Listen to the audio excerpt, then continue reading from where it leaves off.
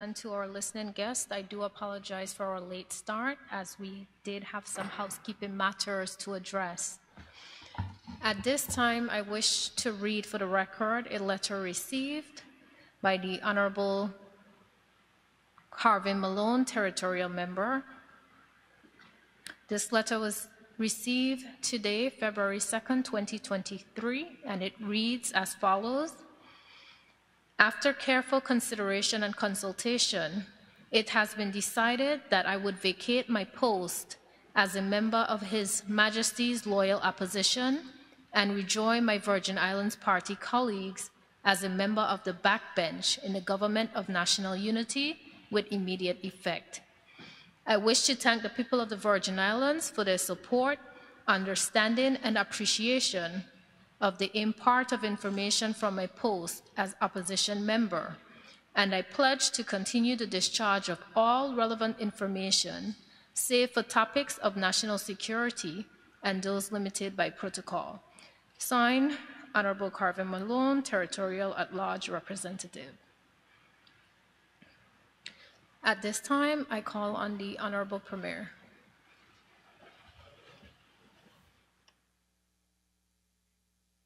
Uh, thank you, Madam Speaker, and I welcome the territorial at-large member uh, back on the on the government side.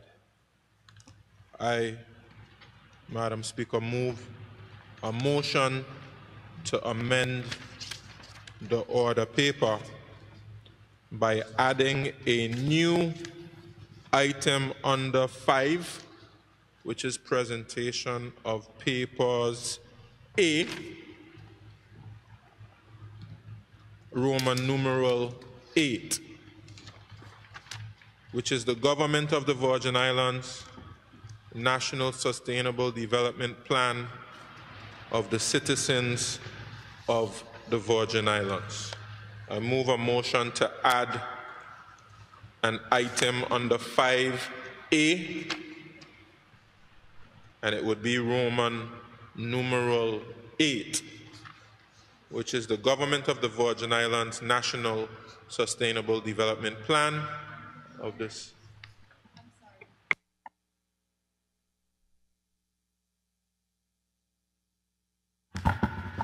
I'm sorry, Honorable Premier, I believe that's Roman numeral 13.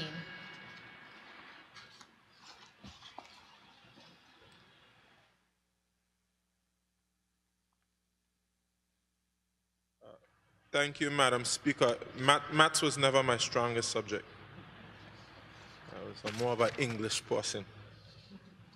So let me go again, Madam Speaker. I move a motion to amend the order paper by adding a new item under 5A, and this would be Roman numeral 13, which is Government of the Virgin Islands National Sustainable Development Plan of the citizens of the Virgin Islands. I also propose to amend the order paper by adding a new item under 8, which is public business, 1, and this would be a Roman numeral 1, which would be the introduction and first reading of the bill entitled Police Act 2023. Madam Speaker, I so move. Madam Speaker, I rise to second the motion. Thank you. Honorable members, a motion has been moved and seconded to amend the order of the day to reflect as follows to add a new Roman numeral 13 under 5A of presentation of papers, and to add a new number 8, which will be public business, 1, government business, introduction and first reading, the Police Act 2023. All other items currently on the order of the day will be sequentially renumbered. Those in favor? Aye. Those against? The ayes have it. The order of day has been so amended. I now call on the Honorable Premier.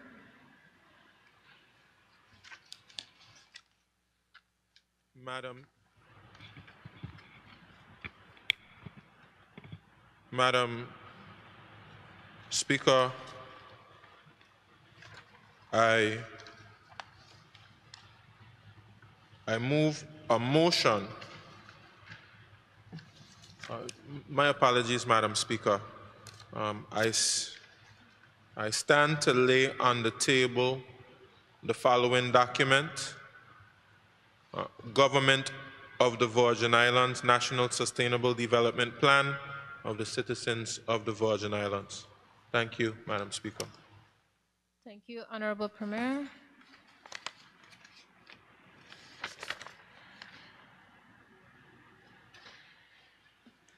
At this time, I call, yes, I'm sorry, Leader of the Opposition.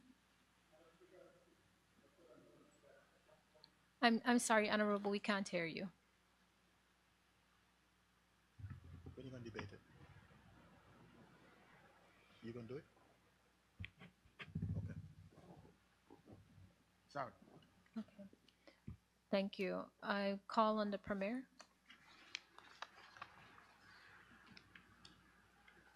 Thank you, Madam Speaker. Madam Speaker, I move a motion that Standing Order 14A be suspended to allow for the de- debate of the National Sustainable Development Plan of the citizens of the Virgin Islands.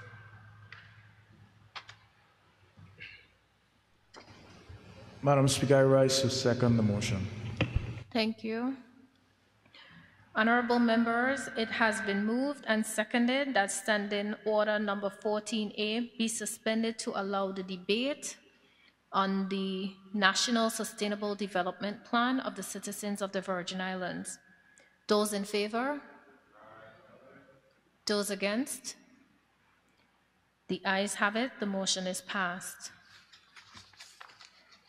Honorable Premier. Uh, Thank you, Madam Speaker. I will now therefore uh, move a motion to debate the National Sustainable Development Plan of the citizens of the Virgin Islands. And I'll speak a little bit about the plan, and I'm sure my good friend, the Leader of the Opposition, will give me a second. Madam Speaker, I first ask permission to be able to read from the National Sustainable Development Plan. With your permission, I'll, I'll proceed. Please proceed. Madam Speaker, uh, this National Sustainable Development Plan is an undertaking that I am personally very proud of.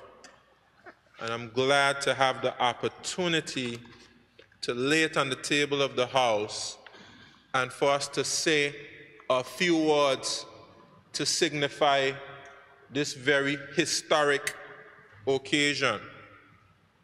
I will read from the message that is included in the National Sustainable Development Plan from myself as Premier and Minister of Finance.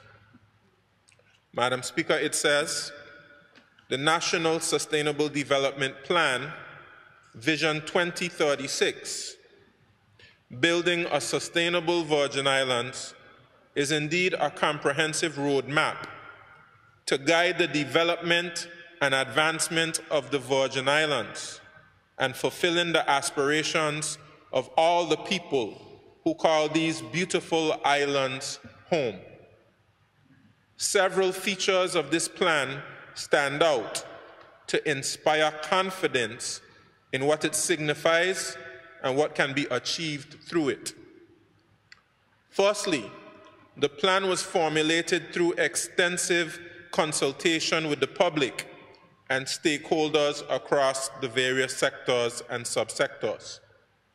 These consultations, numbering 70 sessions, conducted virtually and physically across all of the Virgin Islands, including consultations with the Virgin Islands diaspora, were widely participated in and rich in ideas, views, and suggestions. Thusly, the people of the Virgin Islands can claim ownership of this plan. It was essentially written by the people who'll be the ones to bring it into reality, for it was crafted around their vision for themselves and their Virgin Islands. Secondly, sustainability is at the core of this plan. Sustainability is about building, investing, and using resources with tomorrow in mind. This is why, and I'm happy to see it, our vision for empowered youth is prominently stated at the beginning of this plan, with clear guiding principles that capture our responsibilities towards the youth and how they will be molded for their roles as future leaders of their communities and country and how they will be engaged in their country's development. And thirdly, the National Sustainable Development Plan takes a 360 degree view. The recommendations are the results of deep and wide assessments and analysis that interrogate, interrogate where we are at present in our social, economic, and political development our journey and achievements over generations in getting here, our aspirations and where we wish to go, what work is required to get to our vision, and how we can go about getting that work done. It considers the unique history and circumstances of the people of the Virgin Islands and our values, so that the plans and recommendations are reflective of us as a distinctive people in a unique geographic and economic space and in a political situation that is different to that of other countries, small and large. It is against this context that targets, milestones, and strategies are set, and this represents the empowering organic process that forms the basis of the model democratic society that we are committed to building together. I wish to thank the Economic Commission of Latin America and the Caribbean and head consultant Dr. June Soomer for their support and guidance in the development of this National Sustainable Development Plan. Special thanks and commendation also go out to team members Pat Leanne Johnson, Elizabeth Emmanuel, Emery Shea Pemberton, and Marietta Headley for their dedication to this project. And I must also include Najan Christopher as well. My sincere appreciation extends to the government of the Virgin Islands, our ministers, permanent secretaries and public officers, the business community, our educational institutions, our civic society, and all our stakeholders who contributed in their respective ways to ensure that we can have a solid plan that is informed by and reflective of our collective aspirations as a Virgin Islands people. I'm excited by the prospects of all the amazing things that our Virgin Islands and people can and will achieve through this National Sustainable Development Plan, particularly with respect to sustainable development and ensuring a foundation for success for future generations of Virgin Islanders. I look forward to us all proceeding in earnest with its implementation, and I'm hopeful that all the relevant actors, regardless of political affiliation, will embrace this plan as a mandate from the people of the Virgin Islands for the execution of their vision for their national development. I pledge my personal support and that of my administration as we press forward with our continuing mission of nation building. May God bless our efforts to progress our people and grant us the courage, wisdom, and determination to confront and overcome all obstacles in our path. And Madam Speaker, that's signed Dr. Natalio D. Wheatley, Premier and Minister of Finance. Madam Speaker, I said it in my message, but I repeat my appreciation for all persons who contributed to this plan. Of course, Dr. June Soomer did a marvelous job, along with the team that supported her. She's worked for many, many, many months, walked through very difficult circumstances, through the pandemic, of course, through personal challenges. And um, she has given us a work which truly reflects the people of the Virgin Islands because she did a wonderful job in consultation and reaching out to the various um, sectors, various pockets of people, and she was very extensive, very detailed, very thorough in her work. And I want to extend my appreciation to her and certainly to all other persons who were, were mentioned. Also ECLAC, which we've uh, continued to build on a very strong relationship we have with ECLAC, and that has certainly borne fruit. I also have to acknowledge, of course, that the U United Nations Development Program, or the UNDP, has pledged to support us with the implementation of this plan, which is a very important component of the plan. It is not a plan intended just to rest on the shelves. It is a plan that we want to see implemented, and we have a plan for the implementation of this sustainable development plan, a plan which is being developed right now. Madam Speaker, this National Sustainable Development Plan is an important component of nation building. We are going through some very important exercises at the moment. One is constitutional review, which also is a very important aspect of the nation building process.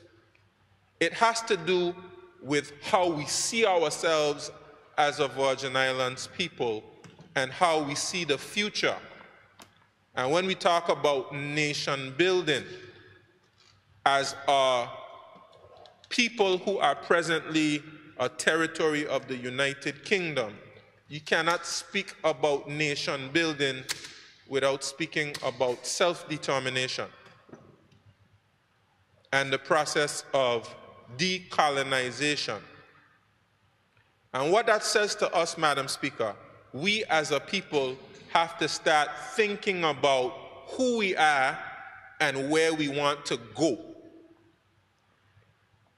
in this life. We must also reflect on where we were, from whence we came, and how we got to where we are today. And I would suggest to you, Madam Speaker, that we are on a trajectory towards greater self-determination, greater self-governance, greater confidence in ourselves, sustainable development, the building of our progressive institutions, and the building, above all, of our people. That is the trajectory we are on. And I'm proud, Madam Speaker, that as a member of this fourth House of Assembly, I've had an opportunity to contribute to that building effort. I, I believe very firmly that Parsons have a better appreciation of things like the 1949 march as a result of some of the things we have done and the restoration of the Legislative Council, like creating holidays, Madam Speaker, um, and changing Territory Day to Virgin Islands Day, doing things like that, and changing Festival Monday to Emancipation Monday, and Emancipation Tuesday, and Emancipation Wednesday. These things are important and they impact on the consciousness of the people of the Virgin Islands. And having a Heroes and a Foreparents Day so that we can celebrate the accomplishments of Virgin Islanders past and present. Yes, these things are still being worked on and still being fleshed out. But certainly, these efforts have created greater consciousness in the minds of Virgin Islanders about who we are, about where we came from, and about where we have the potential to go if we unify, if we embrace unity, if we embrace the possibilities before us for where we can go if we can only dream and if we can only vision. It says Vision 2036. If we can only have the vision to see where we could be through our own collective efforts, we will go far. The sky is the limit for us in the Virgin Islands, Madam Speaker. And we must learn to celebrate ourselves, celebrate our accomplishments, and we must put our heads together and we must walk towards a brighter and a better future, not just for ourselves, but for generations to come. This is a vision for 2036, which is 13, now 13 years away. And we have to be able to project into the future. Madam Speaker. I want to speak about the fact that this plan is a non-partisan plan. This plan reflects the will of the people of the Virgin Islands and it was consulted on with the people of the Virgin Islands. This is not a, a, a plan of this administration alone. As persons would notice when they peruse this plan, the, the leader of the opposition has a message in this plan. And it reflects the not just bipartisan, uh, because of course we have a number of parties in the House, but this, this reflects the whole House and the whole Virgin Islands. And the hope is, because of course we are fast approaching um, campaign time. The hope is that manifestos will embrace the content of this plan. We often hear persons say that our development is stunted because we only plan for four years. And we embrace manifestos every four years. But the concept behind this plan is that all political parties all persons independent candidates, all persons contesting elections. We'll look at this plan which has been consulted on with the people and passed on behalf of the people and embrace it and say, we commit to this National Sustainable Development Plan moving forward. So we have cohesive, coherent planning and development moving forward. Of course, everybody will want to have their own take on it. And we can challenge ourselves based on how well we have been able to execute the contents of the plan. That's what we'll judge ourselves on as political parties and as individual uh, candidates and incumbents. How well we were able to execute the contents of this plan. How well were we able to put flesh on the bones of this kind of skeletal outline and detail of where we want to go over the next 13 years. So, I personally commit, Madam Speaker, to following and abiding by this plan as a plan for the whole Virgin Islands. And hopefully, persons out there will get a copy of this plan. The citizens of the Virgin Islands, even residents, those persons who have a desire to become a part of the Virgin Islands, that this will become our collective Bible as it pertains to our sustainable development. That this will become our Bible, that we will read it, that we will know it, that we will embrace it, and that we will hold all persons accountable for executing it. This is what it is we are seeking to do. And it is an important exercise, and I cannot minimize or marginalize in any way the significance of what we are doing here today. It's a part of leadership, and I congratulate my colleagues for being here to be able to speak on this and for embracing this plan, and my colleagues who passed it through cabinet to get it here to the House. So, Madam Speaker, uh, we look forward to a robust debate on this plan. We look forward to the support of colleagues in the House of Assembly on this particular plan and that we would do all within our power to make sure it is in the hands of the people. And, Madam Speaker, I very much look forward to advancing not only this plan, but also the implementation plan that will follow, which all um, sectors of the Virgin Islands will have a, a role in public sector, private sector, civic society, each individual citizen, our communities, etc.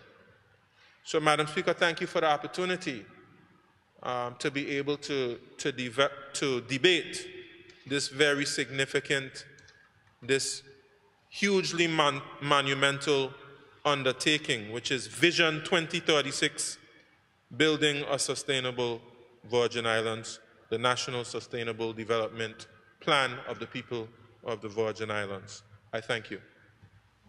Thank you, Honorable Premier. I now call on the Leader of the Opposition.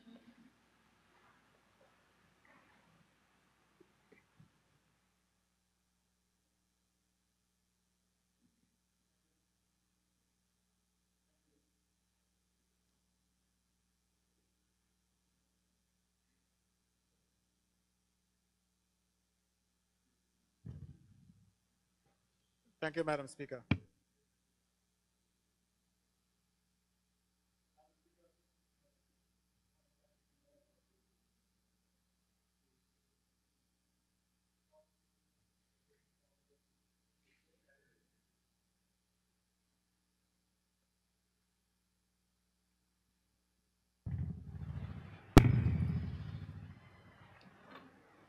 Thank you, Madam Speaker. Madam Speaker, I want to thank the Premier for the fortitude for bringing forward this report today. As we are approaching the 11th hour of this administration and this House, it would have been a terrible disservice if, it, if we had gone through a, a dissolution of the House and the report didn't make it to the House. And further, Madam Speaker, I want to thank you for using your good offices in order to make it possible for us to debate the report. It points out the, the disservice that this House is at and the people of the territory is at for not having the ability to debate reports when they come to the House.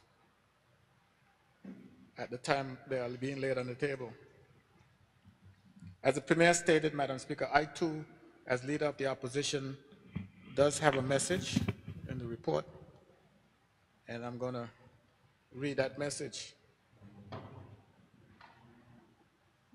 Message Be- starts. Honorable, I'm sorry, before you go, um, do you wish to start your debate now, or do you wish to first second the motion? I'm not so good at seconding motions. No, no, uh, but I second the motion, Madam Speaker. Thank you. Please proceed. Before, before you proceed, let me then open the floor for debate. The floor is now open for debate, honorable members. I call on the leader of the opposition. Thank you, Madam Speaker. Madam Speaker, I want to thank the Premier for bringing the report before this Honorable House today.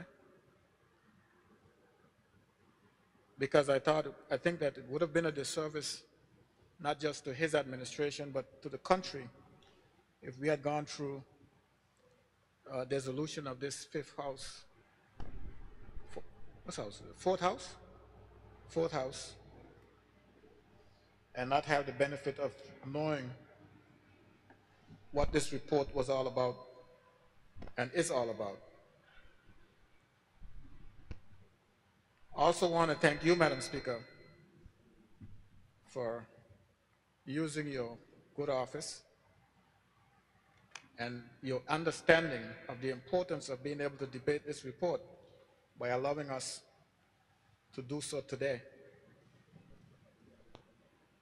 As it is, Madam Speaker, we could have laid the report on the table and, and wait for someone to come back and ask for it to be debated. And even so, you couldn't debate it, it had to go to committee, which the public will never get the opportunity to hear what members think about the report, let alone what's in the report. As the Premier stated here at his message, the Leader of the Opposition does have a message in the report, which I will read, Madam Speaker. It says, Greetings. It gives me great pleasure to thank Head Consultant Dr. June Sum- Soomer, Soomer and her team for their work and collective genius in putting this very important National Sustainable Development Plan, NSDP, together. I'd also like to thank all those individuals, groups, and organizations, especially ECLAC, who subjected themselves and sacrificed their time in order to make this NSDP a reality.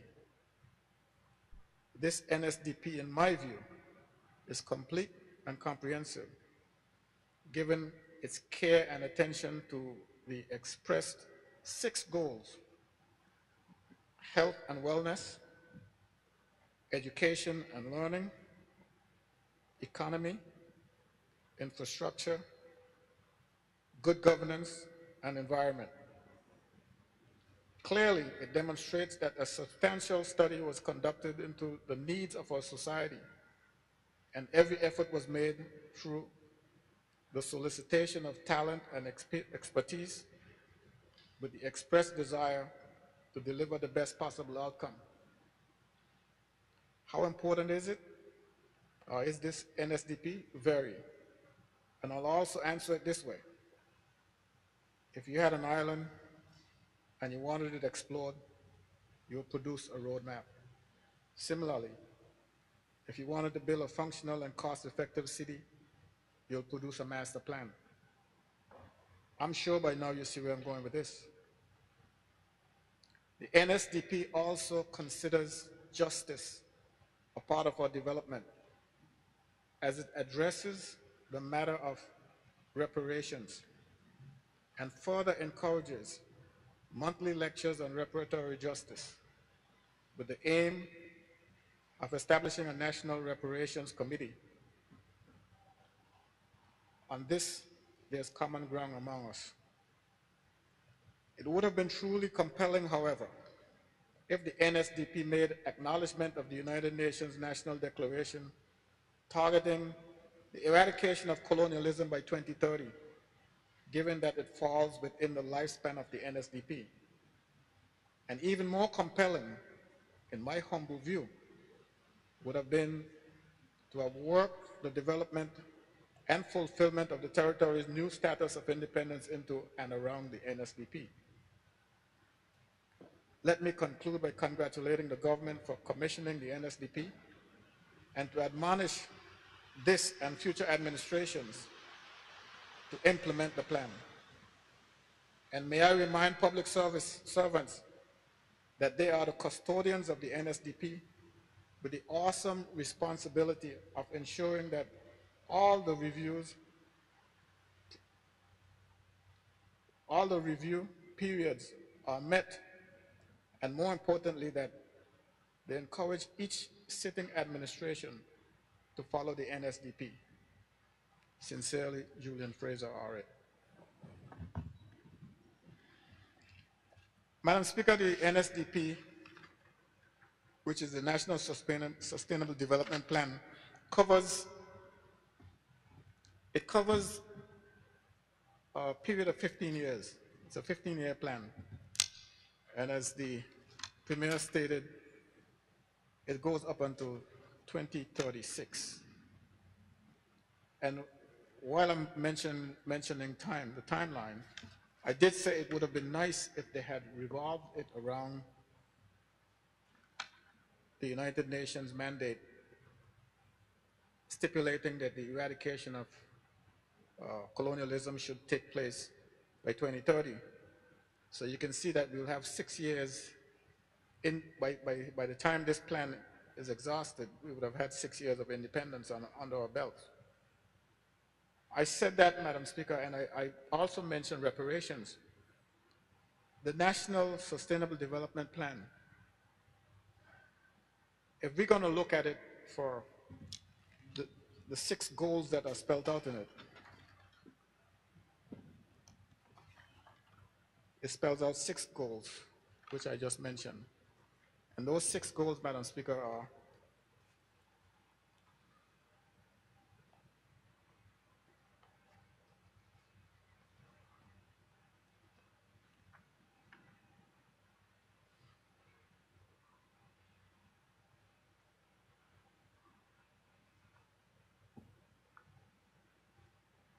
health care is one education, environment,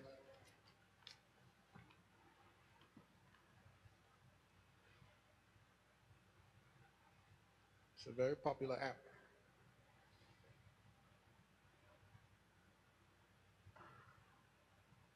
Good.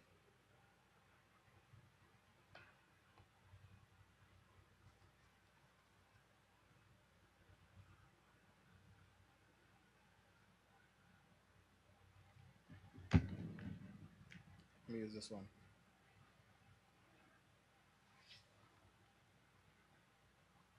Yeah, those, those, those six goals, Madam Speaker, are healthcare, education, the economy, infrastructure, good governance, and the environment. And we are to use the National Sustainable Development Plan to, we're to, we're to use that plan, Madam Speaker, follow the plan for the development of this territory over the next 15 years. Interestingly enough, Madam Speaker, in the plan, the reference to reparations is not just a ref simple reference. It speaks to regular lectures on reparations. It also speaks to um, the development and the establishment of a reparations committee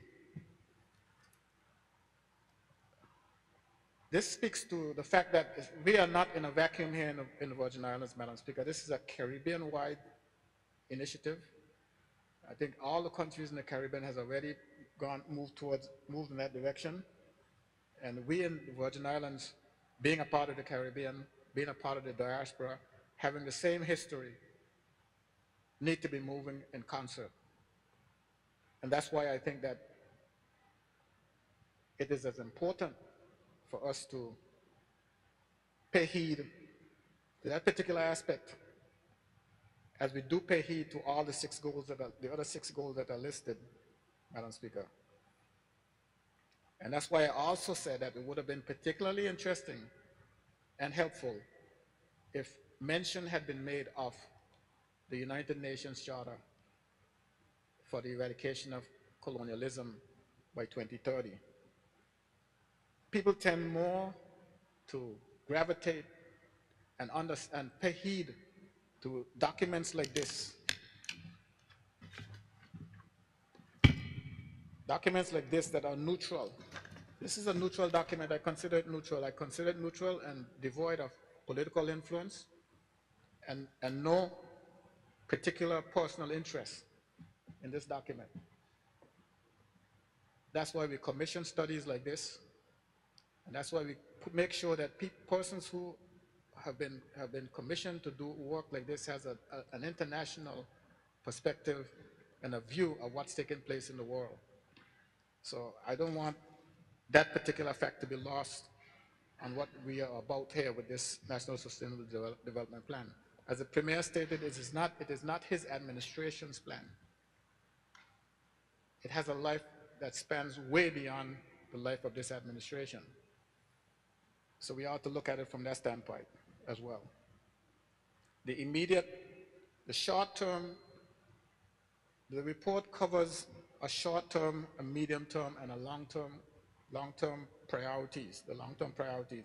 If I look at the short term priorities for each of these goals, Madam Speaker, in the, in the healthcare, goal number one is health. I, I always have this struggle about what should come first, whether it's education or health. Healthcare or education, which should get the most, uh, the first priority, which should get the most attention? Should it be health healthcare or should it be education? And the only logical conclusion I've come up with that puts healthcare ahead of education is that if you're not healthy, education is useless. You wouldn't get it. You would never get education. So you got to be, you got to first be healthy, then you start thinking about, about education. But then again, someone could argue, how do you get health care if you're not educated? So I would say to that person, that's your problem. You figure out who comes first, the chicken or the egg. I'm just going for health care now. The first goal is health care, Madam Speaker. It says health care, uh, health and wellness, the Virgin Islands emphasizes healthy living and provides the structures for fulfilling lives. That's a national goal. The priorities under that is that says strengthen the public health system to give more access to vulnerable groups, to work with partners on school feeding programs, work with partners on school feeding programs. That's a short-term goal. Where do we stand as far as that is concerned, school feeding programs?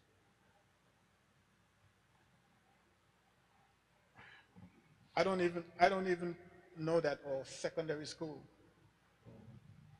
offers a free lunch to every student in the school. I don't know that to be the case. And that is something, Madam Speaker, that I have been advocating since before I came here in this house. And I thought it was, it's, it's a given, Madam Speaker, it's a given. This is something that the, the kids in the United States, Virgin Islands have been having ever since I know them have to be going to school. They have a lunch program, free lunch. And people talk about money, Madam Speaker. How much money is going to cost? How much money is going to cost to feed kids?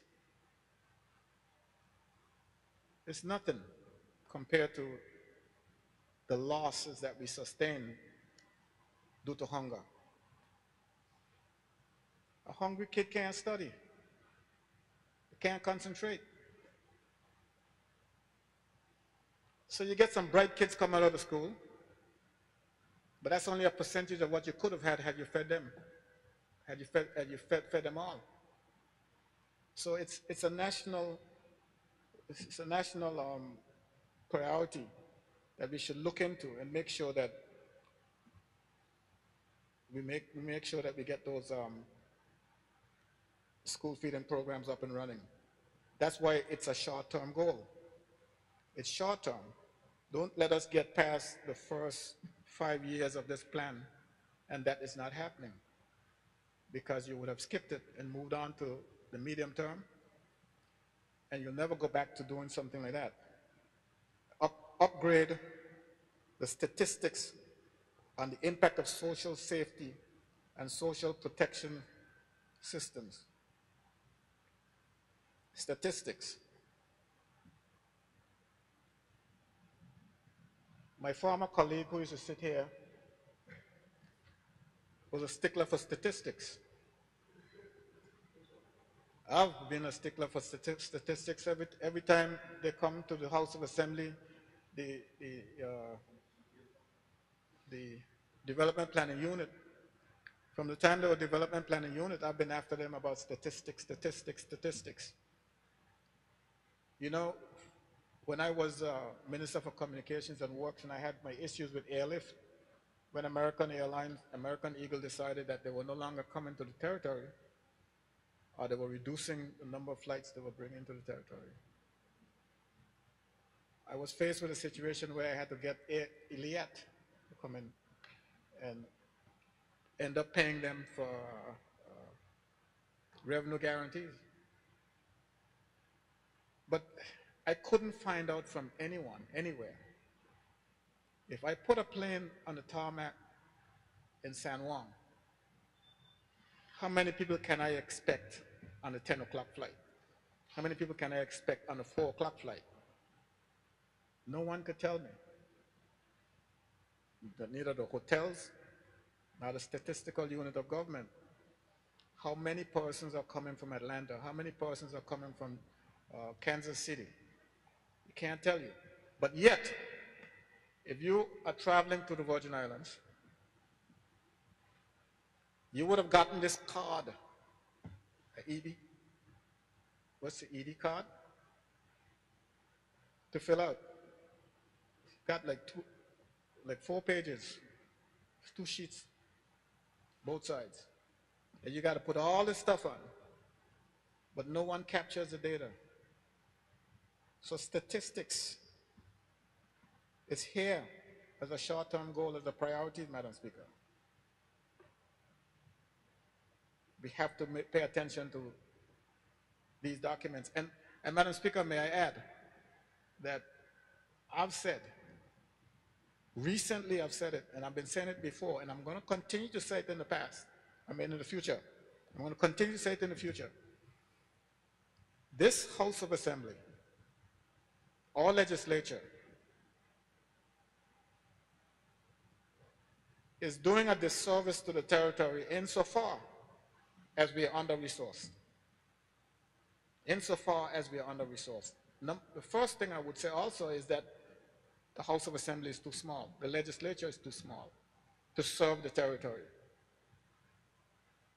You got a House of Assembly as it is right now with five ministers of 13 members. That's, that's, that's the um, executive. The executive is overwhelmed, overworked. But what about the rest of us? Where are the resources that we're going to need, uh, that we do need, in order to fulfill the obligations of the House of Assembly? The House of Assembly has a, a priority, Madam Speaker, which is to hold the executive to account. Without resources, how can you do that? How can you possibly do that? We have committees that don't meet. What's the use? I'm sitting here, Madam Speaker, and it's just me. I don't mean I don't have any other members in the opposition. I mean it's just me when I look back at. There's nobody with me. Members are sitting there, it's just them. You look at any developed, you look at any developed legislature, Madam Speaker, they have staff. Legal, accounting, administrative, and those people's job is to do research. Research and advise. We don't have that. Without that, the government public service cannot function properly. The government public service will never, ever be any better than it is, despite all the people that are complaining about the lack of service and the inefficiencies and all. It will never get any better than it is until concentration is paid on the, house, on the elected uh, parliament. Because our duty, Madam Speaker, is to act as their conscience. They do their jobs because each year they, pre they prepare their reports and they're tabled in this house. Those reports are not tabled in this house to sit on a shelf and gather dust. But that's exactly what happens to them. Because of the reason I just mentioned, there's no staff. We are supposed to scrutinize those reports. All committees are supposed to do that. All committees are supposed to call those public servants in and have them know their shortcomings and hold them accountable to it. Because if they, if they don't live up to their, their, their, their responsibilities, when the budget comes to the House, the monies they're asking for, they wouldn't get it, Madam Speaker. And there's proof to what I'm saying when I'm talking about this, the monies that they get. I see we went into the budget. We went into a budget, Madam Speaker, that was passed in this House and found $10 million to give the national health insurance. How do you pass a budget and go back into that same budget and find $10 million? It's because these, these officers, these public officers are not being held accountable. You asked for the money, you got it, but what happened? You never touched it. If we had the proper committees in our house, particularly a public accounting and and um,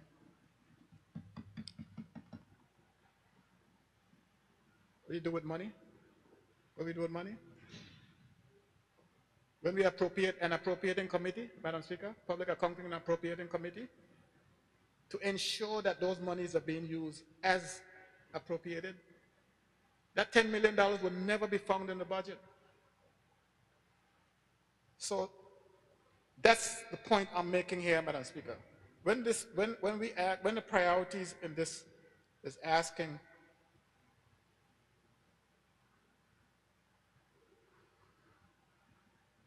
that uh, to, up, to upgrade the statistics on the impact of social safety and social protection system.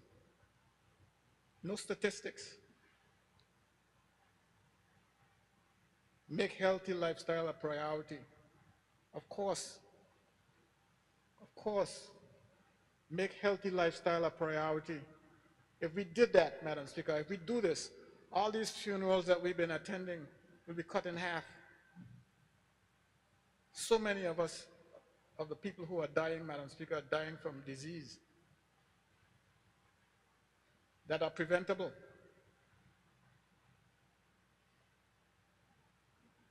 But if this report sits on the shelf for 15 years and go unnoticed, not only will, will, will the number of funerals that we are going to continue, it will increase. The number will increase. There's merit to this report, Madam Speaker, but if it's not used, it's useless. I heard the Premier say that the implementation mechanisms are being put in place. I hope so. But like everything else, Madam Speaker, we've had every structure that's known to man had been, in, had been uh, established in this place. But they have a way of withering away, going by the wayside. Evidently, the architect seemingly dies after he designed it, and with his death, the whole structure falls apart. So this administration will put the plan together for implementing it. Another administration will come along, and the implementation units the department head will start taking a member from that unit to, to put, to do something else. And the next thing you know, the unit disappears. Ensure equal access to high quality health care and overall improvement in the quality of health care and service, services by all including persons with diabetes and the aged. All including persons with diabetes and the aged. You take a poll in this country, Madam Speaker, in this, in this Virgin Islands. Take a poll. The number of persons that you would find, or the percentage of persons that you would find with diabetes, will be alarming. It will be alarming. And it's, it's just surreal.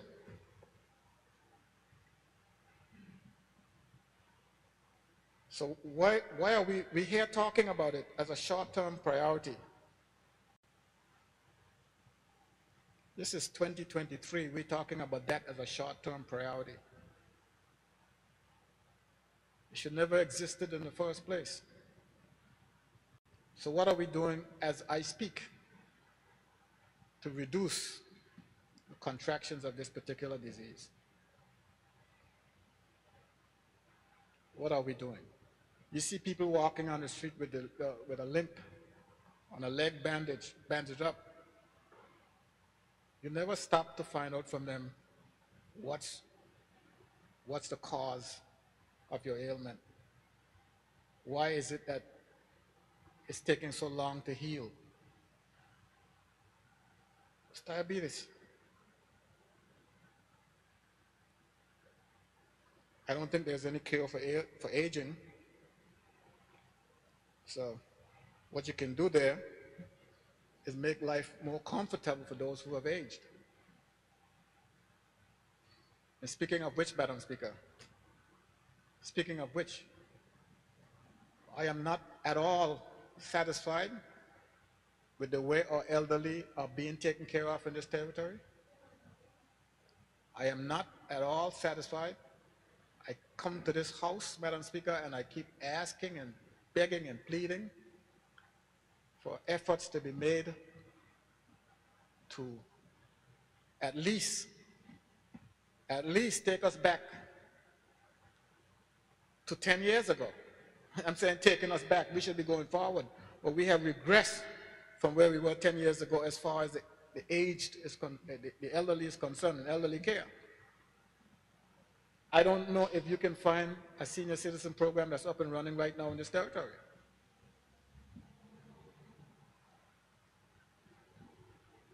Two, three years ago, Madam Speaker, it was my community center was damaged. A year ago, it was damaged and repaired. Today, it's repaired and it's being occupied by other uh, entities other than who's, who was intended for. I have nothing against the fact that we are, we are, we are housing a school. I'm proud to be the house housing the school of the um, some some of the students that are there now, which I'm sure that the minister is, is busy trying to find a permanent home for. And and they are in no way, Madam Speaker, inconveniencing the seniors because of different section I'm talking about. The point I'm trying to make is that the fact that they're claiming that the building hasn't been turned over officially and all the rest of it, but others are occupying it. I passed there on a Saturday and I saw people sitting in that space in, in, in the hall. I don't know what they were doing. I didn't go in to check see what they were doing, but I know that what they're using it. I spoke to the former minister, I spoke to the current minister about opening that, that um, senior citizen program. Madam Speaker, let me explain something to you about these seniors.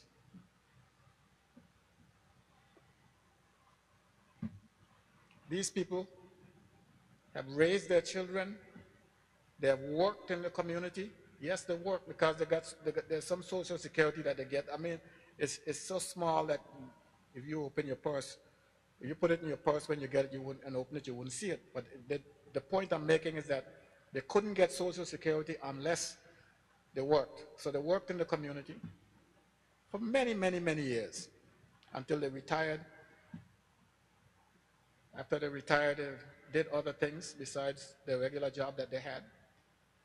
And then they got to the point where they just have to stay away from work. They raised their grandchildren who are now probably off to college or finished college and, and living their own lives. So all these seniors want, Madam Speaker, is a place to go during the day. Is that too much? When they have a place to go during the day, it's not just them, or just, it's not just me, or just you. It's us. The last, that's the least, that's the least. The people who brought you into this world, made you who you are, can ask of you. And we can't seem to see this. You know the same, Madam Speaker, what goes around comes around? If I see you treat Tom a certain way, when I grow up, I'm going to treat you the same way you treated Tom or even worse. Is, it, is this a society we're building? I, I, I can say not, because we have a National Sustainable Development Plan that speaks for, for, for 15 years up to 2036, and they're asking us to do these things. So I could say that that's not the society we're trying to build. Unfortunately, this is the society that we end up with.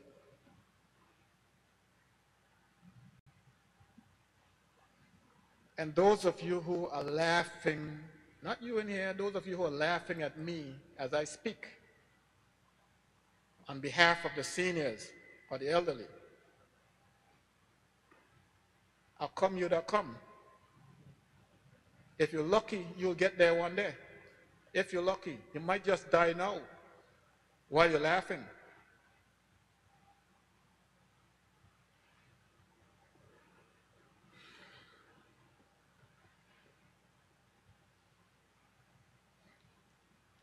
Madam Speaker, in education, this is goal number two. Still on short-term goals. Education and learning. The Virgin Islands facilitates empowerment through innovative, creative, and vibrant learning environments. I would, I would imagine, Madam Speaker, as a national goal, the description that I just read for education, it says, education and learning. The Virgin Islands facilitates empowerment through innovative, creative, and vibrant learning environments. I would imagine, Madam Speaker, that when the committee who put this report together did their study, they have consulted the educators, and this description that I just read, I feel in my mind is what the educators really, really want. This is what they see their role as, do, as, as doing, as being. And for the priorities on education, it says establish and implement and establish the implementation framework for the National Sustainable Development Plan. to establish the implementation framework. And that's exactly what I was talking about, Madam Speaker. Implementation. So this is the Department of Education and the Ministry of Education's responsibility to establish the implementation framework for the National Sustainable Development Plan. So whatever the National Sustainable Development Plan is asking for, for education, in the field of education over the next 15 years, it becomes the responsibility of the, the education department and ministry to establish that framework. And I would imagine, Madam Speaker, the only thing that can come between the Ministry of Education and delivering on this plan will be resources, economic, financial resources. And that's something I think that the minister will be working towards each year to uh, fulfilling. It says um, also focus on identity building by ensuring that the history, national symbols, and territorial song are entrenched at all levels of the education system. It says strengthen youth entrepreneurship, mentoring, and internship programs. The strengthen youth entrepreneurship, mentoring, and internship programs. So there you have it. A few minutes ago, I was advocating for the seniors. Now it's the turn for the youth. Or youth, Madam Speaker, it's the law. It's the law that education is mandatory for children up, up to, I think, 15 years. Education is mandatory, it's the law. So we do make sure that we provide for the youth. I was talking about the school lunch program as well. I advocate for the youth just the same as I do for the seniors. The difference is that the advocacy for the youth is enshrined in law. But when it comes to the seniors, you can abandon them without reprisals. And unfortunately, that is exactly what happens. So, it leaves me to come here and talk about it. To make sure that my colleagues who are responsible for taking care of them doesn't forget that they have a responsibility. So it's not, it's, it's not being done at the expense of the youth. It's being done to make sure that we do right by our citizens. Integrate sports as a tested program at all levels and improve all sporting facilities.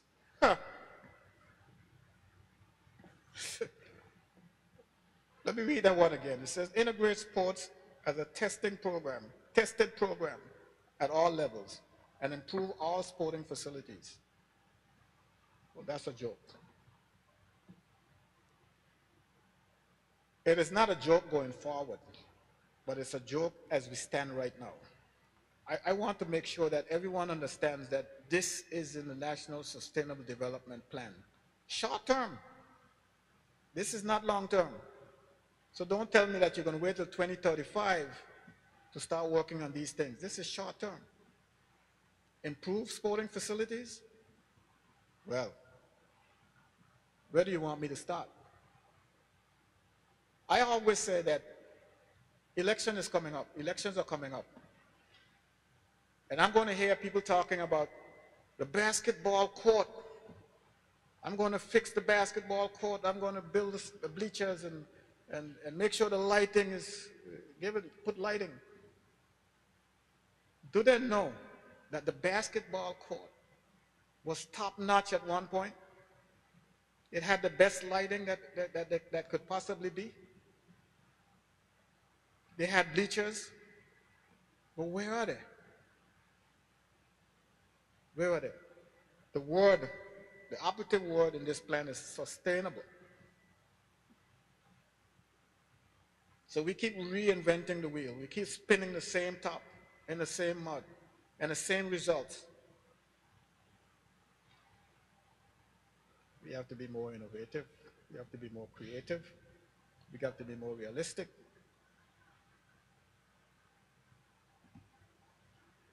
I remember, Madam Speaker, there are some things you don't forget, and for good reasons. Bellevue, of all places, it was like a diamond in the rough. You go to Bellevue, and they have this basketball gymnasium. It was nothing more than a warehouse converted into a, a gymnasium, basketball gymnasium. But you know what was unique about that, Madam Speaker? It was indoors. It was indoors. And it meant that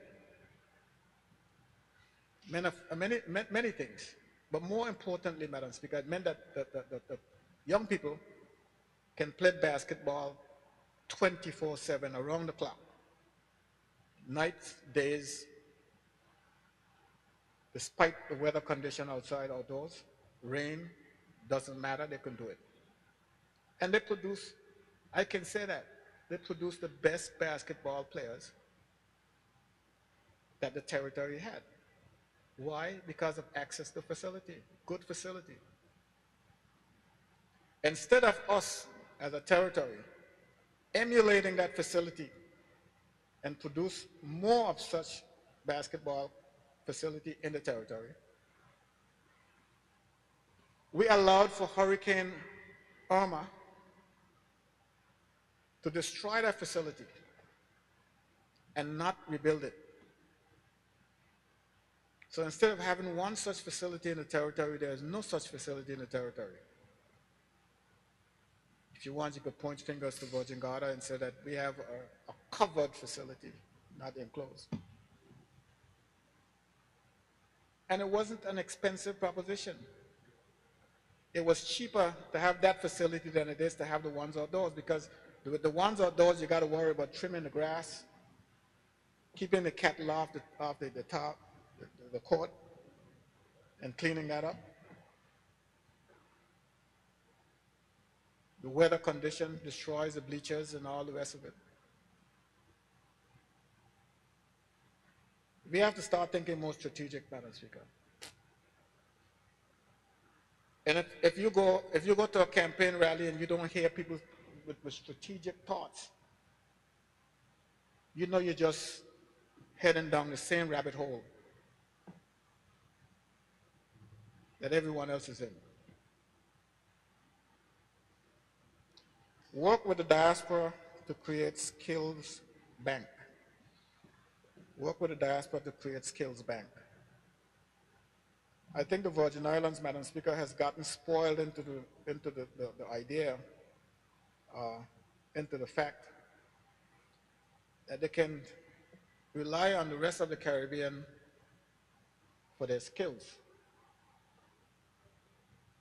So harnessing our own skills has, has become less of a priority. We lose our own talents to the United States mostly. But that talent that we lose to the United States is could, could be retrievable if we did the right thing. When our students leave here to go off to study, we should ensure that they come back. Not with, not with a stick, Madam Speaker, not with a stick, but with a carrot. We spend millions of dollars educating our students. And we just said to them, you must come back home because you're on scholarship. But come back home has to have some reality to it, Madam Speaker. You're asking me to come back home, and, and when I get here, more times than none, you have to sit for six months and can't even find a job. And if you do find a job, the, the pressures and the scrutiny that you have to go through, Madam Speaker, is, is, is so not worth it. You're almost telling these people that you want them to go back, you want them, you want them to leave. And that's exactly what happens. So when we talk, when we talk about work with the diaspora to create skills bank, the wording in this makes it okay. Makes seems to me seems to suggest that what we're doing is not is not wrong. We could continue to do it because we're working with the diaspora. But we need to first start working with ourselves to create the skills bank. The economy, Madam Speaker. That's goal number three. Says the economy. The Virgin Islands has a prosperous, vibrant, and thriving internationally competitive economy. Prosperous, vibrant, and thriving internationally competitive economy. I believe I believe the AG might be the best person to speak to this with an understanding as to how our financial services, how international it is. We have, of course, we have some, maybe 450 to 500,000 companies registered on the books. And those are, those are really overwhelming majority are international companies. So maybe that's what they're talking about, thriving internationally competitive economy.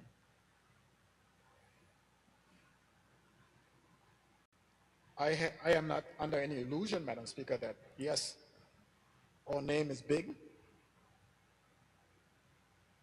internationally for the service we render. We are the best at what we do. And I, I expect us to continue that way for a long time.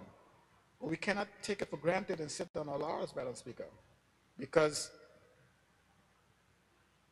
if somewhere in here it is not speaking to not necessarily totally diversity, diversifying the economy, but naturally maximizing what we have, then we're not doing anything. In maximizing what we have, let's see what they talk about when they say um, the the priorities for this, for the economy. It says convene a meeting with the private sector on government priorities and the linkage with corporate, social, and economic responsibilities. Convene a meeting with the private sector on government priorities and the linkage with corporate, social, and economic responsibilities. Well, this is something that the, pri the private sector and all public sector will be convening and con uh, uh, communicating on. It says, develop inventory lists of government assets, marine, land, ports, tourism, fishing, agricultural, building, and vehicles. I would imagine, Madam Speaker, that if this was not, if this, if this did, if this existed, it would not show up here as a priority. And the question I would have, Madam Speaker, is we don't have an inventory as a government of our assets. We don't know what our marine assets are. Lands, ports, tourism, fishing, agricultural, building, and vehicles. If it existed, we wouldn't be asking for it, Madam Speaker. We would have talked about further development, but we simply, we, we outright asking for the list. That's unacceptable, Madam Speaker. It falls in the same category as I was talking about earlier when I asked, talk about statistics, the absence of statistics. It says also upgrade the digital space through negotiations of new contracts with service providers. Hmm. Upgrade capacity building and negotiations between uh, business law and protocol. Upgrading and strengthening of an integrated statistical system that provides time-sensitive feedback to citizens and to the business community. I think I touched on that already, Madam Speaker. How unacceptable it is to, to be in the position that we're in. And that's even, that's even more immediate than a short-term goal, Madam Speaker, getting those things together. How do we be standing here today in, in 2023 talking about statistics and the shortcomings of our government ability to furnish those statistics, to, further, to create the statistics and then to, to, to furnish them. Num goal number four, infrastructure. The Virgin Islands emphasizes reliance, building, and access to sustainable services. The priorities are invest in the upgrading of pedestrian walkways and facilities that is inclusive, taking into consideration persons with mobility constraints and the aged. Persons with mobility constraints, pedestrian walkways, facilities that is inclusive, mobility constraints. We are so out of touch with the needs of people who are somewhat disabled or anywhere disabled, with our public facilities, Madam Speaker. And I spoke about accommodating the aged already. When you go to any parking lot, public or private parking lot, there should be certain numbers of parking spaces for, for people who are uh, physically challenged. That should, that should be the law. It should be painted out. And when these people, or anyone, when they go into these parking lots, there should not be a vehicle parked behind them in the, in the, in the service lane in the parking lot. These are all responsibilities of the government. And when I say government, I'm talking, it, you know, when I say government, I don't want the members in this house to start looking around them. I want them to look at themselves. It's us. It's our responsibility to make sure that these things happen. And if you go into a parking lot, when you go into Riteway parking lot, minister, and you see that there are no, well, I wouldn't single out Riteway, but if you go into any parking lot and you see there are no parking spaces for the handicapped, you're supposed to go back to your office and ensure that the laws are updated if they're not provided for to make sure that there are parking spaces, a not certain number. The ratio is the ratios are there. They already determined what the ratio should be. To have those things painted. Walkways, pedestrian walkways. Those are the responsibility of our government.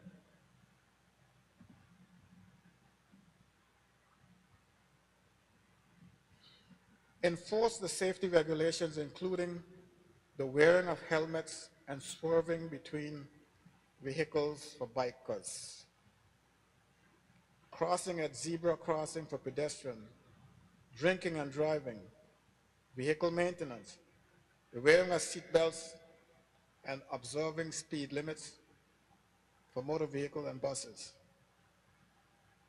I'm sure the laws are there for those, and that's a matter for the law enforcement agencies. So there's something in here not just for uh, public servants. There's something in here for law enforcement as well. And there are things in here for the regular citizen, how we should conduct, how they should conduct themselves. Commence and complete the upgrading of roads. This is short term. Commence and complete the upgrading of roads.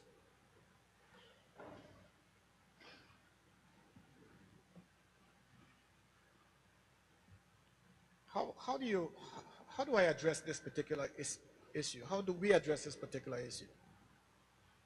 Commence and complete the upgrading of roads. I think we should first start with maintenance, maintenance of the roads, maintenance of our facilities. If you got a sidewalk, Madam Speaker, and you, could, you see grass growing up in the sidewalk, when it first starts, it's a little blade of grass that comes through the sidewalk. And if you don't make sure that you get rid of that blade of grass, the next time you see it, it'll be a bunch of grass. Now, a blade of grass takes a millimeter to grow through, but a bunch of grass will take several inches to go through. So what that is doing is deteriorating the sidewalk. So if we don't maintain these facilities, Madam Speaker, we're just moving backwards. it costs more to rebuild it than it costs to, to maintain it. But we don't see that. And it's a fact. And that's exactly what this, this sustainable development plan is calling for. It says commence the upgrading of schools. Well, that's such a hu- uphill climb. Commence the upgrading of schools. I'm not going to get into that. There's one thing I didn't see in education, which I would mention here, Madam Speaker, is that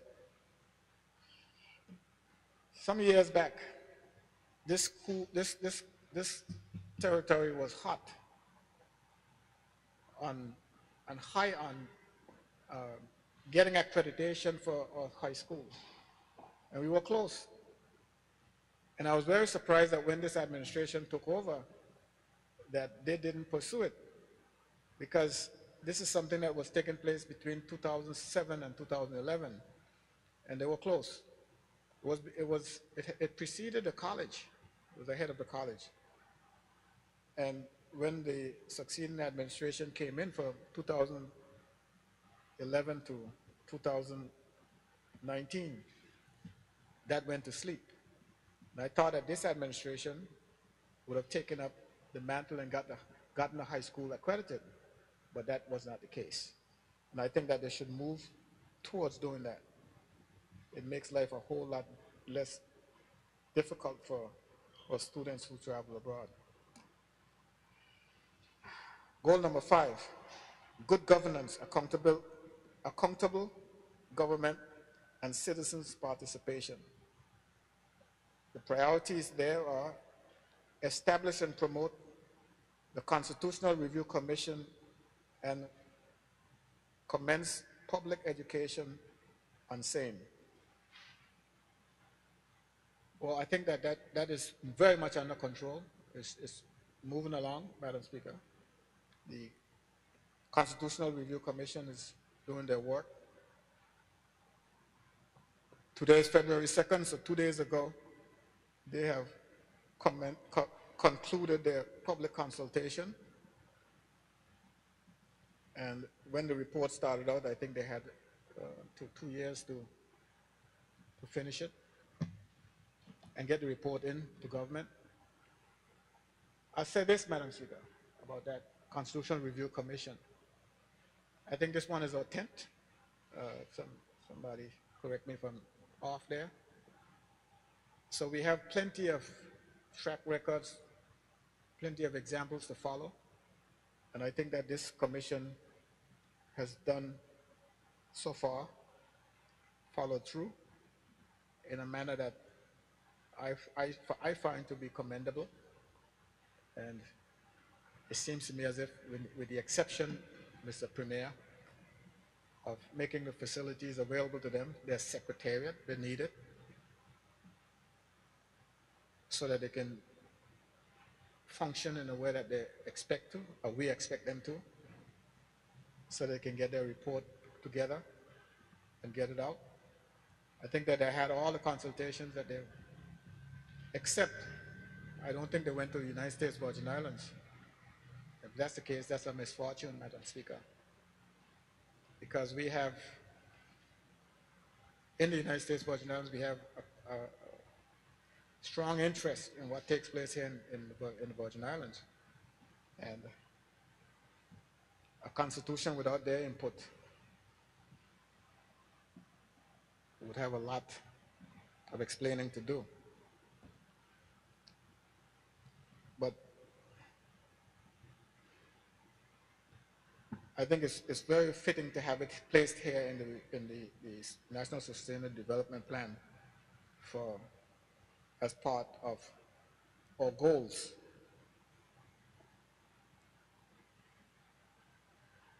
Promote and report on the budget with a view to receiving feedback from citizens. Promote and report on the budget with a view to receiving feedback from citizens. I don't particularly know how that works or how to go about doing that, that's what the report is asking or says should be done. Report on target sets in the budgets. If we had this um, Public Accounting and Appropriation Committee, which goes through the budget as it happens. Maybe you can be able to get reports from this house, from that committee, on how the monies are being spent. And if they're being spent in a timely manner, and any comments that they may have and criticisms. But again, we don't have that. Public sector reform and concentrates that concentrates on coordination, statistics, and integration. Mapping of the SDGs to departmental policies. Strategic development goals to departmental policies. And the sixth and final goal, Madam Speaker, is the environment. The Virgin Islands embraces environmental sustainability for sustained islands development. And the priorities are, short-term priorities, establish a negotiation team on climate financing. Madam Speaker, the member for the Ninth District and myself attending, attended a meeting by the CPA in New York, and it, it dealt with climate change. And Madam Speaker, if you talk to the average man on the street about climate change, he will never have an appreciation for the reality and the devastation that is taking place worldwide as a result of climate change. So, as far-fetched and, and as unnecessary things like this may seem, it's to the contrary. Establish a negotiating team on climate financing. The rest of the world, the developed world, and those independent countries that has the opportunity to sit in the United Nations and on all the various national and international forums to discuss matters like these are first and foremost concentrating on ways in which to finance the mitigation of the devastation of climate change. And, and the developed countries are putting up big money, Madam Speaker, that can, that can benefit small territories like ours. Because despite the fact that we have almost zero, almost zero uh, contribution to the changes in the climate, we are impacted more than 0%. The impact that we sustain, Madam Speaker, is far greater than our contribution to the problem. So we can benefit from, sometimes it's not always the actual financial contribution that you receive, but the education you can gather from these forums, from being a part of these things, Madam Speaker, it's invaluable. Approve the blue economy strategy. Blue economy strategy. I'll let my good friend from the 8th district explain what the blue economy strategy is.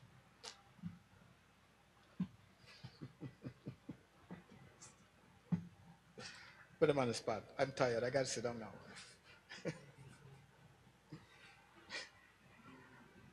Promote the establishment of youth environmental groups on all the islands. Youth environmental groups on all the islands. That's a good thing. Get, get the kid, get the young people involved in things like the environment, something that's going to be around for, the, for, for their entire lives. Show them how to protect the environment, how to be good custodians of the environment, and, and simple things like dropping a wrapper on the, on the street. not dropping the wrapper on the street is protecting the environment, but dropping, dropping the wrapper is, is, is a devastation to, uh, contributes to the devastation of the, the uh, environment. Develop an awareness of corporate social responsibility for the environment with an award for groups and businesses which assist in developing climate change technology. Sounds good. Develop a policy on engagement with partners on the sargassum as it relates to use and financing. Sargassum is a nuisance, Madam Speaker. And it, it's something that, it's not as, that is something that, that just started. They've been around for all my life. But of late, Madam Speaker, they seem to be more abundant. I don't know if it's because our marine sector has been developed to the point where in the past it would just come in and disappears within the, between the mangroves and you didn't, didn't realize it was there to now where we have our shorelines all bulkheaded and it comes and it just backs up. If, if, road, if Road Harbor was all mangroves, Madam Speaker, the sargassum would come in and you and I would not pay attention to it. Because, first of all, you wouldn't see it because it would be behind the mangroves. And a good portion of it will be, with, be, between the mangroves. The only thing that would bother us is, this, is this, the smell. But now the, the sargassum is also a hazard to the, the ferries and all the different boats that sail in the water. So we have to find ways to coexist with it, since we haven't already, since we haven't already determined uh, a, use it. Launch an innovative compet- competition for youth in the area of environmental sustainability. That is something that can, be, get, that can get started within the schools, Madam Speaker. And I think that our curriculum, this is speaking to developing a curriculum to include such things. So, Madam Speaker, I, I think that there's a lot of good things in this, this plan. And all we need to do, Madam Speaker, is try our level best. This administration has already stated that the implementation of it is being set up. The next administration has to now start looking at putting that implementation plan to work through using the implementation unit to do what has to be done. With that said, Madam Speaker, I think that the report is off to a good start as far as its exposure is concerned. Thank you. Thank you, Leader of the Opposition. I now call on the Deputy Speaker, Honorable Neville Smith.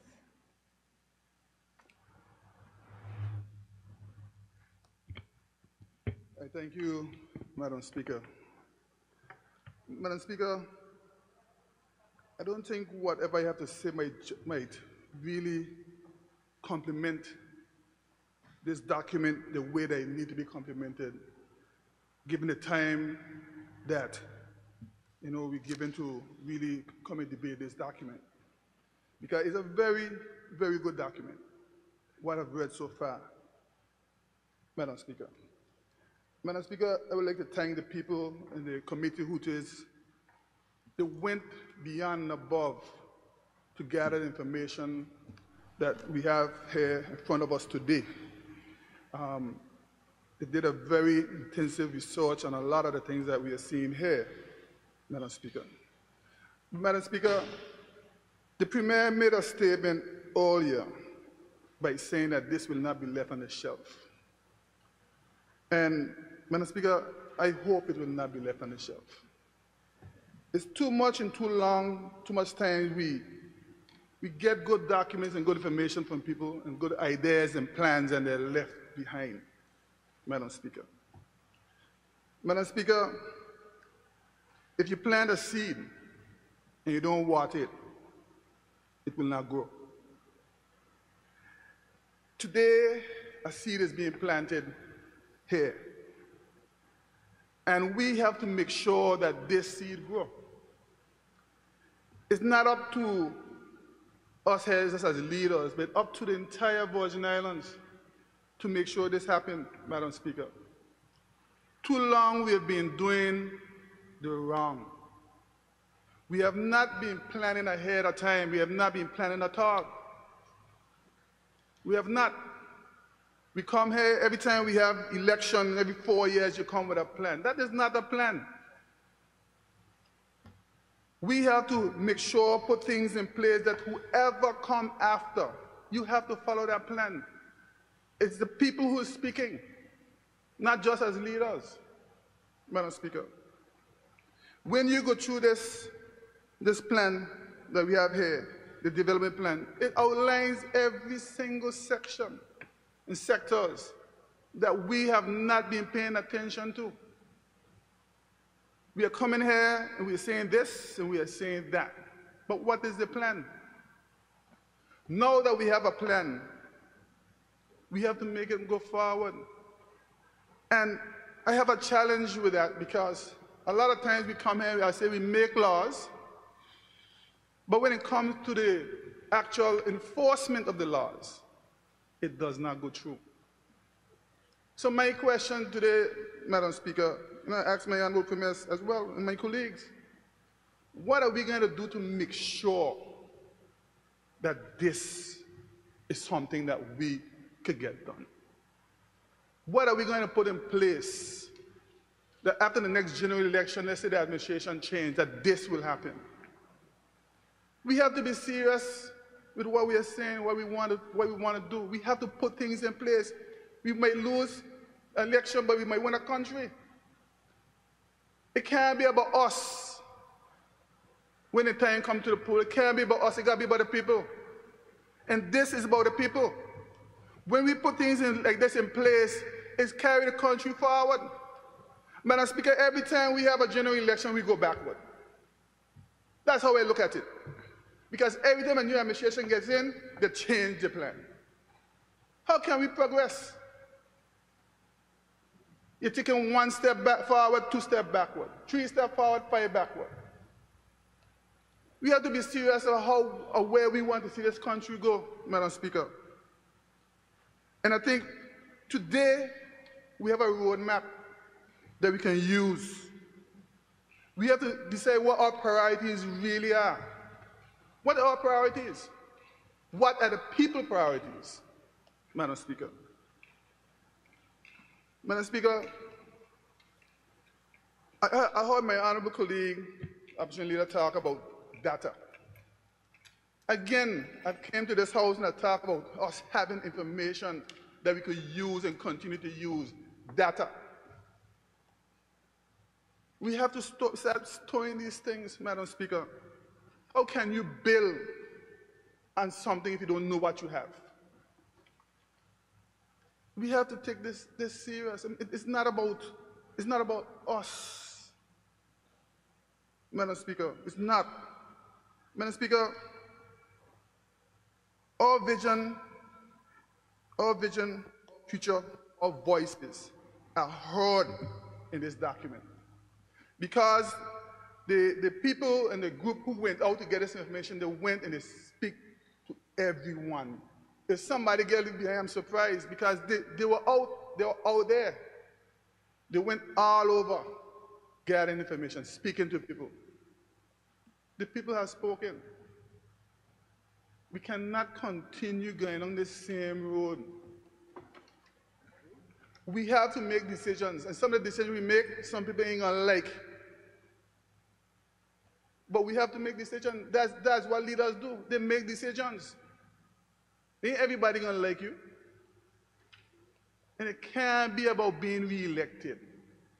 If you do your job, you will be elected.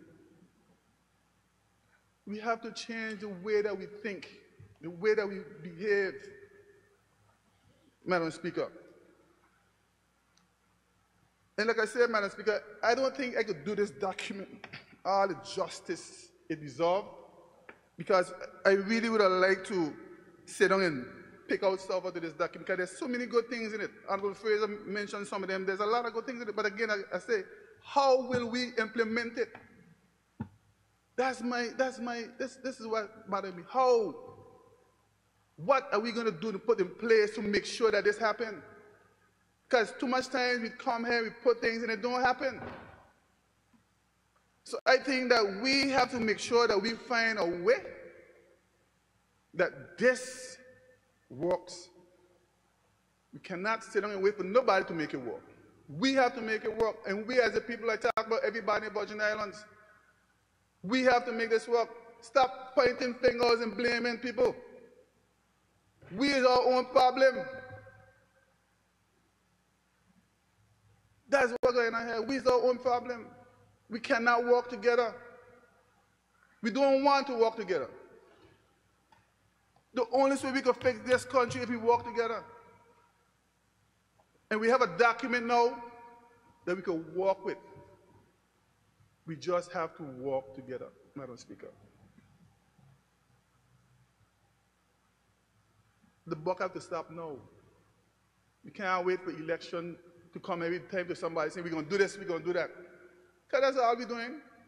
Everybody coming with their plan. This is what we're going to do. This is what we're going to do. Election finish, what happens?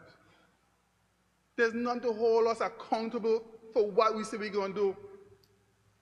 Ain't nothing there. I could come and promise you the wall.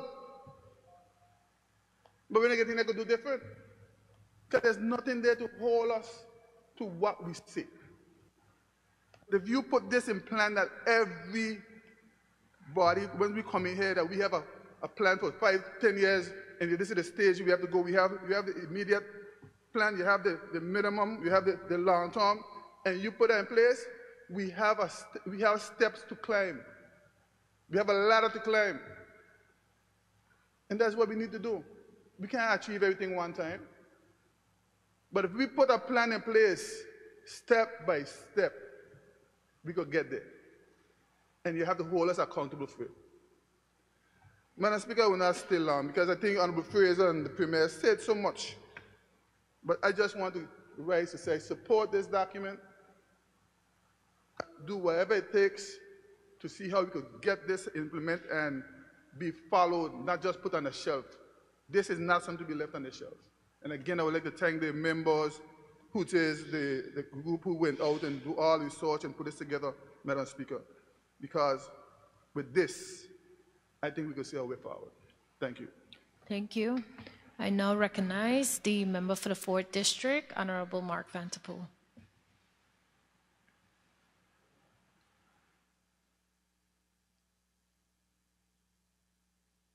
Thank you very much, Madam Speaker. Um, Madam Speaker, I appreciate the opportunity to address the House and the public on this very important document. I, I, I appreciate the Premier's effort to get it on the agenda and get it uh, moving in the public, and therefore it was a bit rushed today to come to the House with without us having a chance to really study it. Um, it was the first time in a long time I had to get into some what you call speed reading that I haven't done for a while. But I got through some of it and I would like to make my contribution, hopefully not too long. I'm going to do my best to go through it. I, I wish I had markers to place in my book here that I'm going to read from and, address, if I may be allowed to address some of the reading, Madam Speaker, because it's important. Um, but so you might have to bear with me a little bit when I'm trying to find my pages that I wish to refer to, because there's some very important matters in this document, Madam Speaker, as other members have, have indicated and I want to try to highlight some of it. Um, if, if, only to alert the public that they should study this document when it gets into the public hands and debate it and discuss it as an important document for the country moving forward.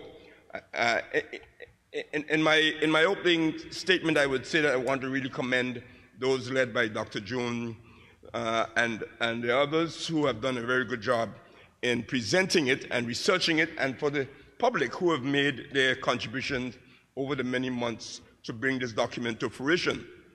If I, if I make the comparison, Madam Speaker, this document is no more than a business plan for the territory from now to 2036. Every business like us, uh, like my, my own and others, have to have a regular business plan to look at and revise and update it as we go along. And certainly, I'm sure this document is going to be updatable in the future, but as a, a, a blueprint, a, a guideline for going forward over the next several years, it certainly gives us the opportunity to look at where we are going, where we should be going, how we should get there, and what might be the best options for getting there. There is even, and I'm, I'm going to come to it when I get when I come a little later. There's even mentioned in here a SWOT analysis uh, uh, of strengths, as, as is done in a business plan, of strengths, weaknesses, opportunities, and uh, and the the the um, the T meaning um, the threats that are there in, in, in the analysis. So that's a very important one that I've seen in there. I'm going to highlight some of it because it's important to us to understand as a country that ultimately it's almost like a business going forward to see what is best to enrich the people of the territory in, in, as we go along. It might not be always facts and, and figures, but it certainly is a, a, a blueprint, a guideline uh, uh, as to where we should be going as a territory. So this document, Madam Speaker, that we have here, and I, I raise it because it's important that everyone who in the territory can get a, a hand on it can be able to see it. I asked the, the, the, speaker for a hard copy because I like to put the hard copy of this on my shelf, not just in the electronic form, but I'd like to have it so that I can always uh, refer to it. And, and, and one day when it's all digital stories of our grandchildren and our great grandchildren, they will go to the, the, digital, the digital library. But I still like to have my hard copy at this time to look at. And, and like my brother, uh, Pastor C. Oliver Hodge would do when he reads a book, you will see I have a lot of writing and writings in it, big and broad, for where I want to, to be paying attention to. And if you read through my book, you will, you will, be, you will grab the it will grab your attention with those big writings and underlinings that I normally would do when I'm reading through. And I try to do that in the last hour uh, of the document, not giving it justice and really digging into it, Madam Speaker. So I would, I would be referring to a number of sections in here. Uh, the, na the name of this document, as an introduction, is Vision 2036 Building a Sustainable British Virgin Islands. Vision 2036 building a sustainable Virgin Islands. Important to say that it's a vision for, for, from now to 2036, and 2036 sounds a very long time away. We're in 2023, that's 13 years from today. And uh, I, I, like, I like when people think that far ahead because you, you might think it's not, gonna, it's not right around the corner. 2011, when I was re elected uh, after a, a, short stint of, of, um, of, of uh, sabbatical uh, in 2011 to now, it's almost 13 years ago. And if you understand it in that context, you'll understand that 13 years or 15 years is not that far away. So you must lay down a foundation, lay down your plans, and move towards achieving those. In no business, in no country, in no place you ever achieve everything. But if you make the attempt to lay down what you are trying to achieve and you aim at getting there, then you will get there.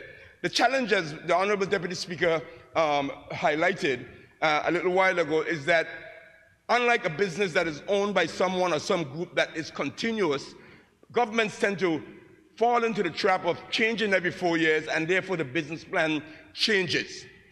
The, I think the, the, the, the, the object of this, of this exercise that is non, or, or what you may call bipartisan, where um, uh, we all are buying into it, is that we hope that governments who may come and governments who may go will adopt to at least the basic principles of this document over the next 13 years or 15 years or whatever it might be, so that we can use this as the basis. Since the opposition was involved, the government was involved, the people were involved, especially, that we can adopt this document as a guide. It is not going to be always exactly what it says, but let it be a guide for the six major tenets that are highlighted in this document, the six major tenets.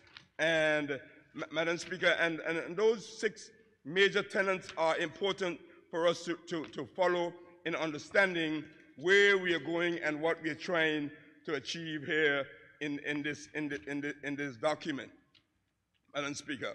So I hope we can, we, can, we can adopt it. We can agree that it becomes the principal direction that the country wants to go, and that every cabinet in the future that may be called upon to follow these guidelines, it may be called upon. And I wish sometimes, Madam Speaker, that some of these, these documents that we create can be probably in, even enshrined in some way or another in the Constitution. That, that, that, that governments that come and the governments that go will be, will be called upon to, to, to, follow, to follow these guidelines. So I want to make sure that we can, we can understand it from that context of the importance of this document that it may be possibly can be referred to in the new constitution to be a document that can be followed and should be followed by, by, by, by all governments. So we're hoping that we can, we can achieve this, Madam Speaker, in, in, in, in, in drawing attention to the importance of this document. Building a sustainable Virgin Islands. Madam Speaker. So if I may, Madam Speaker, delve in not to all of it, but a few important aspects of it after I pass the page of the Premier and his good-looking picture and the um, Honorable Opposition, his good-looking picture also, and get into a bit more of the document, we will, we will realize that uh, uh, we, like the document said, and sometimes we need to appreciate who we really are in, in, in, in the executive summary and so on. Right? We must realize who we really are. And it speaks, it speaks of us as 60, 60 uniquely beautiful islands, cays, and rocks.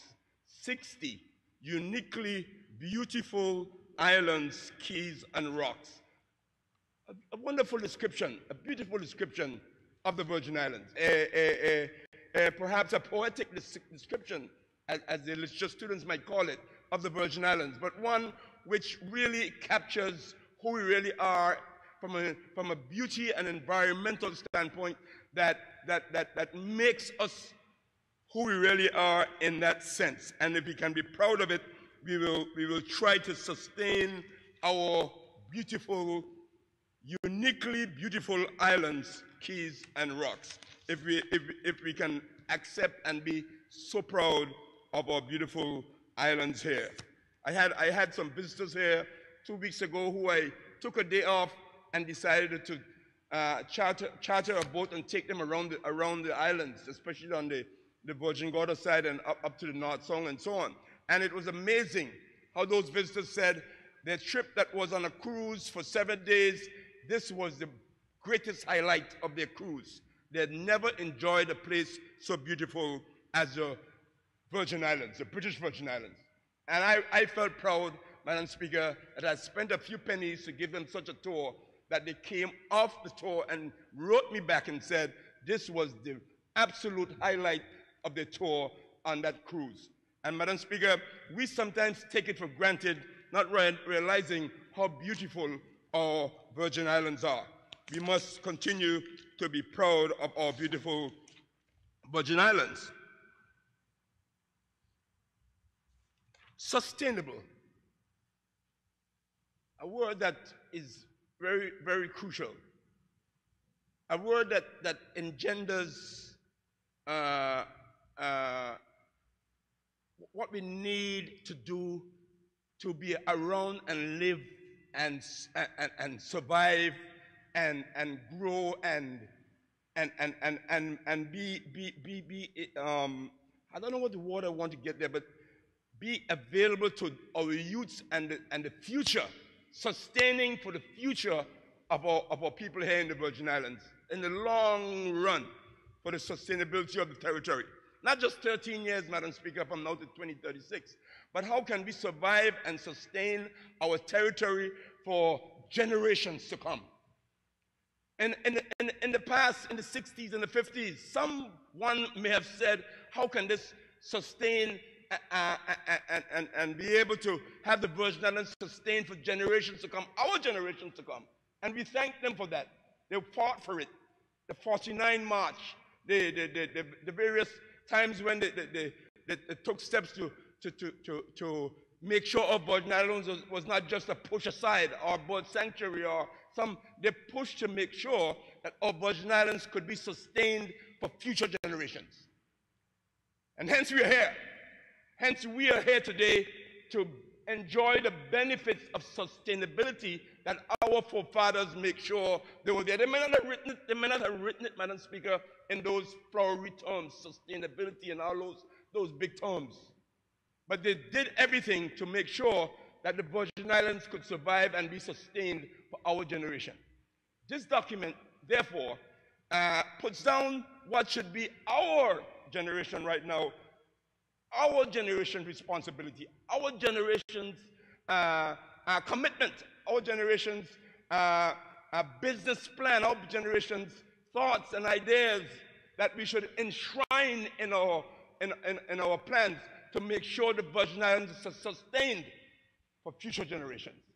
And if we don't do that, Madam Speaker, we have not carried out our duty as a people. I'm not talking about just as a members in the House of Assembly. I'm talking about our duty as a people to make sure that the Virgin Islands can be sustained for generations to come. So don't, let's not just put this document as a push aside and, and another exercise, as, as one good member said or several members said. Let's, and as the Premier mentioned in his opening statement, let's make sure we can use this document to be enshrined in our, in our future planning for the good of the future generations of the Virgin Islands, Madam Speaker. So let's, let's make sure that, as chapter one says, it's a context for our vision for sustainable development. That's the context of it. And they go ahead and state various matters about the geography of it, the legal system, and, and so on, Madam Speaker. So it, it, it is important.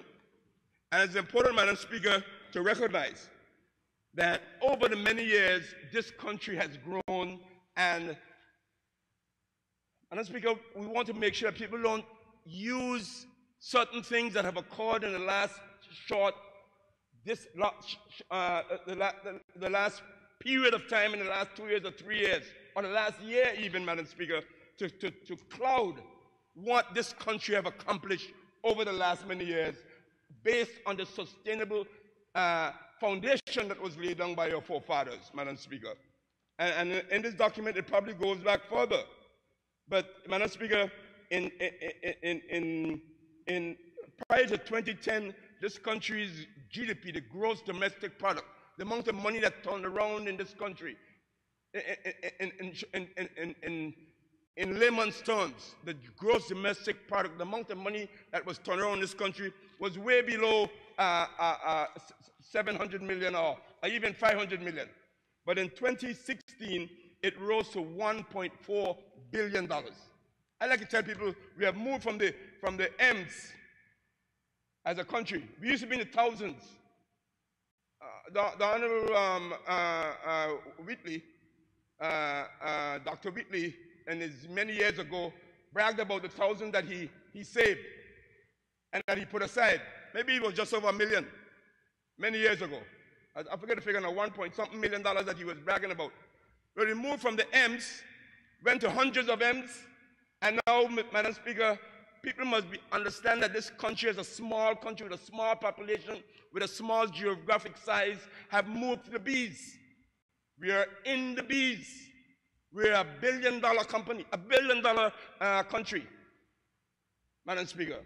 For a small society, a small co country, a country that was we, we, we, we, had donkeys and horses and mules and, and cows and, and, and, and sweet potato and, and, and, and up in the hill many years ago. And we have now moved to a, con- a country that is producing $1.4 billion in 2016, Madam Speaker, in our gross domestic product. That we must be proud of. That we must be proud of. And while we, while, while, while we retrogress a bit because of certain uh, unavoidable situations of the hurricanes of 2017 and the pandemics of 2020 and 2021, we must begin to to lay the foundation, as this is suggesting, to be able to have a sustainable development that keeps growing for the future generation of the country.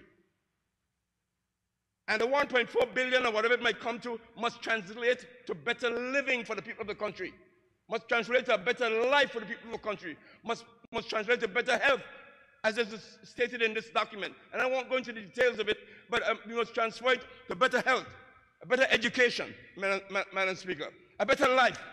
Madam Speaker, do you know that in this document it states that, and, and, and there was a document that was made public in the past by the United Nations who came to study us there were 21% of the people in the Virgin Islands under the poverty line.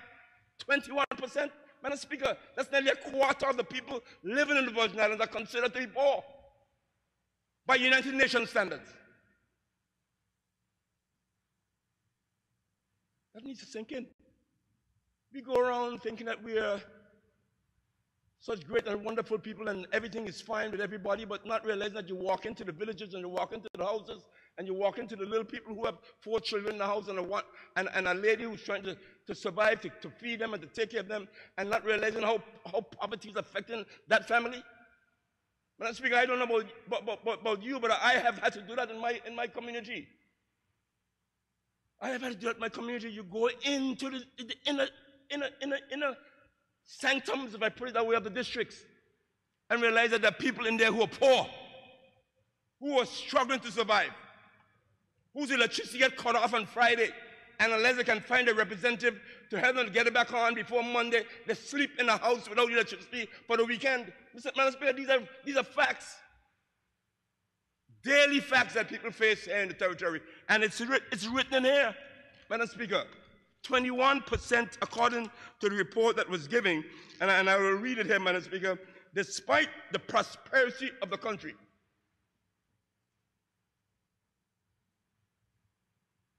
There are still households living in poverty. Of those who reported in 2010, this is 2010, 29% reported their gross monthly income as being in the bottom two of six income uh, levels, with income below $1,400 a month. At that time, Madam Speaker, there were some people whose income was $700 a month, with children to, to support in their houses. The average monthly income is, is estimated at $3,500 based on the 2010 census, the average. The Virgin Islands most recently completed country Country Poverty Assessment 2000, in 2003 found that 21% of the population were considered poor and 29% of children from 0 to 17 were considered poor in the Virgin Islands. Now, when we say that, people say, don't talk them thing, man. Let me true. It ain't, ain't the facts. Madam Speaker, if, if you're a representative of a district or even at large, and you go inside of your districts in some areas that you, you would think. It, it, the, the, the, reason why you don't really see it, Madam Speaker, is our people are so proud. They don't like people to know their condition. So they, they walk around with, with their head high and looking, looking, looking, looking satisfied and happy. And then when they go in the house, they have to deal with the issues that face them on a daily basis. And the representative is the one who might have to go in there and, and deal with it and face it. I, I, the member for the, for the six will tell you. Other members will tell you. You have to face these issues. So our job is to make sure that we can get people to improve their lives. When you go to be elected for four years, your job is to make sure that where, where you met people in the, in, the, in, the, in, the, in, the, in, the, in, the, in, the, growth of their life should not be the same place you left them. You should have lifted their life standard. You should have helped them to get out of poverty, helped them to get more education, that may help them to get out of poverty, help them, help them to, to get better jobs, help them to, to, to, to, to, to, to learn more trades, help them to move along in, in, in life in a better way so that your four years that you started, at the end of that four years, you want to make sure that you can proudly say that you help your people to move along and have a better standard of living, sustainable development. That is what we're talking about. That is what I want to bring this document down to. I don't want this document to be just a, a, a big word and a big statement and a big story like that that's going to sit on the shelf. This is about sustaining and making the standard of living for the people of the Virgin Islands better. Yes, Madam Speaker, you may hear us talking, and I'm going to speak about it forever, whether I'm in this house or not. We have to fix our roads. The standard of living for people of the Virgin Islands shouldn't be one where we got to drive on these kind of roads forever. And you may put it to me that I was a minister for roads and I didn't fix them. Fine. But let's don't let it make an excuse for not fixing them. Let's fix them. You may put it to me, Madam Speaker, that we don't have the money to build the roads. Fine.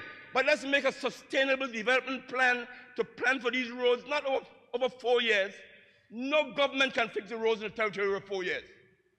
But plan it over 10 or 15 or 20 year period, properly planned, properly developed, properly studied, properly engineered, and move a plan to start developing the roads in a, in a, in a systematic way, in a phased way, over 20 or 25 years. And by the end of 25 years, we might have a sustainable development roads that can, in the territory that people can be proud of. We've gone to other countries, poorer countries than ours, and seen the roads. They have developed their roads and made them sustainable, made them strong, made them resilient to, to, to, to, to the floods and the rains and, the, and, and, and all, all of the other elements. They have built the roads, and engineers nowadays have learned how to build roads depending on the conditions that can last a long time. We must stop patching up and, and, and, and trying to make it one where you, you, you just say, that, okay, we have $20 million over four years to fix our roads and try to fix all the roads with $20 million. Nonsense. In this economic times, it can't happen with $20 million. But you don't have to take up $100 million in four years and do it. You can do it over a 20 year period. And that's what I'm saying, Madam Speaker, is sustainable development that this document speaks to. Let's plan them and let's develop them. Let's stop fighting about who, who, what a suit should be like in Cane Garden Bay and what it shouldn't be like. Let's get a proper plan of what it's supposed to be like and move towards making it what it's supposed to be. Sewage in Eastern Long Look. wherever it should be. Let's make sure we make a plan and move towards a plan without every four years, as the, as the Honorable Deputy, Deputy Speaker says, every four years some government come in and change the plan. Doesn't make any sense. We must have an agreement that this is a sustainable development plan and we are moving towards it, Madam Speaker, so that people won't be poor, people can have better jobs, people can have better education, people, people, people can, can be lifted from where they are to where they should be, and, and, and therefore they will be proud of their, their representatives who would have helped them to get there. Madam Speaker, and that's what I'm talking about. People think I get upset and angry when I speak like this. And I speak, I want the public to know that I, am just a passionate speaker, emotional, but I'm not, I'm not, as, as they saying, um, I think it was Alvin Bully, uh, one of those um, books, um, um, um Madam Minister Education. Um, I am vexed. I am vexed. Or, or I may go to, to um, I may go to Charles Dickens in, in, in, in um, in, in, and say, uh, Madam Speaker, people must be amused. I can't always be a, a, a vexed or can't be always. But I'm saying I, I, get emotional and I speak my feelings out of emotion, but I am, I am vexed. I am vexed. Madam Speaker.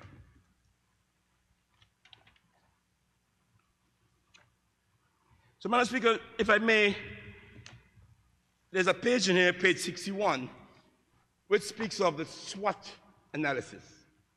And uh, most people in here who have done business plans know what we're talking about here. And this is a business plan, the SWOT analysis for the country of the Virgin Islands. What are our strengths right now? What do we have that is in the kitty that can make us better? The SWOT analysis, our strengths. What do we have that that, that, that people can't take from us? What do we have that we can put to work? The strengths.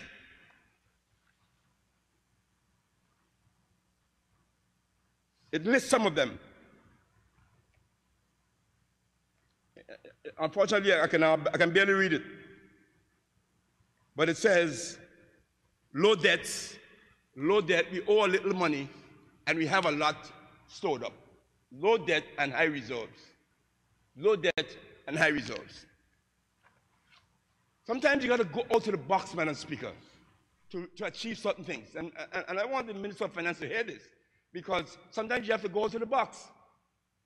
Low debt is not necessarily a strength. It may sound that way, but it's not necessarily a strength. It means that you haven't borrowed enough money to do what you're supposed to do to make the place better. So we brag about low debt, which is good, and a lot of people say, oh, that's great. Low debt and high results. You don't borrow the money and you put aside all. What that means, what it translates to? No development, no roads, no sewage. But at the same time, you have to be prudent like anyone else. And yes, you have to save some money for the rainy day, which is what reserves are supposed to be. And you're supposed to be able to, in having your debt, be able to pay it. So you have to be sensible about it. I agree. But you need to be able to see where you're going and what you can do to borrow money to build it, to develop the country. Every business, except those that are very rich, have to borrow money. Every day, every year, every time they go on new plan or new development, they have to borrow money to do it. In fact, in fact, even those who have money, they use, they borrow money, they call them using other people's money to do the development. So low debt and high, high reserves, the strength that's listed here. Large untapped fishing grounds. The blue economy, as we call it. The water is out there, 200 miles of it around us that we keep talking about. I, I, I, if I hear the word pelagic fishing again, I'm going to hit somebody. Because either do it or shut up. Pelagic fishing. You, you ever hear that word? Always talking about it, but we ain't doing nothing about it. The Japanese doing it, coming out, out, out, there and do what they have to do with it, and we here talk about pelagic fishing, only because you call a big word. Man, get on with it. Let's, let's, let's finance some people who are interested in it, get them some money to buy some boats and the, and the fishing thing or whatever it is, and send them out there. They ain't gonna pay you back. But get them going, let them start bringing in the fish and, and, and, and, and fixing it up and canning it and do whatever you have to do to, to do whatever you have to do to sell it and export it. It's an economy, it's out there. So don't call a name again unless you, you put your, your money to where your mouth is. Government or whoever it has to be. Put together a plan where you can get a group of business people uh, and the government to, to, to develop a, a, joint venture to, to do whatever has to be done that's how the Japanese and the Chinese and all them work together to get their people active in, in, in an economy. So let's leave the pelagic fishing alone, Mr. Minister of Finance, unless you're going to do pelagic fishing. Or whatever you might want to call it. I think you should find a new word for it now. Call it Tortola fishing and, and gather fishing and uh, just on lake fishing, but make it fishing. Uh, not a, you know, it's time we get out of this, just throw a little pot a little, a little part over the, over, over the side of a, a, a 20 foot boat and bringing in some little um, group and some snapper and saying we, we, we, we're doing good. When we have all them countries going out there off and together and everywhere and picking up our big wahoos and our big fishes, we do it for games. Remember for the 9th district and the at-large member uh, from Bojano, we go out there behind, behind the drop, drop off and we and uh, to show off that we can, we can find some wahoos, we go there a certain time of the year and, and, and, pull them in, and then we say we're doing good by lifting them up during the August festival and say we have a lot of wahoos, but we're making it an industry. Madam Speaker, I've been there, done that, game fishing. That's one of the, the strengths. Large, untapped fishing grounds, educated and talented population. I like that one because compared to many other countries, this country have a lot of educated people and a lot of people, with a lot of talent. We just need to tap into it and make it work and continue to educate our people. When people hear of the education level of the Virgin Islands, people, they're, they're, they're amazed in terms of the ratios of people who, who are highly educated in the Virgin Islands. But there's, there are some who are behind. There's some who are left behind. There's some who we have, we have to try to, to encourage to get forward. We have, a, we have an entrepreneurial spirit. We like to do our own business. We have a stable economy, politically stable. We're a strong yachting sector. We are a large pool of cre creative people. We have a large pool of creative people. We are geographically located uh, We, we have a good geographical location. We have a low crime rate. We have violent, we have a, a, a vibrant private sector. When the speaker all them things there I just call out, excuse the um, colloquial thing we're talking about. But uh, my people understand me and say, them things I just call out, and still we can't run our own, own affairs. the speaker, all them things I just call out. And they in the list, in the end of the list. All them things I just call out um, at large member, and we can't still run our own affairs. Them things, Madam Speaker, wasn't accomplished by nobody else. Them things were accomplished by the people of the Virgin Islands. And still you're going to tell me with all them things I just call out that we can't run our own affairs? Because somebody come and tell us we're a bunch of hooligans?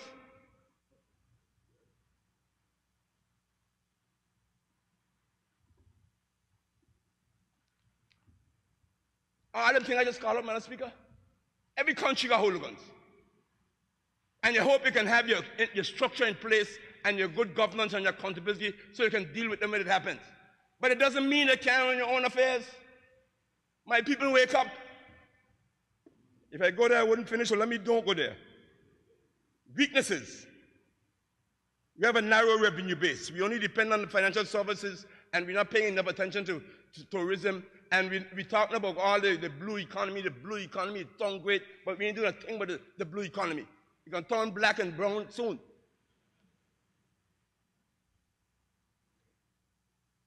Poor public infrastructure, referring to the roads and all other things. That's a weakness we have. Roads, water, sewage, ports. We poor with that. Poor waste management. We still burning the thing. I, I, came I came from Virgin Gorda the other man speaker. Was talking about the tourists who had drove wrong. Man speaker, when I reached Beef Island on the boat and I got off, the tourist who I was I was with, he said, remember that something happened over in Virgin Gorda over there. We just left over there, but something catch a fire. He thought it was a big fire. I saw it and I, I kind of tell him maybe. But I know what it was. I tell him maybe, and I turn my back, I tell him, let's go, let's go fast. But Madam Speaker, we were born in the garbage and board and got over the smoke went up in the air. I couldn't let him see it too long. We just come from there. We just went on to the bats. We just had a good time down there. We went up to North Sound. And when he looked back, he see smoke up in the sky.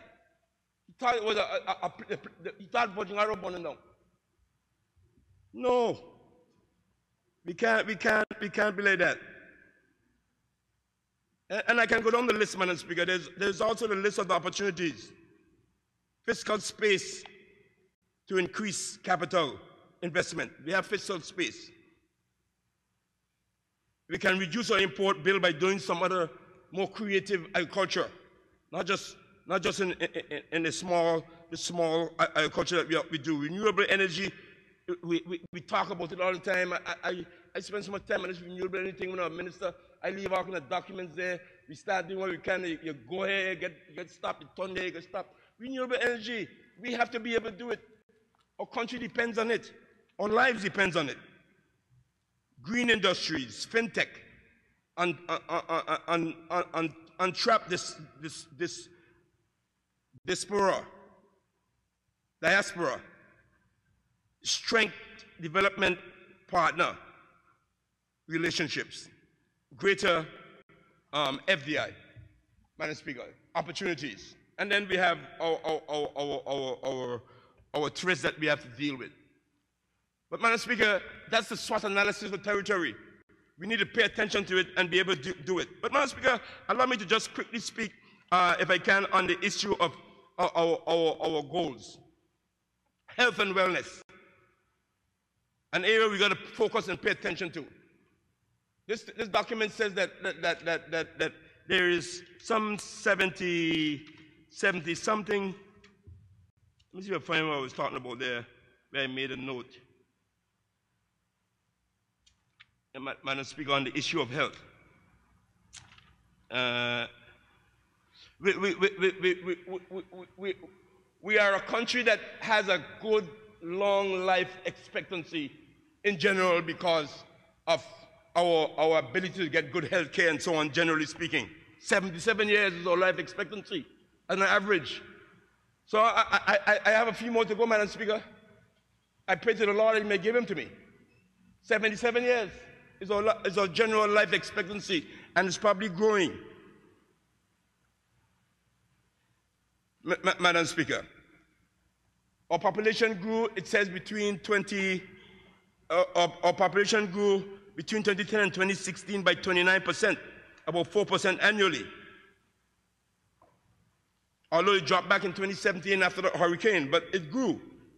But it didn't grow, Madam Speaker, by, by, by, by, by it, it grew by, by, by immigration to, to the territory mostly.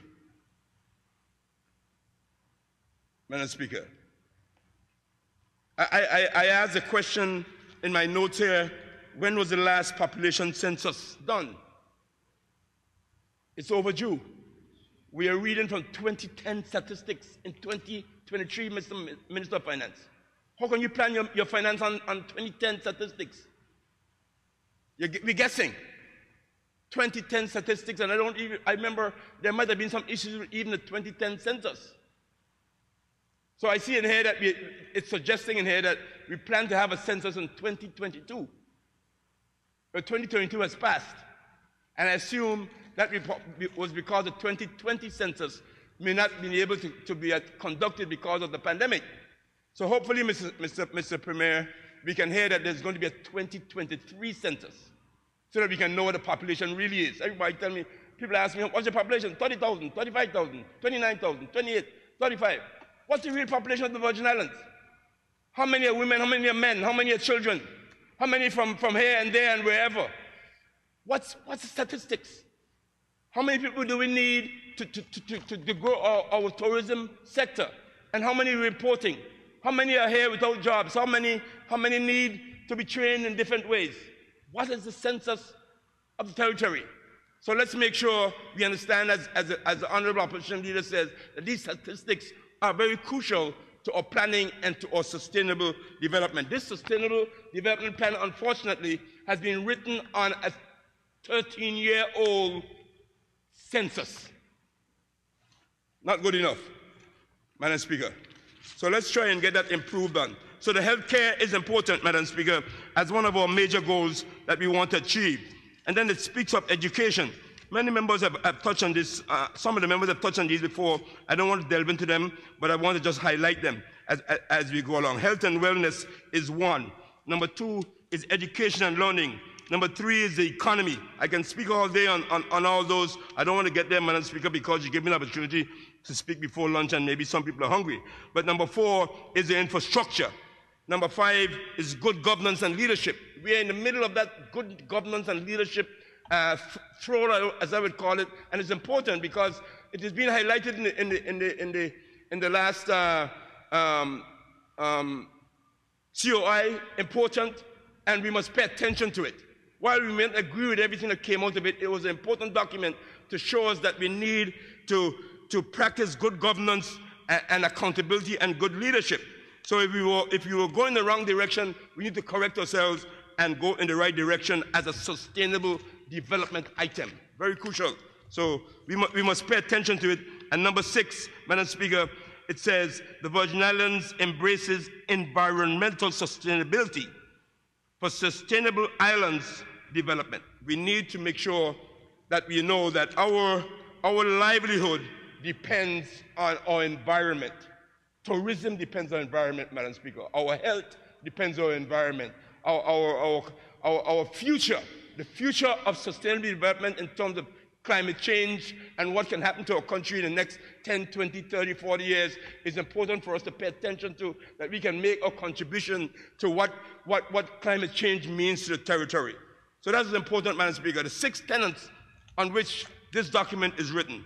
So, Madam Speaker, I'll wrap it up uh, without delving into all of these six areas in any detail, but encourage people to read what they're talking about and pay attention and hope that we can take this document and take these, this advice and this research and use it for the good of the growth and development and sustainability of a territory of the Virgin Islands. Thank you for allowing me the opportunity, Madam Speaker.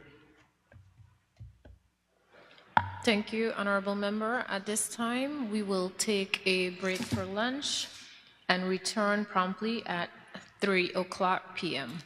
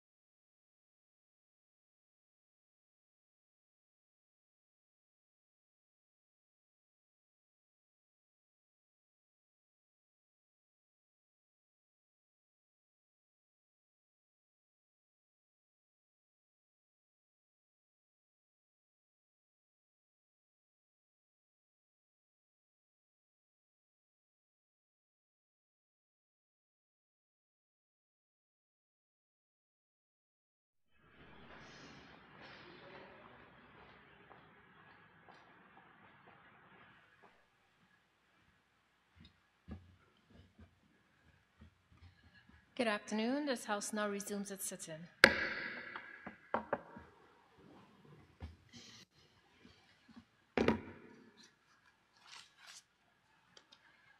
At this time, I recognize Territorial Member Honorable Carvin Malone.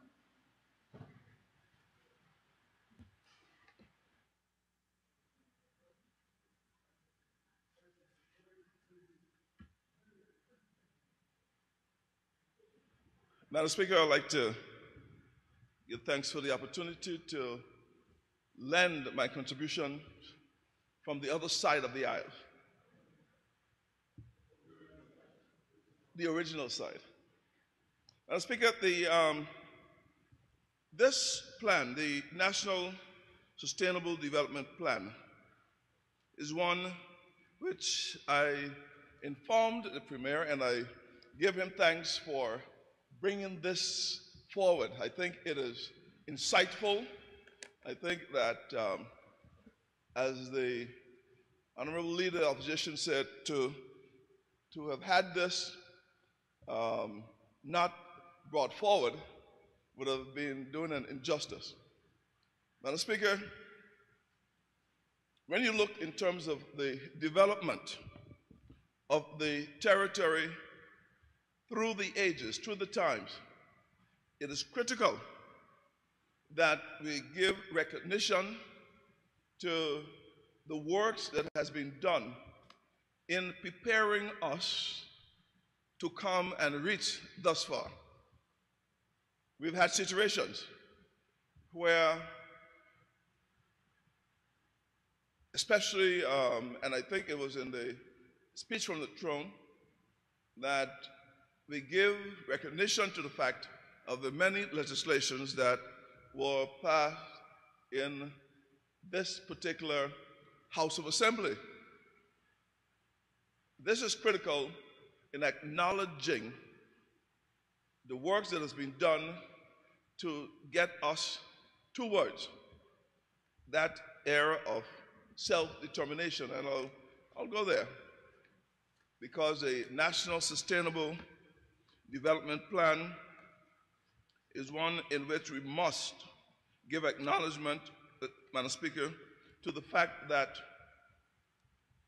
we must prepare our people in building a sustainable Virgin Islands. And there are many features to this, but I would like to take it from two different approach, two different approaches that we'll have.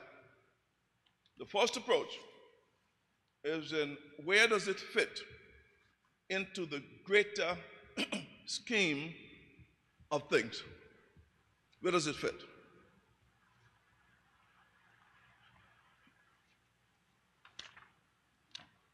I have been doing, together with a series of persons from Anegada straight down to Jost Van Dyke, and yes, Virgin Gorda and Tortola are included in there. In terms of matching what we have said in our Constitution to what we have in terms of being readied. The Premier outlined in his approach, in the message that he had in having this specific uh, document was laid before the table, the fact that in terms of our preparation for the future, where this document lies, it is critical that he did this. It is important that it is recognized, Madam Speaker, because we have reached this far by persistence. As we have said many times before, many of the successes that we have had in this country was met with resistance. Maybe it is because planning such as this was not on the table for all to study, all to agree, and all to be a part of. But with the keen works that Dr. June Soomer had um, have taken, in reaching to some of the suggestions with the level of involvement of the public that has been done, we can then, and I told the Honorable at large member, Deputy Speaker, that he will steal the headlines because, yes, no longer can we stop and start, stop and start, stop and start. If we have a fully comprehensive, integrated, and a plan that was brought into by the population, then it is easier for it to be adopted by whichever government because uh, it will be a development plan for the territory, not just for any um, partisan group. I know that folks like to write their names on certain developments. And if it doesn't come with a name tag, then they want to change it so that they can get the name tags on it. But the fact is, is that we don't have to reinvent any of the areas that have been brought into from early. I remember um, when we did the, well, well, I don't remember for the fort did the rotund, was it charrette? Charrette. It was not a charade, it was a charrette. Yes. And some of the plans that he had in mind are now being implemented. That is, um, he couldn't get it done. I took the honorable member today to get it done because he couldn't get buy in. But sometimes you just have to, uh, once a good plan is a good plan no matter where it comes from. And I know that the honorable member for the fort is now pleased that his charrette, some aspects of it, is being put into stead. When he came across in 2002, he emptied the purse. Parking lots all over. But it was part of a greater plan. Covering of um, waterways. All up. You can, you can save for the boats that are now parked on the road. Lower estate. You can drive two ways, up and down. But that's part of a bigger plan that was put in place. The plan that we have today, the plan that we have today, took into account about six different, six different sets of works. The National Integrated Development Strategy, NID, was orchestrated, planned out by um, Mr. Otto O'Neill. Did a fine work, so it's incorporated in here the Recovery and Development Plan, incorporated. The Blue Economy Roadmap, incorporated. The Medium Term Development Plan, incorporated. The Medium Term Fiscal Plan, incorporated. And the National Physical Development Plan, incorporated. But this is what it takes. All of these pieces, and if you had them now all incorporated into one plan, who can argue? Who can say that um, you forgot the works that I did? I think that the charrette is part of these also. So that's incorporated too. Madam Speaker, the fact is that it is only through making sure that we have the incorporation of works passed because we are not short on plans. We have a plan a day. If you go through all of the ministries, for the 52 weeks, you, need more weeks to make up a year because we'll have more plans in what weeks. So you'll have to break it down in terms of um, days. Uh, you have 260 working days, and you'll plan, you'll find a plan per day in the 260 if you go through all of the ministries. I know that the Honorable Member for Health, Minister for Health and Social Development, he have more strategies, plans, um, a lot of them because it's a big ministry. covers from birth to death and the statistics necessary in order for us to plan is what this here highlights the lack of. We must be able to take this and the implementation of it is what will make a difference now. If this doesn't come with a person responsible for implementing, no matter how good of an intent the fourth House of Assembly has in terms of having it done. And we must give recognition to the fact that the former Premier, Honorable Andrew Fahie, um, made sure that through the, with the funding that was provided, that it was allowed to happen. So too did the work of Dr. Carlyle Corbin. But we must not let them stay there. And Speaker, I will even contend and go as far as saying that it can become part of the curriculum, whether it's in the high school, senior high, um, whatever those grades will be, or in the college, that it become part of what we have so that it is embedded in the minds of our students. So that when they come and they take up their roles in this house, it will be based on a document that was produced back in, uh, well, completed and laid on the table this second day. What did, uh, what did we have to do? Second? This second day of February 2023. We have a 2036 plan. And it is critical that the effort, the work, the contributions don't go to waste because it incorporates a number of other documents of which times and monies have been spent. So again, I give the Cabinet of the Virgin Islands praise for being able to make sure that it was completed so that we can then have it laid today.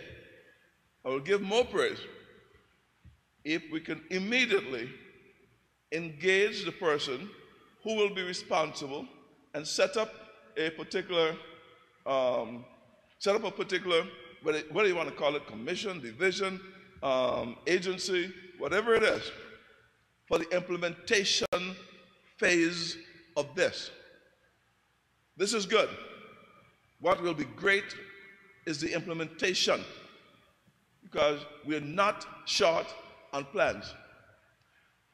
But it fits a bigger picture, Madam Speaker, because when you look at the national vision statement that is stated in here, and I want to read verbatim on some of these areas because if we don't read them into the record, then a number of persons five years from now will come and still ask you, where is the plan? They will hear it today, it will be repaired, uh, replayed and aired, highlighted in the news for days to come. And when 14 days has passed, folks will still ask you, where's the plan? But the plan is here. So the record must reflect that the plan is here. It says that the Virgin Islands embracing beauty and serenity, balance, development and abundance with us and for us all. What's the overall vision? A well balanced, people centered Virgin Islands built on spirituality, social justice, and equality, nurtured by trust, cultural knowledge, and participatory governance, strengthened by economic, environmental, and social sustainability. Madam Speaker, there are guiding principles that are involved here. Our sister islands, recalling that a distinct cultural identity has evolved over centuries of struggle and asserting a right to freedom and self determination. See, preservation of a uniqueness at the heart of sustainable development. Our oral and written history must be uttered by all so that our character, the who we are, can be ingrained in our people, present and future. We cannot go without making sure that everyone is fully aware that these are, there are guiding principles in here of which you must read. we not, we cannot read all of them because we will be here, um, I think, more than the 70 minutes that the Honorable Leader of the Opposition, because I want to incorporate everything that he said in here so we don't have to go through 70 minutes of it. I incorporate everything in there. So when we go through and we have the guiding principles and those are done, it, one of them involved that all development is inclusive of each of our settled islands, what they offer in terms of opportunities for diversity, diversification, and widespread progress while ensuring the consolidation and completeness of our distinctiveness. In the executive summary, there are two areas I would like to recite. The National Sustainable Development Plan is grounded in a vision espoused by the people of the country for their future.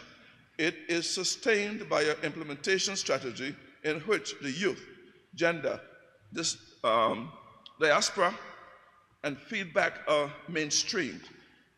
These two documents demonstrate that the country is committed to the implementation, monitoring, and evaluation, and to the reporting on its progress. Success, however, will be dependent on collective ownership of the plan and collaborative partnerships between the people, community leaders,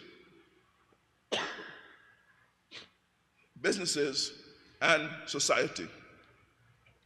Madam Speaker, important to recognize that a series of six goals have been prioritized, and each goal will advance one of the key pillars of sustainable development, namely people, prosperity, planning, peace, and partnership, in order to ensure a focus on the achievements on the national vision.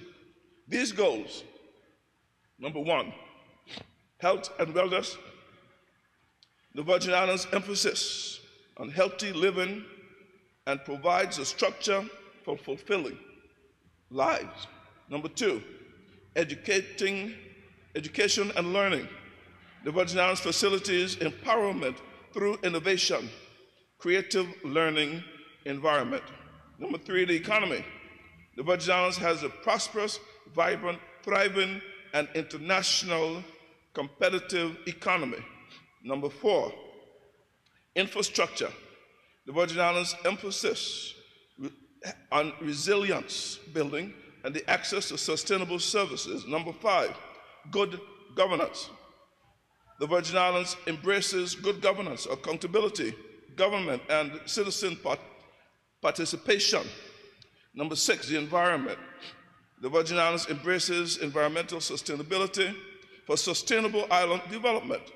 These goals will provide and guide the sustainable development of the country and will give directions and regard with regard to the budget and projects to be undertaken during the lifespan of the plan, 2036 plan.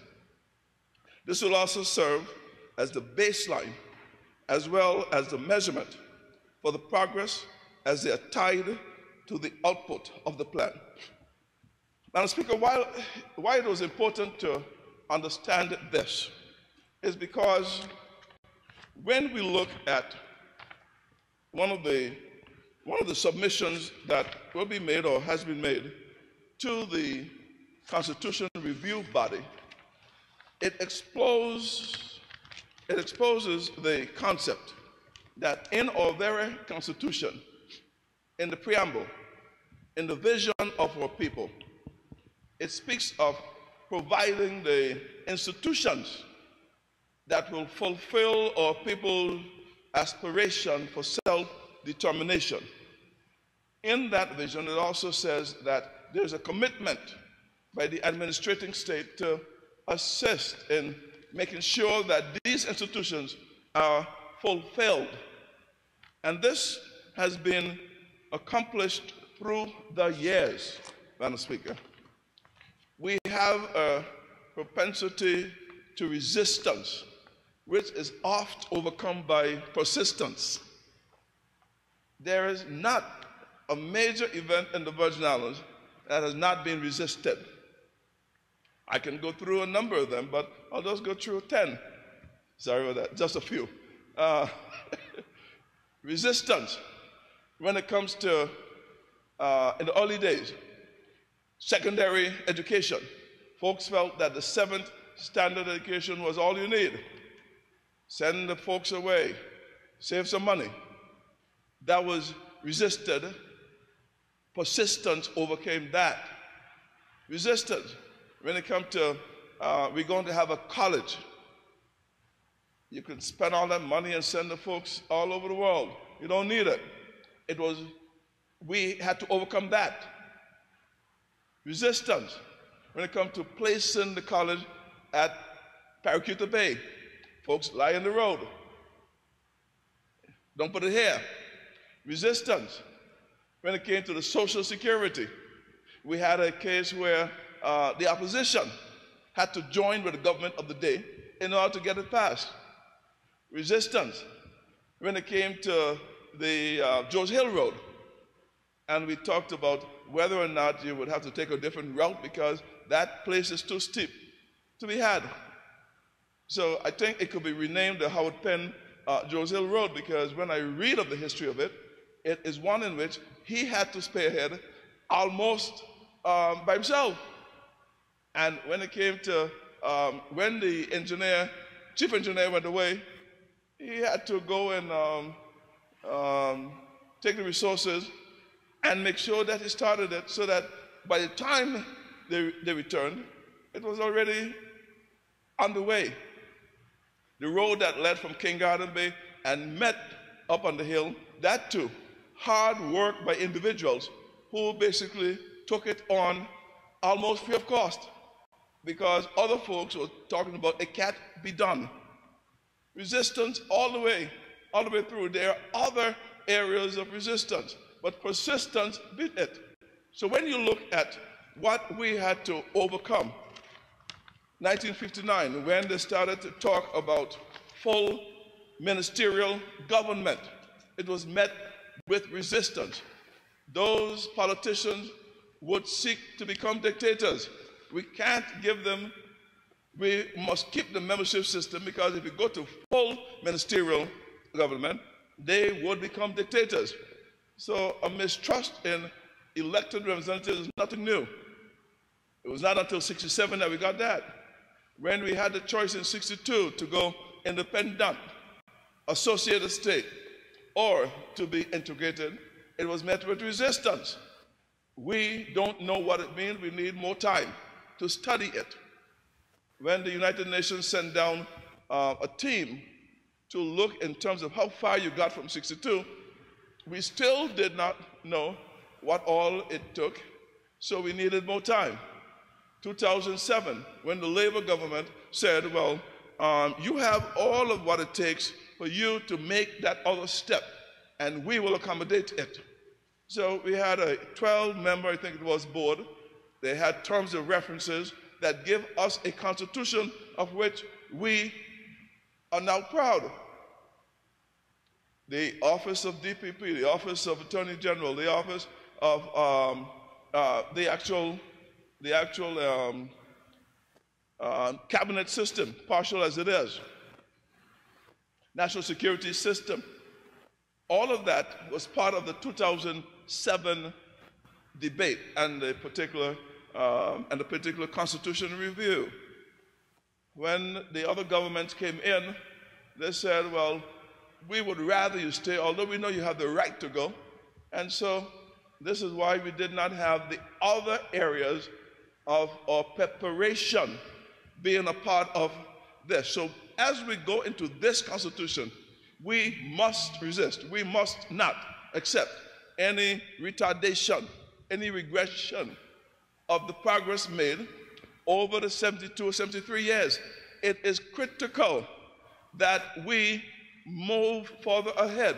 we cannot subject our youngsters to a particular era of um, substitute because of our fear. The only thing to fear is fear itself. Get the justice system working if we have to. Pass the National Sustainable Development Plans. Look in terms of what it means to be self determined. It is not just about independence, it, there are other areas. There are other two areas that have been added that is not recognized. Well, one other area not, not recognized by the United Nations, but if the people want to remain as a colony and they have all of the education around it and still want to remain it with a modernized form of colonialism, well, it's a choice that they will have to make. But they have associated state integration, independence, and becoming um, a republic one time. I have my own plans on that, or my own views, sorry. But the fact is, is that it must be people centered. And this National Sustainable Development Plan lends into our readiness. We have the social security system. We have our healthcare. It, yes, there's some challenges, but you name me a country, including the United Kingdom, that has massive strikes that don't have issues. We all have issues. Throughout the world, there are issues. The education system strikes galore. Some of the visiting um, officials from the UK, they had to take their kids out of school. No teachers, strikes. Because they are affected the same way we are, and even more, by the pandemics, by the Ukrainian war, by high fuel prices, by all of these particular areas that we have. And we must know that our challenges are not unique. Challenges are all over the world. And we just have to face them head on and not be afraid of change. Change is always a scary aspect, but we must know. Let us get a period for education as to what it takes in all of the aspects of, self determination. Say for two years, three years, because we're going towards the 2030. Say for two or three years, educating every aspect. What are the benefits of staying as you are? The benefits, the particular disadvantages, the benefits of being an associate state. What does it mean? What are the benefits? What are the disadvantages? What are the benefits of being integrated? What does it mean?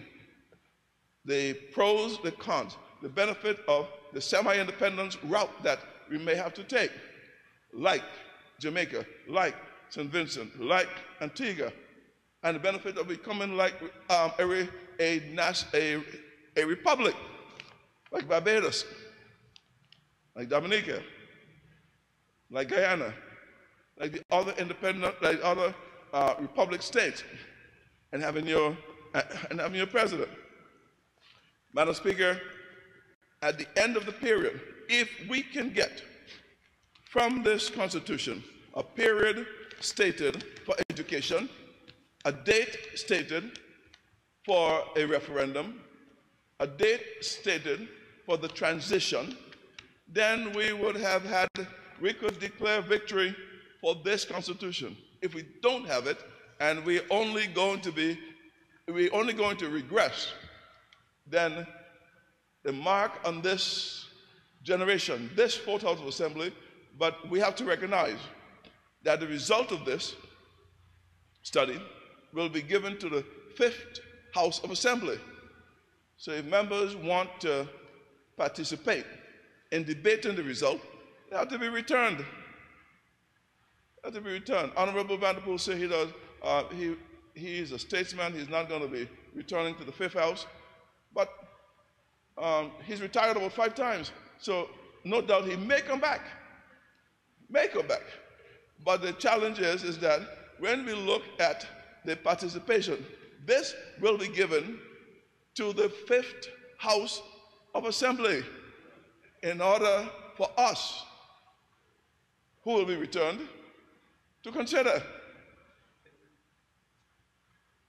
They have to speak it as though it is. Madam Speaker, when you look in terms of going up to the UK, we must be able to tell the folks up there, we as a people, forget about this 1986 letter that you sent saying that we don't want any further political advancement. Forget about that.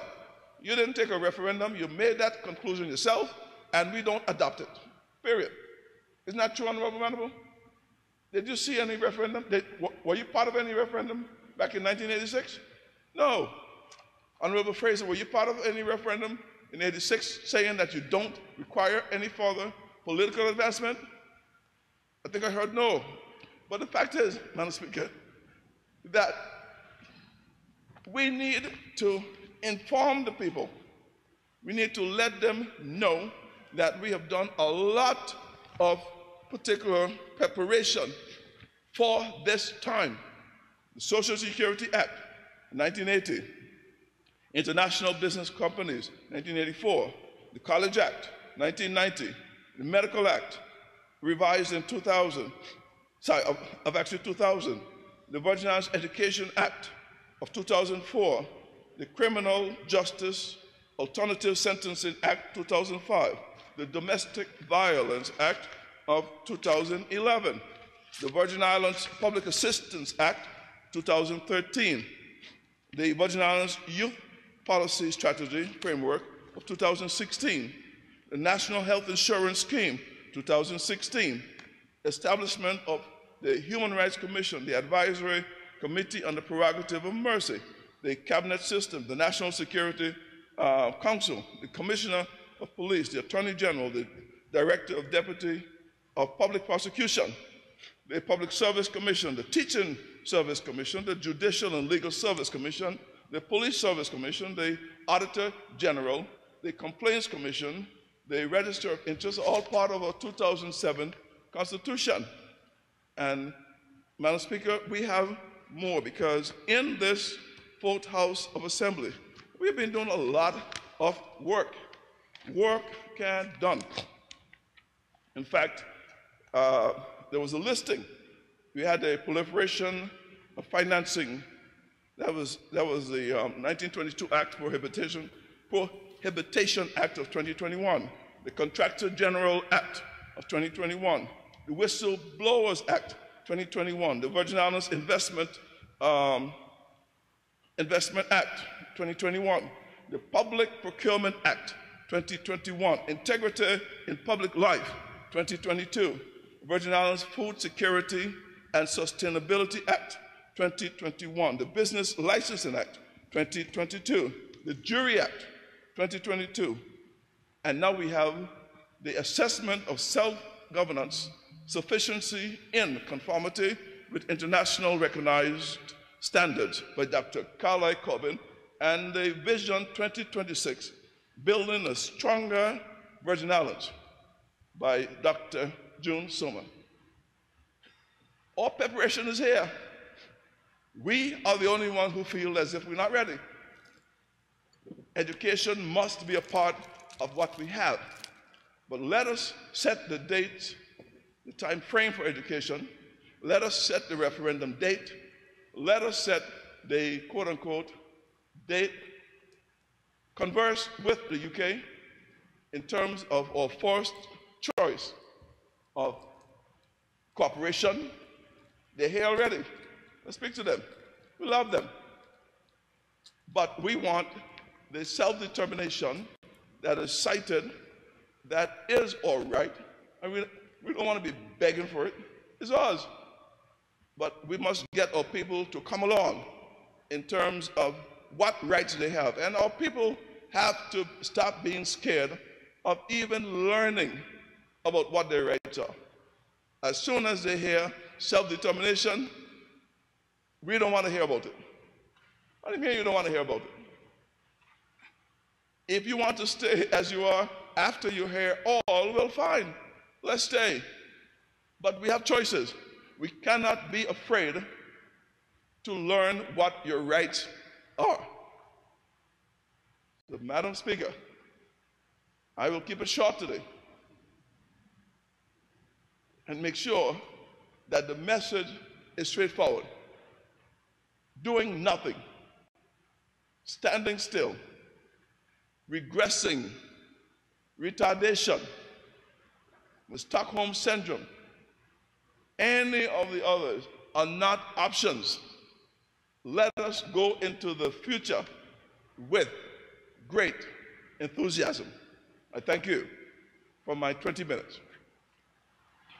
Thank you, Honorable Member. At this time, I will call the Deputy Premier, Honorable Kye Rymer.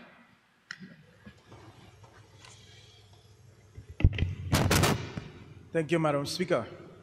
Madam Speaker, I rise to I give my full support to this national sustainable development plan. Madam Speaker, I must acknowledge the persons responsible for getting this document here uh, to the House. I remember it was early in the administration when we met with the, we had an informal meeting about the terms of reference for, for this plan. It was in, I think, 2019. And uh, I must acknowledge the then Premier for renewing the conversations to have this, to gain the assistance to get this plan going. We understand the importance of this document. Madam Speaker, so I acknowledge all the persons involved, Dr. Soomer, and uh, all the persons that added to this document to make it what it is today. And I too encourage persons to, to read it, to get familiar with it. And uh, as the territorial, territorial member, Smith, mentioned, you know, we have these documents and one government come in and uh, things change. What I would suggest is that any, as we go into election, any government should tailor their manifesto to this, this document so that we could maintain what is there it's only a 15-year document, but it's quite important. It's a very important document. And, uh, you know, the, the purpose, you know, it, it includes for us to raise our standard of living and quality of life for all persons within the Virgin Islands. Madam Speaker, as we within the document, it would speak to the, some of the turnout for these the consultations. Some were not as, not many persons, but we had a cross section of the territory that gave their input. So this document speaks to the voices of Virgin Islanders and residents. And to me, it supports a true sense of democracy because this is the people's document. It was created by the people and it speaks to its democracy. Madam Speaker, I know some years back we were, where we at as a territory today, I know some years back we were deemed as a bird sanctuary but we have grown and we have developed into who we are today. And uh, the importance of, of this document and uh, moving us into the future. Because as a territory, we always want to be at our pinnacle. And, uh, you know, we are falling short in certain instances, and, you know, persons would hope that we will be further advanced. So, Madam Speaker, this, this, this plan and the necessity of this plan is because, you know, we're trying to achieve certain things, but if we do not have a plan, it is just basically a wish for us to get there. So, trying to achieve something without a plan is just a wish. And this is a good document for us to, to basically be a blueprint for us as a territory to move our territory forward. And Madam Speaker, it, it, it is breaking down into about six main goals, short term, long term, short term, medium term, and long term. But it all speaks to those six main goals. Madam Speaker, and I know when I was growing up, my grandfather, you know, he was, he was a, they were farmers and, you know, growing up, we didn't have, expect that we would be where we are today. And though at times now we are trying to get back into our farming or, or the, the lifestyle that we want us to have, we know the importance of, of food sustainability, and that is enshrined, enshrined where we must make sure that that is something that we focus on as we work to sustain ourselves. Well, Madam Speaker, though this is a blueprint, and it lay out everything, it lays out everything for us as a territory where we should go. It is important that we have some sort of an implementation unit so that we work towards getting these, these ideas in place. And with the implementation unit, we speak to our economy, we speak to our education, we speak to our health and wellness, our infrastructure. And Madam Speaker, as we work to implement these, we should have, should have uh, progress reports. These progress reports should tell us exactly how it's laid out, what we have achieved, what we're, what we're failing on, and how we need to get to that stage. I know when you, the UN have, have a document that was, I think started in 2015 where it has 17 F sustainable Sustainable Development Goals. And annually at the UN conferences, they speak to uh, the progress of, of what has been achieved. And I know where it was, they're trying to achieve some goals up to 2030. There are 17 listed. And, uh, you know, there is that report, that progress report, that speaks to where we're at. And I think that is a, a good policy that we should adopt with this document as well. Um, Madam Speaker, in terms of education and learning, I know members have spoken to all the, the goals set forth, but it is quite critical as a territory that we are, as we are, educated, but educated and, and being able to come back and make a, a contribution to the territory, whether it's in, it would help with the economy, help with health and wellness as we, we, we struggle with the COVID situation with the, the, the nurses. We had to import nurses and doctors from, from, from Cuba. So we know what is necessary for us to sustain ourselves. And um, we don't have to be a rocket scientist to know that these are things that we need to, to focus on. Because sustaining ourselves as a territory is important. And with the detailed outline of how we are as a government and a people, we will work together to create uh, Virgin Islands that we all can be proud of. And the work done on this plan must be applaudable. Madam Speaker.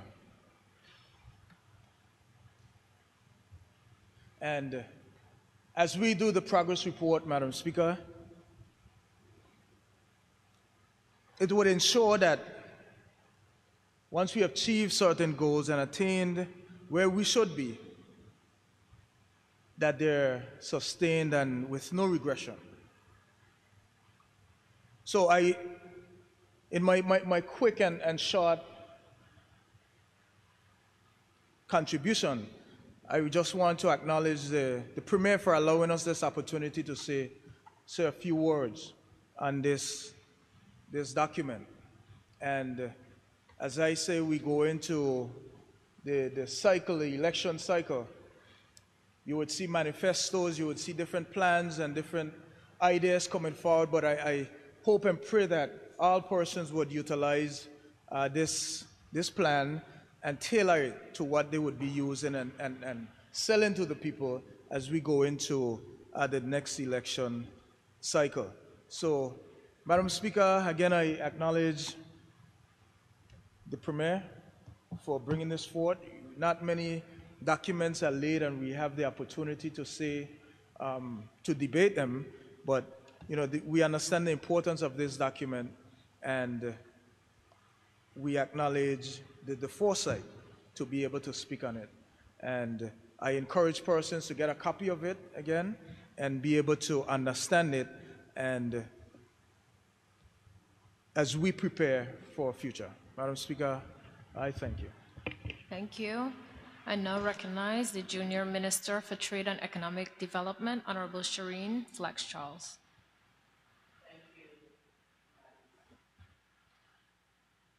Thank you, Madam Speaker. I too rise in support of the National Sustainable Development Plan, and Madam Speaker, I would ask your indulgence to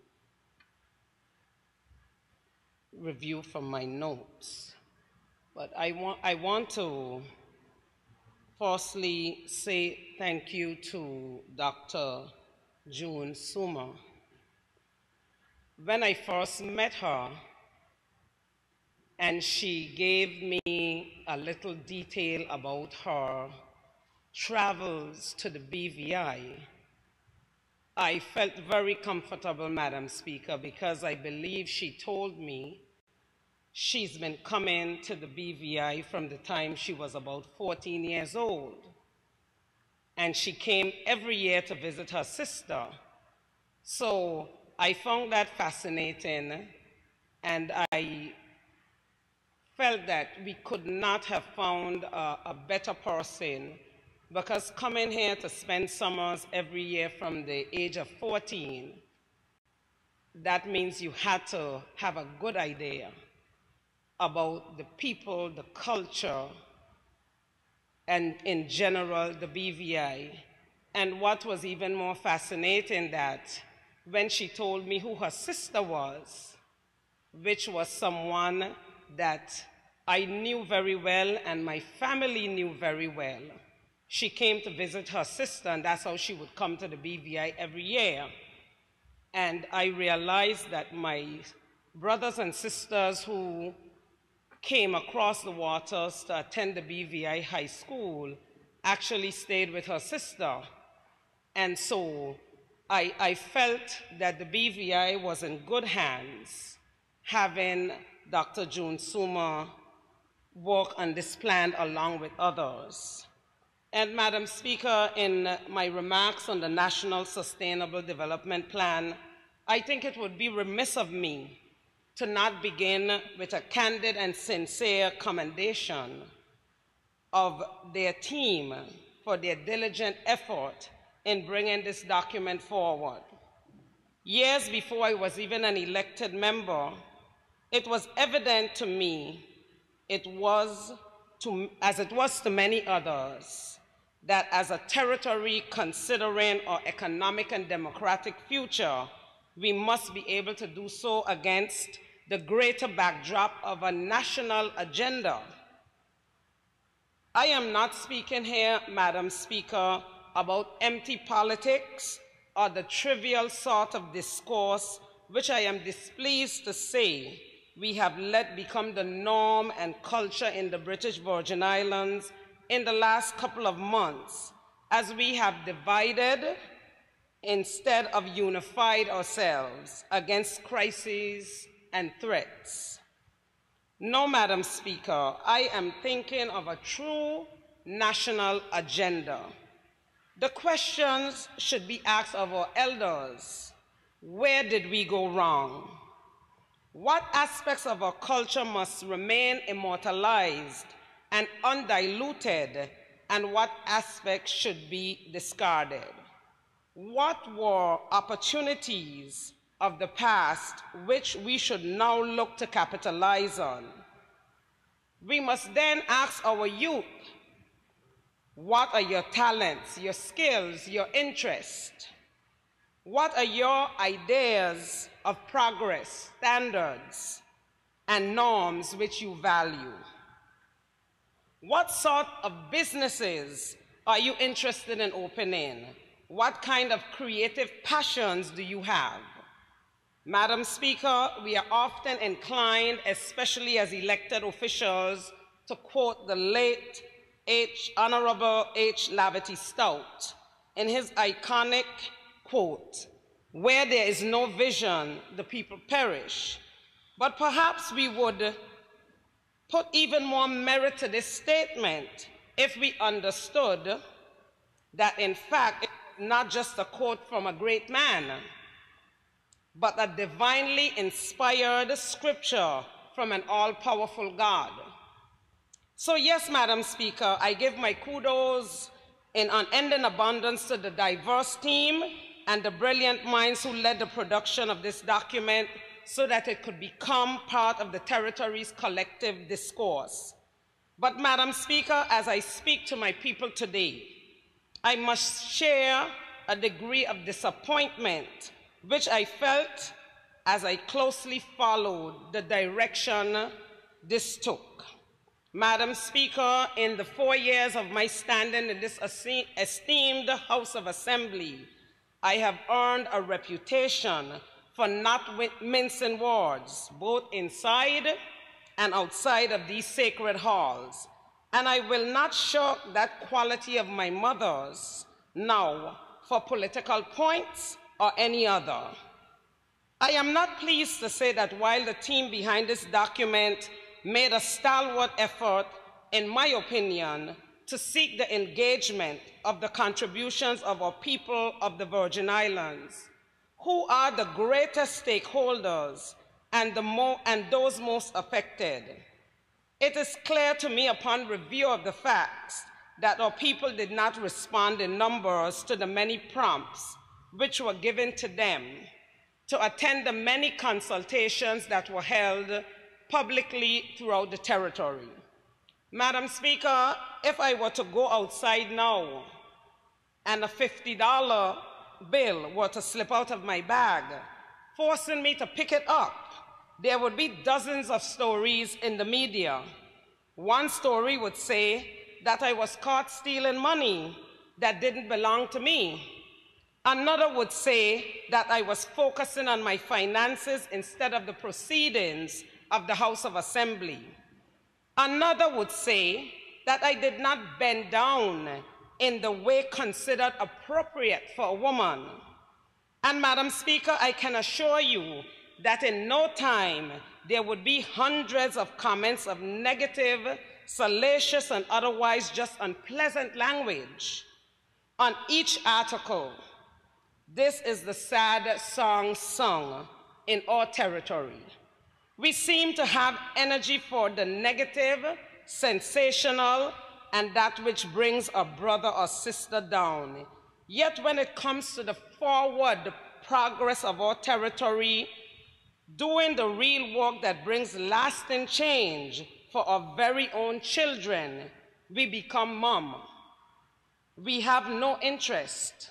A light drizzle keeps us from community meetings and a two minute late start to a ceremony causes us to leave early. We cannot let the hard work of the NSDP team go in vain. I also must implore my fellow leaders from elect elected officials to senior public servants and even private sector industry representatives not to let this opportunity for progress pass. Too often, our own brightest have given us guidance on the way towards glory, and we allow the fruit of their labor to sit on a shelf and collect dust. The execution and action involved in seeing this plan through must become a point of absolute priority. I want to see us hold sensitizations across the board to ensure that everyone from the top down understands that it is on us to create the future for the Virgin Islands that we desire. What we have is worth fighting for. But before we consider who our enemies are, we must consider how we ensure that it remains valuable, or we may find ourselves armed to the teeth for battle. For a battle no one is interested in fighting because what we want to protect is of no more value. Madam Speaker, I look forward to seeing action as I have always been a woman, yes, of many words, but also of energy, drive, and a will to see things truly happen. I know that the people with leadership and guidance will remain at my back just as they remain in support of all my colleagues who prioritize the evolution and security of our, of, of our territory and of our people. So true to form, Madam Speaker, I end my remarks on this brief note. Let's get this plan circulated. Let us ensure that even the smallest understands our plan. And when we say our plan, it's the plan for all of us here in the BVI. And let us walk within its parameters to build a better Virgin Islands. Thank you, Madam Speaker. Thank you. I now recognize the Minister for Education, Culture, Youth Affairs and Sports, Honorable Sharie De Castro. Thank you, Madam Speaker. I take this opportunity to rise in support of this document, the National Sustainable Development Plan. And it truly speaks to what I believe as legislators we are here to do, which is planning and policy that really drives programming and of course ensuring that the requisite processes are involved to be able to reach the end result or the output and outcome that we want to see. And truly when we look at the national goals that have been articulated in the plan, it speaks to the reality of health and wellness, education and learning, a vibrant, thriving, and internationally competitive economy, of course, a resilient infrastructure, good governance and leadership, and of course, the environmental sustainability of these beautiful Virgin Islands.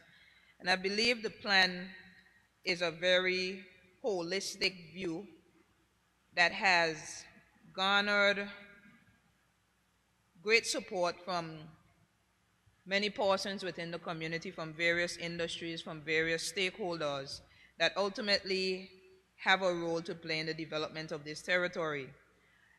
I believe that sincerely, an approach like this uh, speaks to the leadership of Premier Dr. the Honorable Natalio Wheatley and the entire cabinet in this unity government because holistically if we seek to develop plans and policies, it ultimately outlives and it truly becomes a mark of legacy because it would be a plan not that we would have articulated individually, but one that would have taken on a territorial approach that would have gone into our schools, into our community centers, into our communities, and would have sought out the vision of our people as individuals and as a collective. And I believe that under the leadership of the Premier's office and with Dr. Soomer, the team of individuals would have done an excellent job in ensuring that this document is vast and wide and deep in relation to the content that is specific to sustainable development in all areas. Madam Speaker, I want to say that, you know, the reality is that as we seek to advance our territory, it's very difficult to truly come to some level of bringing it to fruition without having something written down. And we often speak a lot about vision and what it means and planning and what it means, but especially as an English educator, you know, being able to pick up a document and read it, I believe just having that level of engagement on paper that speaks to the reality of where we believe we are as a people and where we want to go, it allows for greater engagement and input. And as I've looked through it, Madam Speaker, I believe it to be a very great tool, even for our schools, uh, in relation to when we seek to upskill and develop our Virgin Islands history curriculum and our civics curriculum uh, and our financial literacy curriculum, the type of content that this document has collated is very much needed to shore up the curriculum and lesson planning uh, abilities within our social sciences department. And I believe it will lend itself to be a great resource. And I look forward to sharing it with, the team in the Ministry of Education to see how the content can really be used to really allow our students to engage with this level of consultation on the type of programs and processes and policies that the government would want to see come to fulfillment. And so, overall, I want to beckon and encourage our people who would have had a hand in this plan to really pick it up, to really look at it, and I pray that we are able to create a mechanism. Of course, I know within it, one of the greatest elements of any plan is what type of monitoring and evaluation mechanism is in place to make sure that it works. And if it is that there are needs for amendments and changes, that there are elements in place to make sure that we do just that.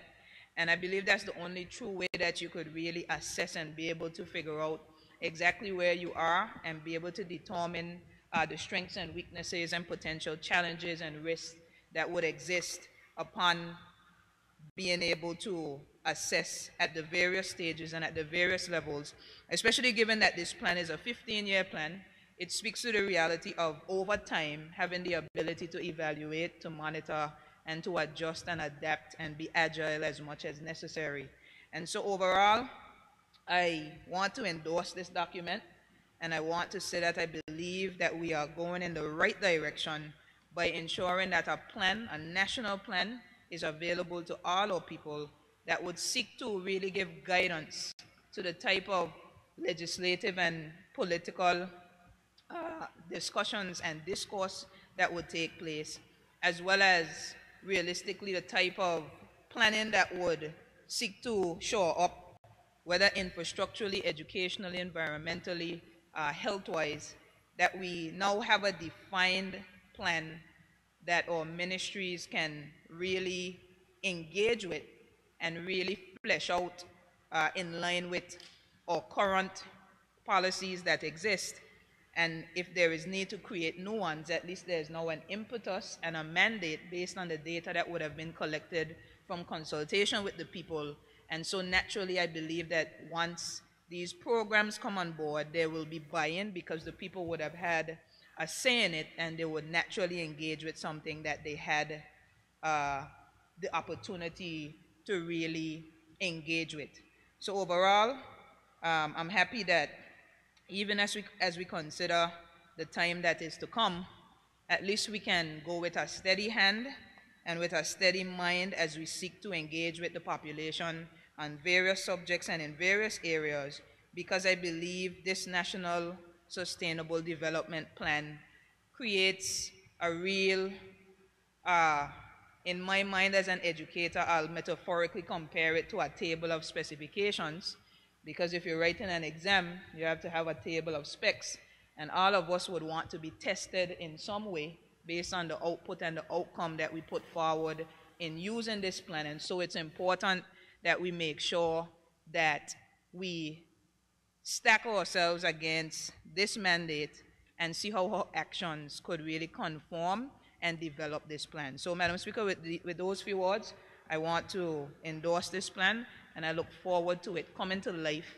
And 15 years from now, we would have been able to say that on this day, we were able to lay this before the people and this honorable house, and the results of it would be one that would be to the benefit of the people of these Virgin Islands. Thank you, Madam Speaker. Thank you. I now recognize the Minister for Health and Social Development, Honorable Marlon Penn. Thank you, Madam Speaker, and I thank you for the opportunity to make my contribution to the National Sustainable Development Plan that is being laid before the House and debated this afternoon. Madam Speaker, I wouldn't be very long, but I think it's important for me to not sit here and not lend my voice to this very important document that represents a true bipartisan approach to the national development of our country. I believe for many years we've been discussing um, the whole discussion of a national plan for developing this country and for developing our people.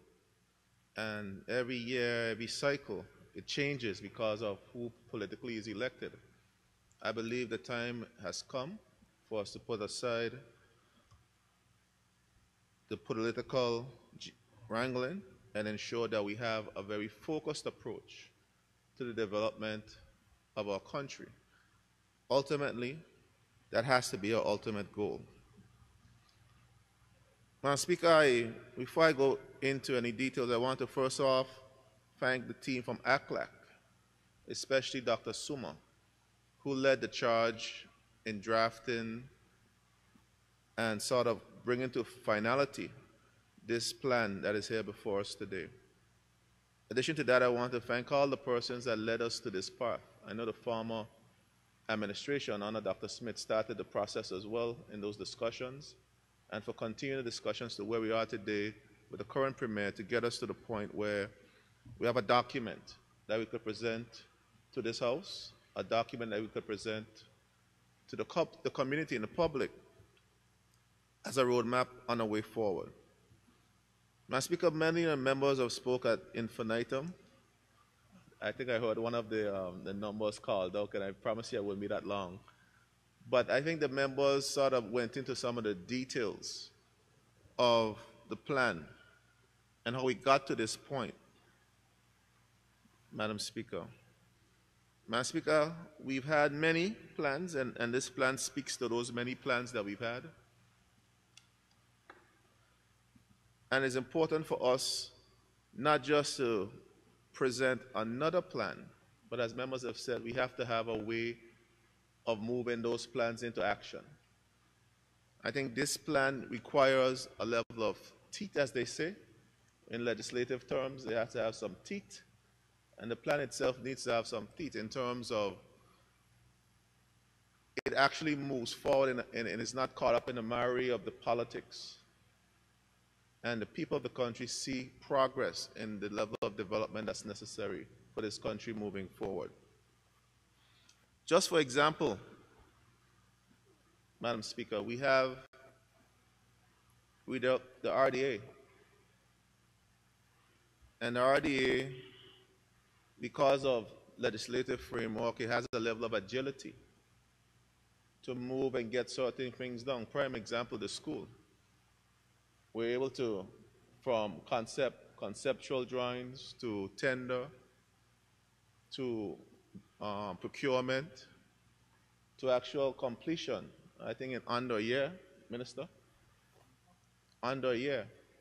The entire life cycle of that particular project was conducted under a year. But yet, right next to the right next to the same project, we trying to we're still here in, the, in a basketball court. Well over a year, an extension to a room, and we can't get back into our House of Assembly. It speaks to the bureaucracy that is, a, that is government and, and how sometimes, not because of any particular fault of anyone, the bureaucracy, you get caught up in the bureaucracy and the well-intended, the best of intentions sometimes get, doesn't get traction. I think that the whole concept of implementation unit, and I think we don't need to reinvent the wheel. We know that the RDA is going through a transition. And, in, and as, as it goes through that transition, it needs to be reshaped into an entity that focuses on national development, that focuses on developing the strategies and policies that are being discussed in this particular plan, and have the wherewithal and the tools to implement those strategies for the betterment of the country. So you have already have a, basis, you have a system that could work. I think the development agency was particularly after the aftermath of the storms and those specific issues that are associated. There are tenants that are good that should be that should be retained, and through this through this transition, we need to now transition that agency into a national development agency that focuses on the long-term development of this country. Not just from an infrastructural point of view, but from a policy point of view.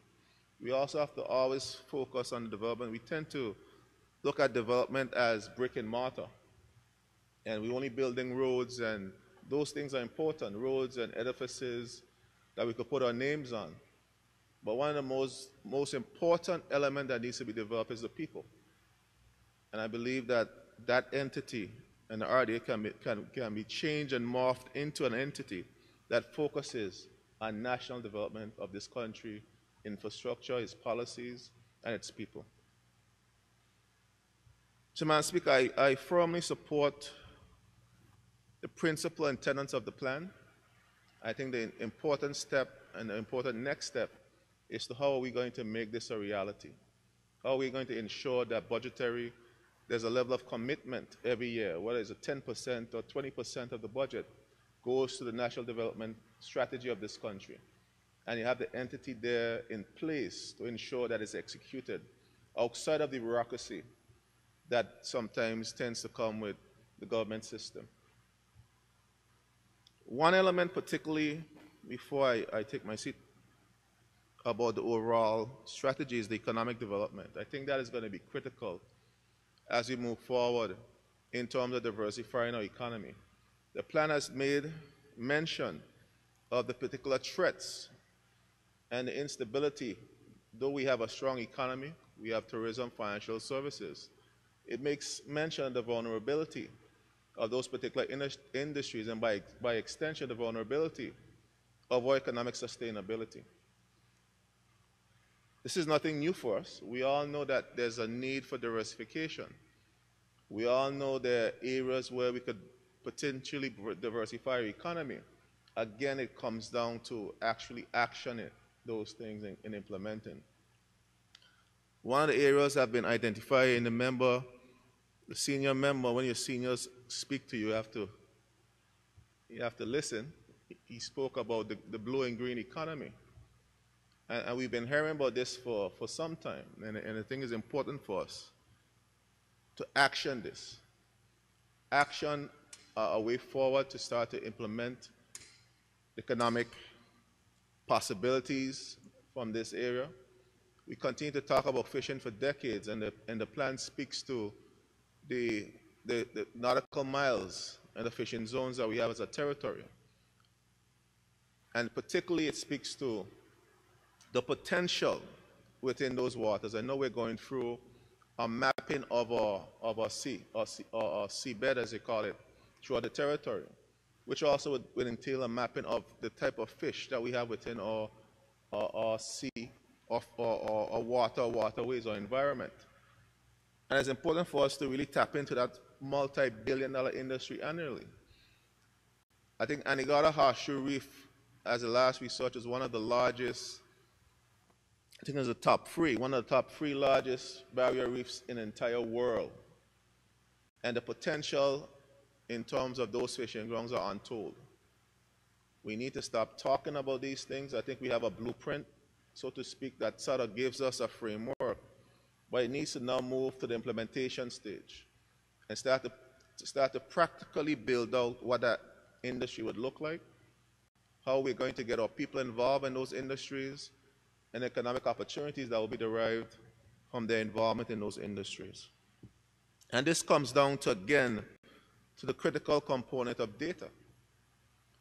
I think we can't collect data if we have the systems to collect. We don't have the proper systems to collect data.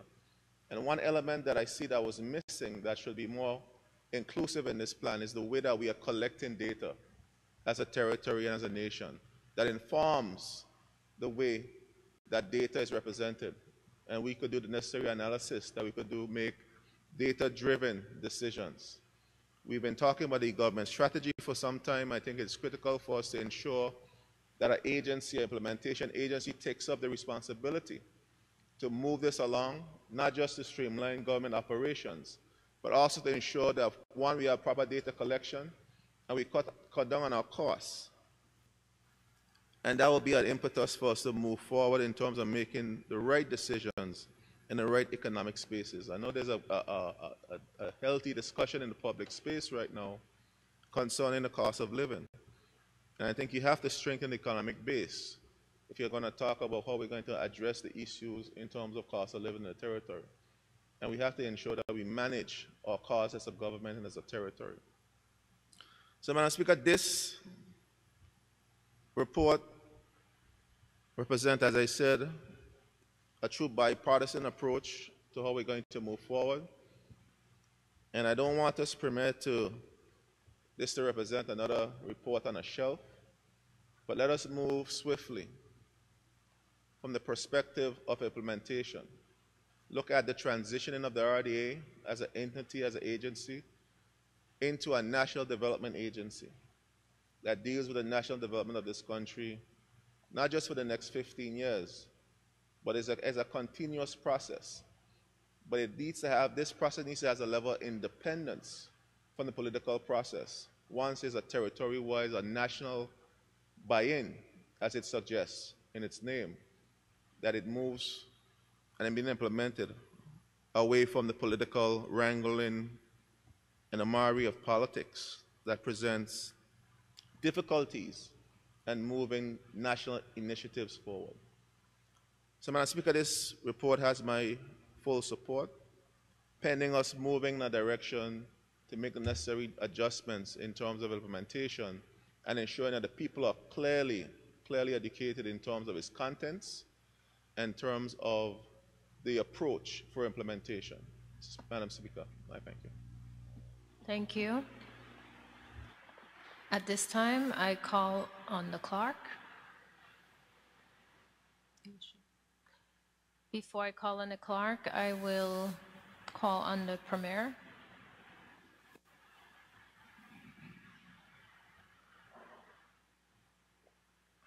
Uh, thank you, Chair. And I just want to thank all the members who debated on this uh, National Sustainable Development Plan. I think most persons had similar themes, of course. Uh, kind of basic look at our development over the years, uh, some of the areas where we need to focus attention. But Madam Speaker, um, everyone agrees that this plan is a plan that needs to be implemented, that we need to, it's a good undertaking, but the challenge before us is to ensure that it gets into the hands of the people and that it gets into the hands of the different ministries, even the different um, partners we have, whether in the private sector and civic society, to make sure all sectors of our society are united in executing this plan. And it, this plan, Madam Speaker, shouldn't be seen as something separate and apart of the work of government. It must be integrated into the work of all the ministries. And all of the permanent secretaries and heads of departments must get this plan and familiarize themselves with it and seek to integrate it into the work of the ministries and the departments as well as the statutory bodies. And we must create matrices. Is that a word? Matrices? Mat- matrices. Thank you. We'll um, develop matrices where we can map um, the elements of this plan um, to the work of the various ministries. So, Madam Speaker, I think we've Um, had a, a good debate. I'm happy that we have uh, we waived the provision to allow for the debate of this plan, and I'm looking forward to its implementation, um, Madam Speaker. Thank you so much. Thank you, Premier. I now call on the clerk.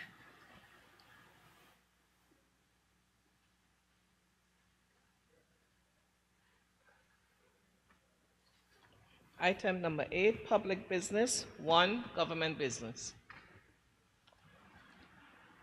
Thank you.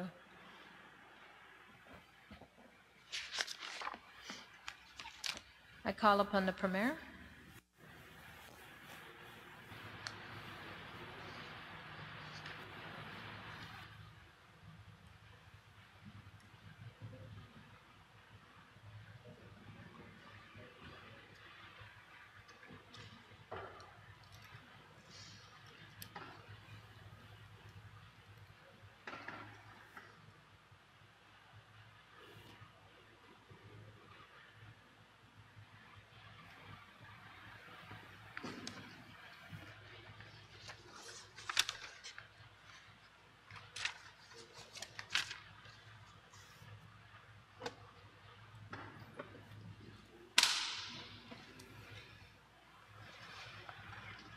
Thank you, Madam Speaker. Madam Speaker, I move that leave be granted to introduce the following bill standing in my name shortly entitled Police Act 2023.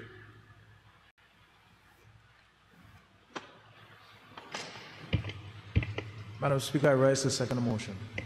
Thank you. Honorable members, it has been moved and seconded that leave to introduce the bill shortly entitled Police Act 2023 be granted. Those in favor? Those against? The ayes have it. I now call upon the Premier.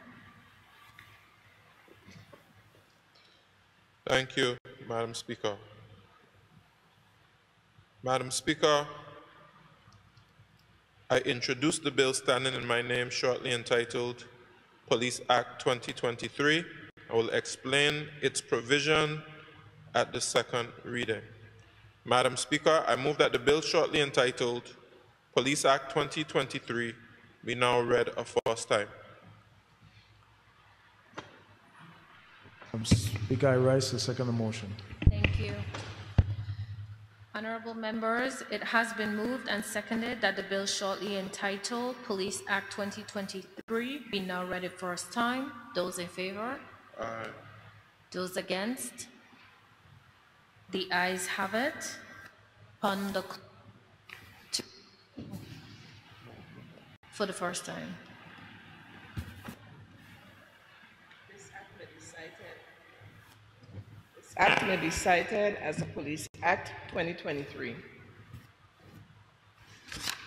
Thank you. At this time, we'll just take a brief recess.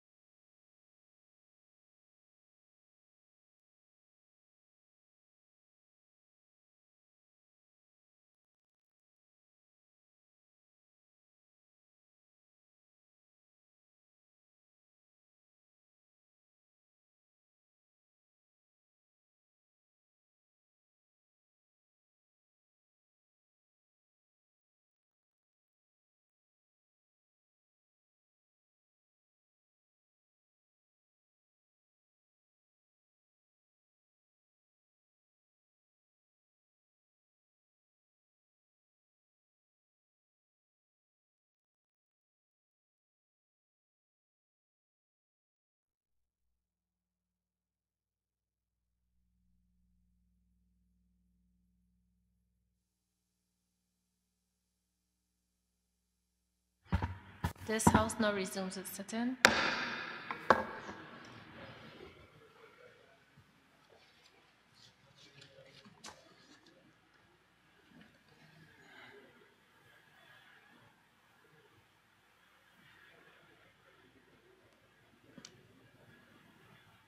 I call upon the clerk.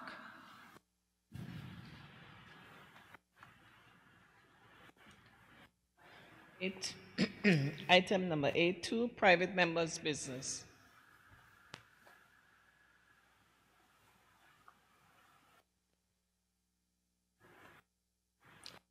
Call upon the clerk.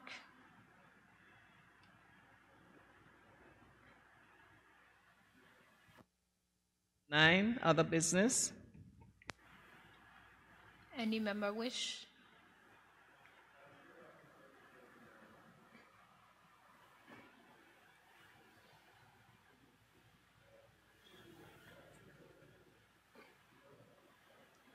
I call upon the leader of the opposition.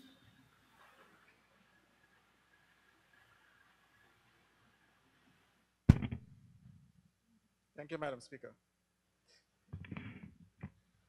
Madam Speaker, it's customary on other business, even though I may have forgotten what takes place in other business, it's been so long, that members would speak to things that are not a part of government business that they didn't have the opportunity to speak to in government business. Madam Speaker, I came here to this House on more than one occasion and admonished the government of the day to take advantage of a legal provision and one that is acknowledged and accepted by the Foreign and Commonwealth Office because it's enshrined in our borrowing guidelines to take advantage of the Social Security, which by, by mandate, Madam Speaker,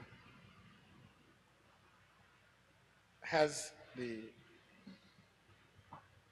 uh, legal right to loan to government or its parastatal bodies up to 30% of its pension fund. And when I said that the government should borrow money from Social Security, there are persons in the community who take it to mean that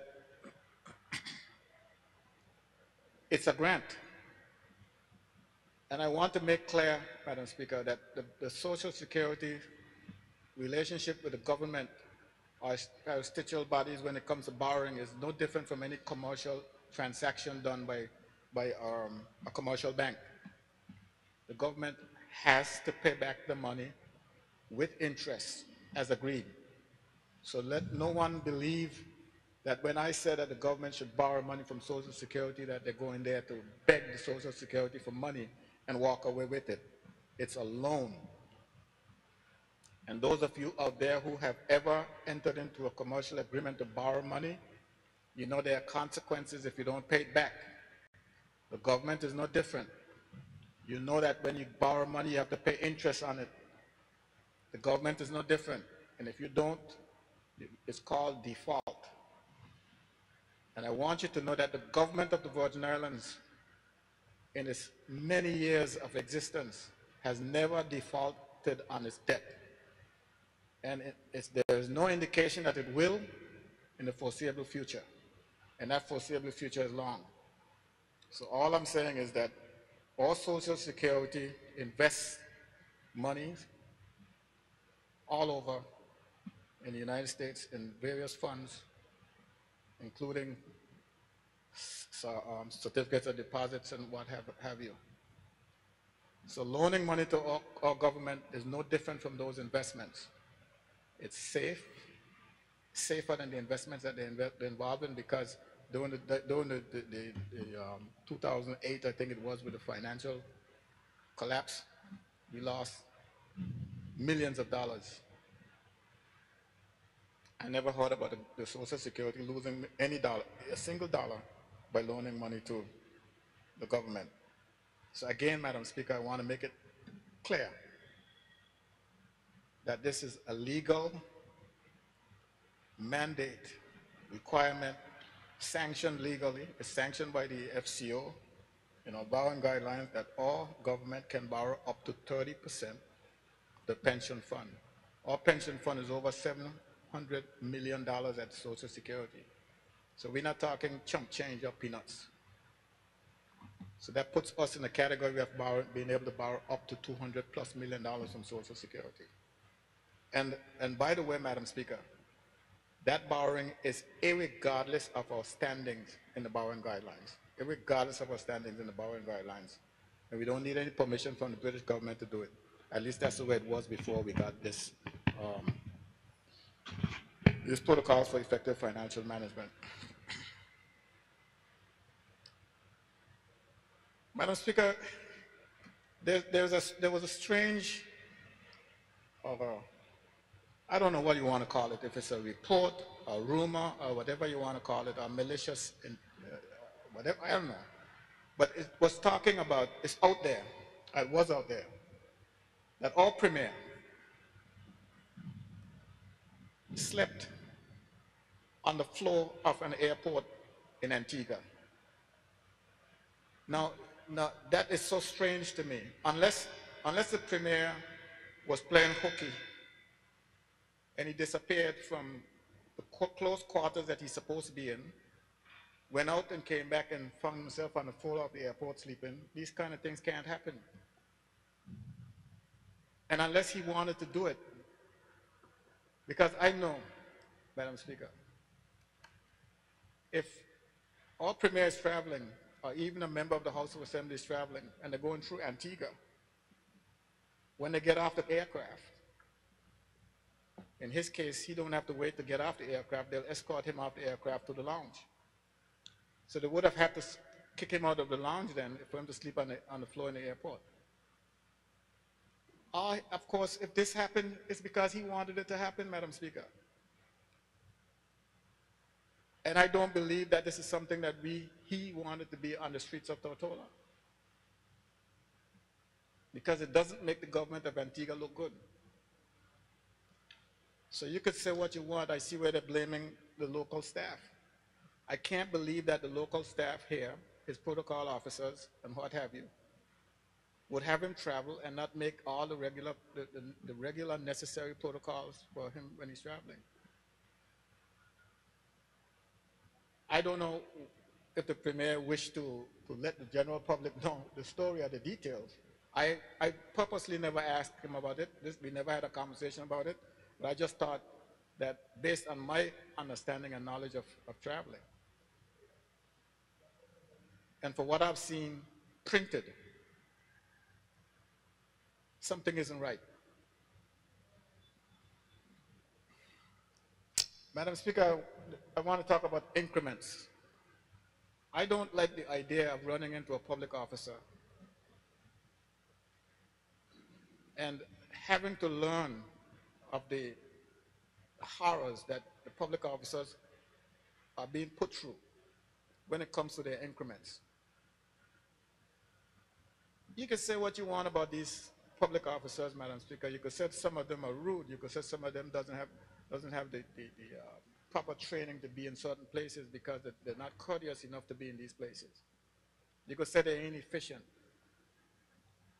There are a lot of things. There, there, there are a lot of things you can say, Madam Speaker, about public officers. But also remember that there are good things you can say as well. But of all the things you can say about public officers, you cannot say the same about all. A hungry man is an angry man, Madam Speaker. And hunger, in the case of public officers, mean that they're, they're not paid. If you don't pay them, you, you can't expect to get from them what you, what you expect. I'm being told that the, the increments are outstanding for, from since 2019, I think it is.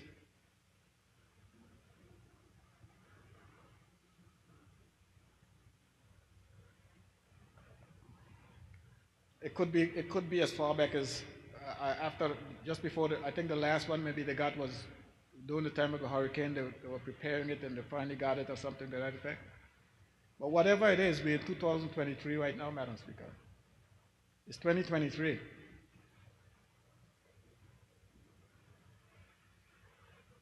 We collect from financial services, Madam Speaker. Last time I heard it was $202 million. We collect taxes and a host of other means of, of gathering revenue. Those are the people, Madam Speaker, who does that collection. I never seen anyone collect government, government revenue other than a public officer. If you have public officers who are not living up to their expectations, if you have public officers who are slacking off, if you have public officers who don't come to work, well, deal with those individuals, but don't deal with them like, like across the board. Don't make the innocent pay for the guilty. I think, I think, Madam Speaker, public officers should not be treated like, well, when was the last time a, a, a legislator got a raise? It should not be treated like, like people like us. So they need to get their increments. And one of the things that this government can do, this government has at least up until June 15th, June 12th, at least, well, not at least, at best, till June 12th. It could be shorter, but they have, they have until June 12th to do something. I'm not saying that they would get any monies into the civil, the public servant's hand within this period, but they can, they can initiate the process of making it possible for these people to start getting their increments. I want to say, Madam Speaker, that my colleagues in the House of Assembly by now should be wise enough to understand how the public service works. At least those portions of the public service that they need to understand works. You see these folks that sit here, these two public servants that we have, Madam Speaker? They would come here, and sometimes we keep them until, well, according to our standing orders, we're not supposed to have a sitting beyond 9 o'clock, 9 p.m. But we know different. We've seen it go up to 1 o'clock. And these public servants, Madam Speaker, they, they have to be here. I mean, the seats need to be filled. And it's always these officers who does it. Can somebody tell me whether or not they get paid for that time? Can anyone tell me if they get paid? When we have standing finance, that's a whole other story, Madam Speaker. But the persons in the public service who are responsible for paying them, Madam Speaker, they are compensated. when one of their deputies are not in office for, for whatever reason, whether the, the, position is vacant or not, or something, but as long as you see they don't have a, a deputy, they get compensated for not having a deputy or because their workload went up. But these people, people, these people who I'm talking about, who are complaining about the increments, no one pays attention to them to, to their needs. So, you know, Madam Speaker, one time I was in Miami and I went to, I think I went to purchase a vehicle. And I said to the guy, well, um, I need so and so added to the vehicle. and he told me that's going to cost me so, so, so. And I go like, I start haggling with the guy now, telling him, well, geez, you said another $1,800, why not make it 16? He said to me, the price is the price. If you want to pay me 1600 you're going to get something for 1600 Not the one I'm giving, not what I'm giving you for 18 Okay, you want, you want something, the price is the price. So I learned, Madam Speaker. If you don't pay people according to their worth, they're going to give you what you pay for. Do we want that to happen? No. I've been watching over the years that I, since I've been in this House of Assembly, Madam Speaker. I've been watching. I've seen where we had Hansard reports before we came to debate the budget. We went through standing finance, and before we came to debate the budget, we were, we were editing the Hansard report. I've seen that. We did that. Nowadays, it's a whole other story. We're lucky if we get a minutes that the, the that the, the, the poor uh, staff who have to labor and handwrite it, and, and I, I don't know how to do it. I'm sure they don't get extra money for that. If they do, they probably get it five years later. When they even forgot what they're getting paid, what they're getting paid for. We used to have voluminous, voluminous uh, documents from standing finance.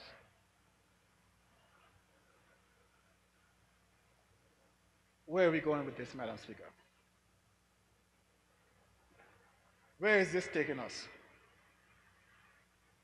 And like I said earlier, some of that blame, a lot of that blame, lies with us. A lot of that blame lies with us right here in this House of Assembly. And it's because, again, like I said earlier, we are not doing the checks and the balances that we are supposed to do. And the reason we're not doing it is because we don't have the resources to do it. It's all it all comes down to resource, resource, resource. So do you want a full bag of half-baked potatoes or half a bag of well-baked potatoes? If they're half-baked, you can't use them. So they're useless. So that's what we're getting.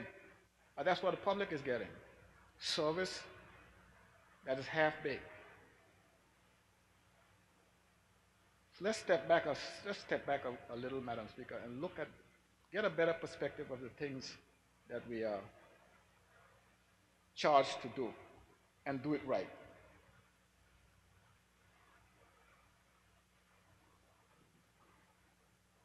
Madam Speaker, I learned a few weeks ago. It's not even, it's probably a single week ago, or a week ago, that the general manager for the BVI Electricity Corporation is no longer there. I understood that he got a notice telling him that his services are no longer needed. Well,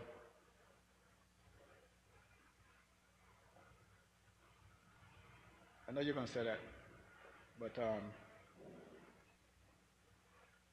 that's after you probably agree that he could stay on another year.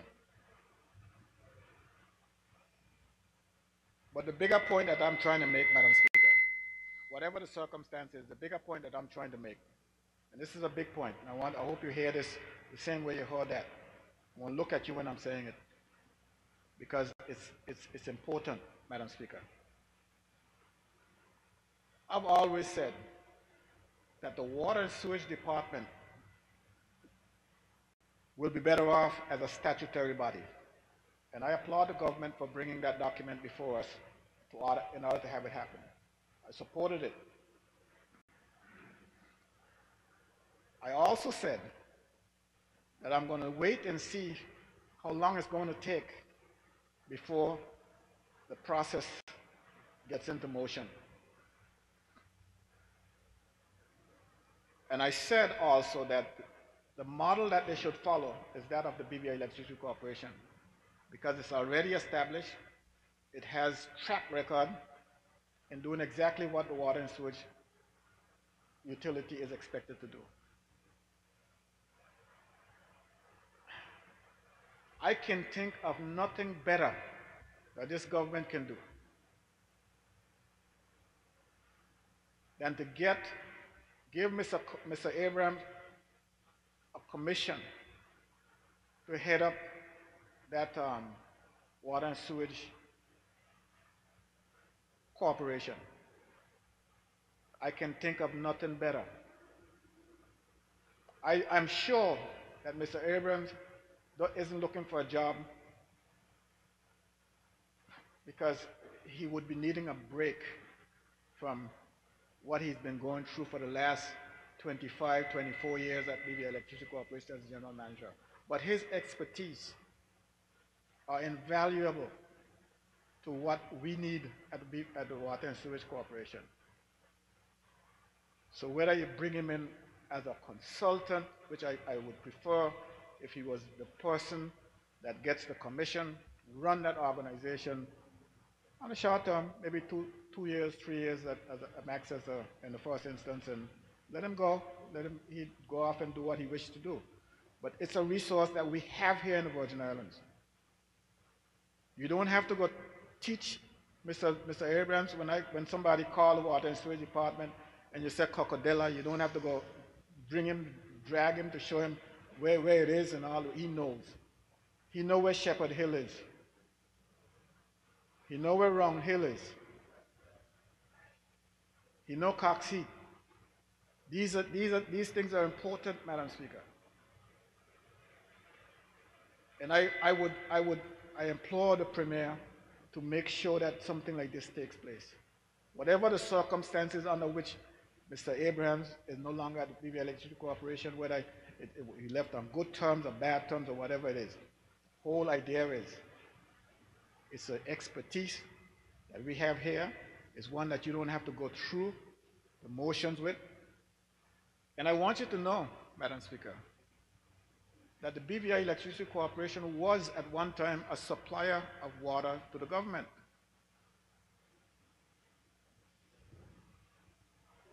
Yeah, they supplied, they supplied government with, with potable water.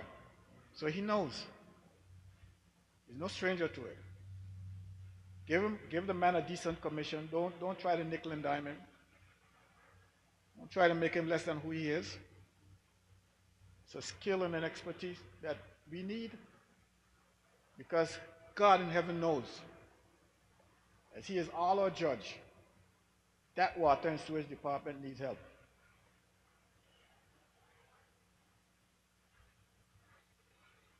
Speaking of which, Madam Speaker, speaking of water and sewage,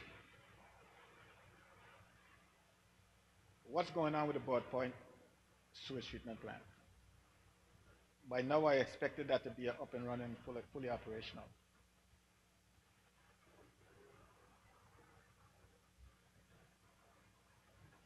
Um, I don't, I don't want for my good friend, the minister, to have to be answering for this on the campaign trail. I think he should get that behind him and don't have to worry about that one. You know, they say if you if you break it, you own it. If you break it, you own it. It's yours. Well, the time has come now when you're all going to have to take ownership of these things. But there is a saving grace. You can fix them and walk away from them. And that's one of the things I think can be fixed and we can walk away from. Madam Speaker, there's a strange little, a little, a little nuance. It's something that I think could get fixed and get fixed quick. It's just the other day I was talking to someone and they said to me, I, I have to go and pick up my trade license. This was, this was um, Tuesday. Today's Thursday. This was Tuesday. I got to go pick up my trade license since I have to pay a penalty. Said, what are you talking about? Say, yeah, you got to, you got to get your trade license renewed between uh, Jan- in January from 1st to 31st.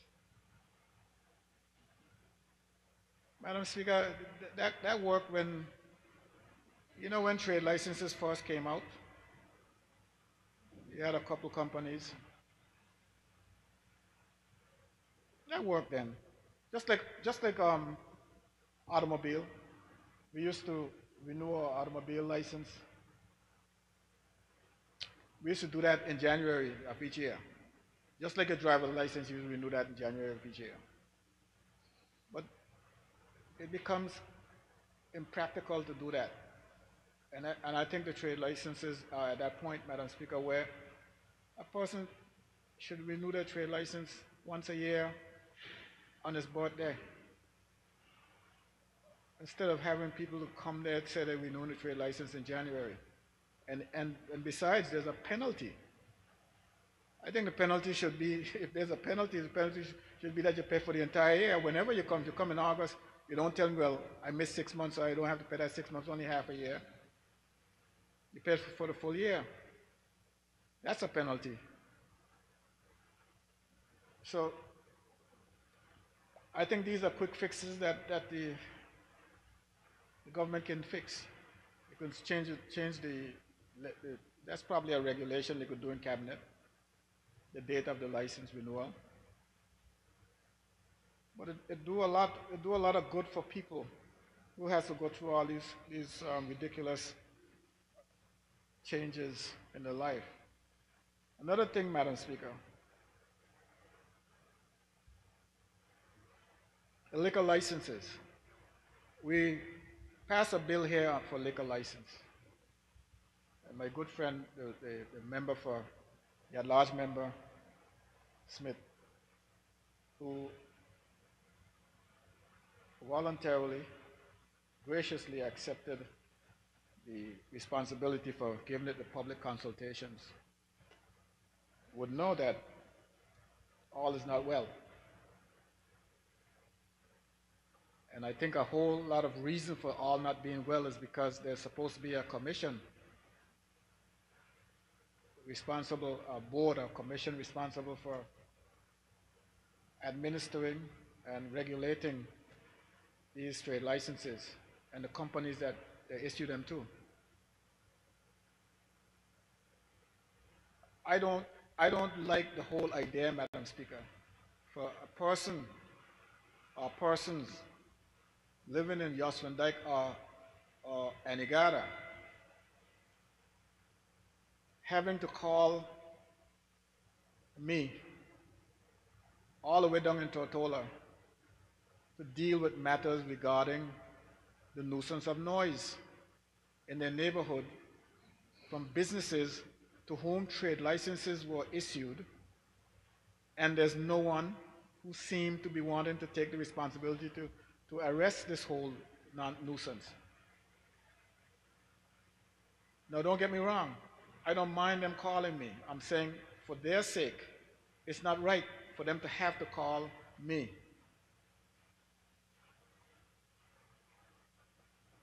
And, and, and I, I'm here to serve. No problem for them to call me, but it's wrong for them to have to do all of that. And there, there, there seemed to be no relief. Yeah, I know I have my problems here in Duff Bottom. That shouldn't be. I've told the people in this neighborhood that, yes, we passed a liquor license law, and I know what's in that law. And if that law is executed, Madam Speaker, there should be no nuisance like, like what we've been having. I told them that. We got the problem licked. But do we? When is this board going to be established?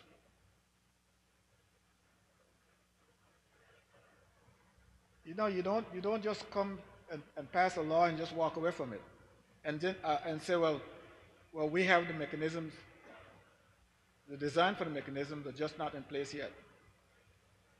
We are looking for relief. This, these issues, issues like this, this is, what, this is what makes a government a functional government. You want to have a litany of stuff to tell the public that you have done. Don't tell people that you passed legislation. I passed legislation. If you pass the legislation and it's not enacted, it's not being enforced, it's not, so what good is it? I think that we have some work to do. We don't have a lot of time to do it, but there is time. And this is one of the things that I want to see happen. I want to see that, that, that issue um, resolved.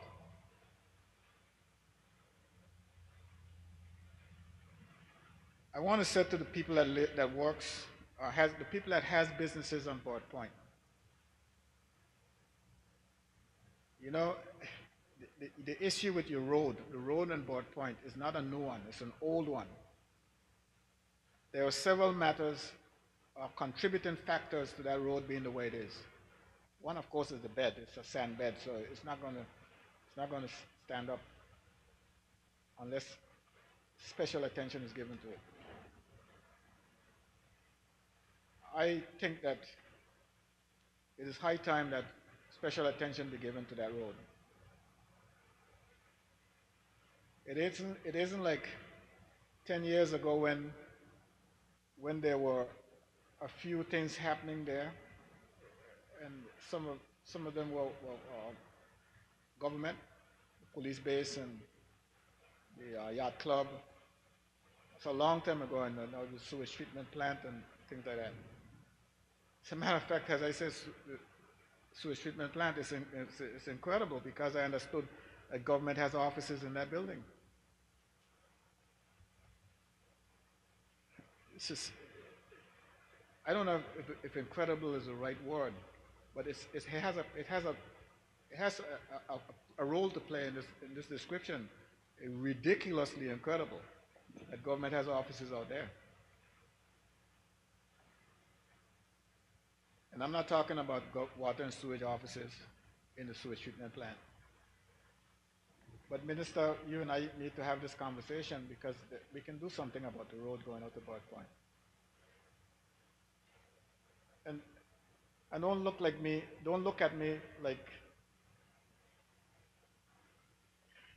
yeah, put a smile on your face. I mean, don't, don't look at me like the, the, the cat who got lost his cheese. I told you it's better off being done here than out there. Right? So I'm letting you know that these things can come back to haunt you. So let's get these things done. These are what we used to call, uh, when I came into public service, we used to call quick wins. Yeah, you could, you could knock this off. You gotta, supposedly you're supposed to be having an asphalt plant that I've been hearing about for the longest time. Get the asphalt plant up and running. Let's put some asphalt on the road. Huh? Let's put some asphalt on roads. Let's get things going. Can't, when you,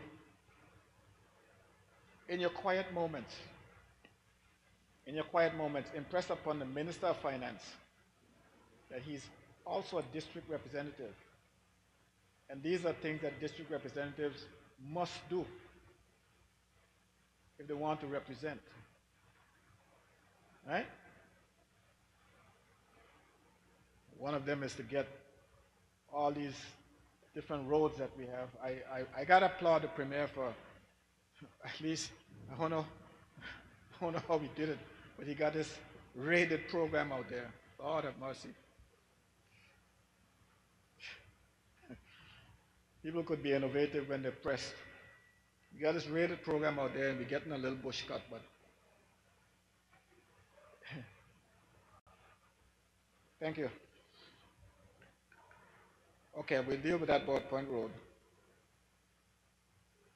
The incinerator, the minister is not here, but the incinerator isn't going away. It's still in my district. And I've been promised that we're going to get that incinerator fixed. And all I'm seeing is the hillside being gouged and gouged and gouged. And the reason that's been gouged is because the incinerator is broken. Can't allow people to throw their hands up in the air and leave things alone, man, uh, Premier. It's your government. And no matter what, you're going to hear about it.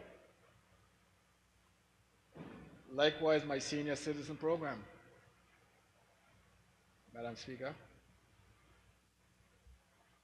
as long as I am breathing fresh air, especially if I'm standing in the third district. These are things that I'm not going to drop. So don't expect not to hear about them. I want my senior citizen program up and running. I want to see the incinerator fixed. I want to see that sewage treatment plant at Burt Point fixed. I don't want to see my constituents complaining about water. And the rest we will take care of. It's not because I'm coming here public and talking about these things and I haven't spoken to my ministers. We have conversation regularly. Not one of them can tell you that I don't talk to them, but I opt to come here and speak publicly. I told, my, I told these ministers from the time they came into this, uh, this, this House of Assembly, I explained to them how this thing works. I said, Minister, if you don't deal with these things, they will come back to haunt you someday. And up to this day that I'm here talking at this 11th hour, there is still time to fix things. There is still time. I've had cooperation from ministers. They cooperate with me. I cannot say different. I've had worse times. But they cooperate with me, all of them. Like I just mentioned, the, the, the premier and his, his program, I think that the same program is run, the same way the program runs in other districts is running in mine. I can't say that my district is being cheated or anything to that effect. But it doesn't shut me up. Because if something isn't going right, I'm going to talk about it. And God knows a lot of things are not going right. There are things that are going right. I do get my share. And Premier, I'm still concerned about those derelict boats in Sea Harbor. I think I need to see something happening. And again, these are unnecessary evils. These are things that you don't need to be hearing about if you would only fix them. Madam Speaker, the, the, in my district, there were still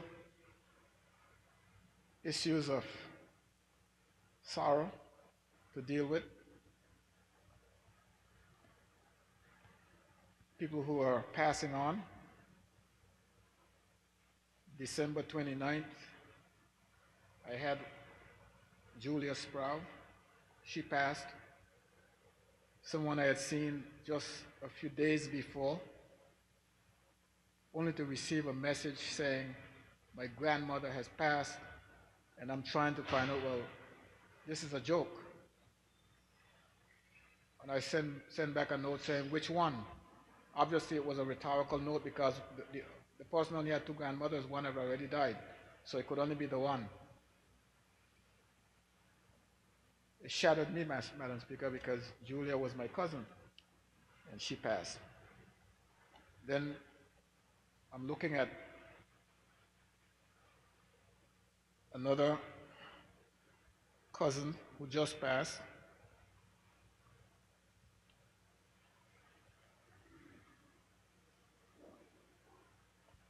Another cousin who just passed on, on January 16th, Kyron Forbes, Winfield Forbes. It's, it's amazing, Madam Speaker. We've had a uh, I think Frenchy, Walter was living in Manuel, he passed. And I've done, I had done my message, Madam Speaker, for the holiday, I had done my holiday message, and as fate would have it, I had to do it over for, for a specific reason.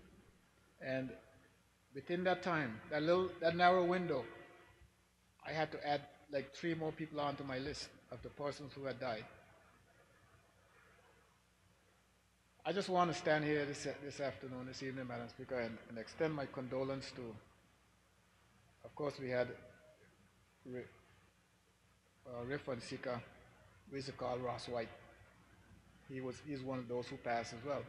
But I want to stand here this, this afternoon, this evening, Madam Speaker, and extend my condolence to all those folks in my district who have lost loved ones, and of course to the entire territory where so many people has passed and keep passing. And to let them know that even though we legislators are no longer in a position to do the things that we did, we did it religiously to assist loved ones when there's a passing. We still have that same level of commitment and compassion for them. And we mourn with them as they go through these moments of grief. Thank you, Madam Speaker.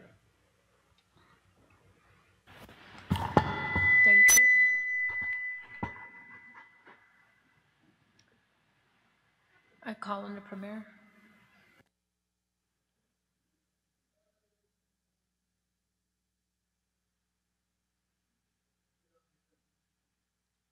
I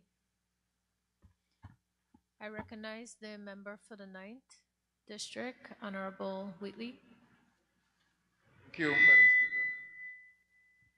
Well, there were two to serve viewers and uh, any other business. Madam Speaker, I just have a, a, few. I would not be long, I promise. I was um, over in Agala today with the overseas minister, and so I got here a bit late. And the members have been here since morning, so. But I have just a few things I want to mention before I take my seat. I did have a chance to listen to some of the debate on the National Sustainable Development Plan, and I must say I concur with what I heard most members say, particularly ones that indicated the need for the continuity of government on the same agenda. I think it's very important that we have stability in terms of agenda. And I was very pleased to hear the debate this morning on that. Madam Speaker, I'll, I'll start where the member for the third left off, where I bring condolences to those persons who've lost loved ones since the year began. I had quite a few in my district. I had one just uh, two days ago. It's uh, Gloria Harrigan, uh, a dear friend. Spent a lot of time with her. She was someone who every morning you could guarantee a Bible verse or some kind of encouragement and also my longtime friend of Gafford Potter, who his wife, parents, I grew up with them.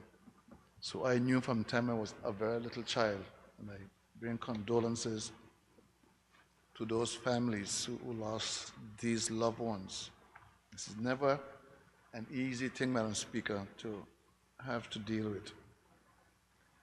Madam Speaker, Section 61 of the Physical Planning Act 2004 and Resolution number 7 of 1989 makes it very, very clear how beaches are to be treated in the British Virgin Islands.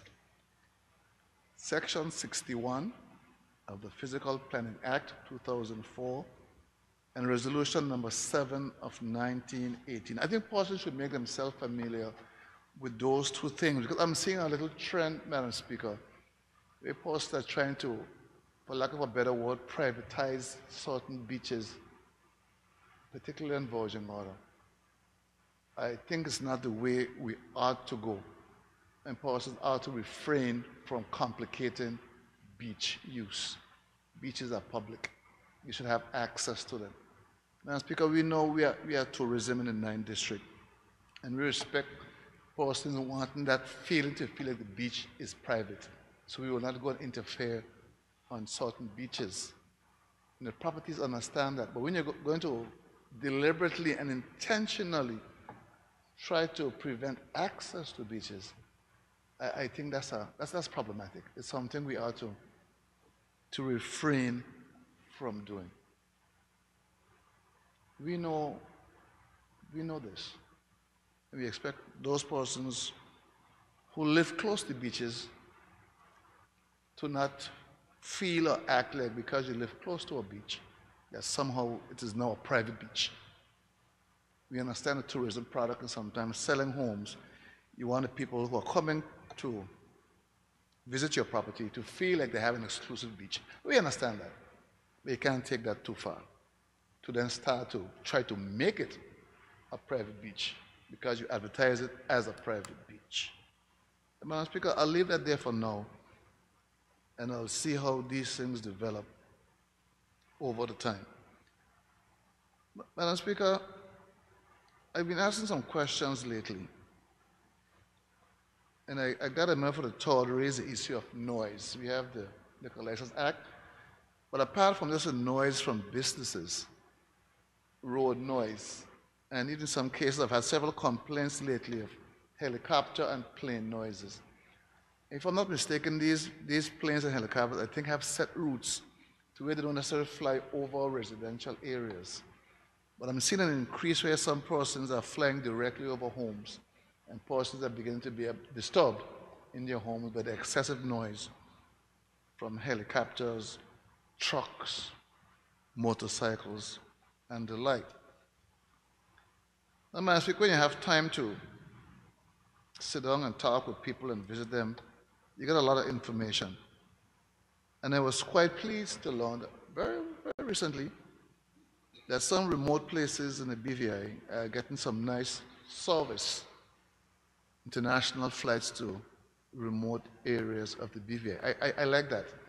We are tourism oriented, and we must make our tourists uh, or people traveling to the BVI to get here as quickly and as conveniently as possible. But Madam Speaker, I've been asking this question for the longest while. Why can't Anegada have the same privilege of international flights? You have international flights going all over the BVI. For some reason, we, we can't figure out how to get an international flight to Anegada. We have persons flying from Europe, America, but they must stop from Puerto Rico or St. Thomas into Beef Island and then to go over to Anegada, thus delaying their arrival at Anegada. We went to the extent to get uh, night lights. We did everything we could do. But for some reason, Anegada still can't get international flights. People who visit, I interact residents and tourists alike. And I've heard this from tourists several times. Why do we have to stop in the Island? Why can't we fly from Puerto Rico or St. Thomas or anywhere and fly directly to Anegada? Like I said, Madam Speaker, there are other international flights going to other parts of the BVI that is not Beef Island. So why can't we get the same service going to Anegada? People are complaining bitterly about it. We are tourism, and we want to make tourists and or locals to get to their final destination as quickly as possible. And Madam Speaker, while I'm on the issue of, of tourism, I'd even forgotten that years ago we had a beautiful tourist board office in Virgin Gorda. I think it was probably destroyed in 2017. And five years later, there's still not a tourist board office. I, I must thank those, those young ladies like Monique, who is doing our, very best. I saw her at the dock this afternoon at a set of German tourists there, and you see how she's interacting with those persons, answering questions, giving directions. But we need an office there, Madam Speaker, and I hope this issue is rectified sooner rather than later. Madam Speaker, I'm almost there. Madam Speaker, on January 10th of this year, I attended a court uh, church service for the opening of the, of the, the court here.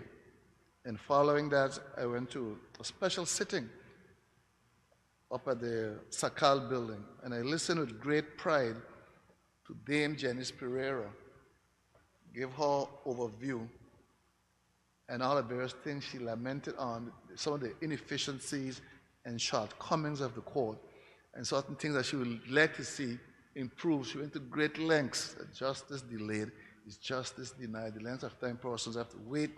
They have their cases called, and all of that. And the thing that, that, that caught my attention most was the issue of the Child Maintenance Act. It was from 2017. Madam Speaker, we brought this act to the House in 2021. There were some issues with the Child Maintenance Amendment Act 2021. It came to the House, but it was withdrawn. Madam Speaker, we need to try our very best to get this Child Maintenance Amendment Act back to the House. I'm seeing a lot of cases and hearing a lot of cases where persons are suffering, both male and female, because in the court sometimes make rulings about the, the, the payments for child support. It's not happening the way it should. And I think this Amendment Act 2021 was designed to address some of the shortcomings of the current act. I think, Madam Speaker, we had to push to get us back on board as quickly as possible. I didn't see it in the speech from the throne either. But, Madam Speaker, this year needs to come back in. We cannot have single mothers or single fathers going through hardships because the delinquent person feels they shouldn't be paying anything to support their children. So it's left up to one parent. And some are really, really, really struggling because of the, the current system. They said justice delayed is justice denied. Madam Speaker, I'm getting a lot of complaints again that were wrong years ago with um, persons in the, work, in the workplaces. Particularly, we have mixed, mixed workers, workers on work permits and workers who don't require work permits. There seems to be a practice. I, have seen it before, but it kind of died down. But it seems to be coming back and coming back in full force, where the persons on a work permit are given more hours than those without. I think something, and I, I, think I understand why that may happen because persons on work permits, some of them may have contracts dictating certain things. And I find with employers to, to work their way around that issue, they are giving the work permit holders the preference over the non-work permit holders, and I think that is wrong. And I think well, the minister is not here at this time, Clifford Menegada, but I think it's something we need to, to look at again and make sure the employers understand how to handle belongers versus workman holders in the workforce. It may not be intentional. I don't think it's intentional, but I think out of other obligations it is happening. But I'm hearing it too frequently now. And it's something that we need to look at and remind these persons how you handle that situation. The belongers or those who don't require work permits versus those who do. The labor code is very, very clear as to how that matter should be handled. So hopefully the, the Minister for Labor, when he's here, will send out a memo or a reminder to persons how to handle that situation. But what I'm hearing is not right. It's not a correct thing that they're doing. Do me understand where they may find themselves doing it? It is not the correct thing to do.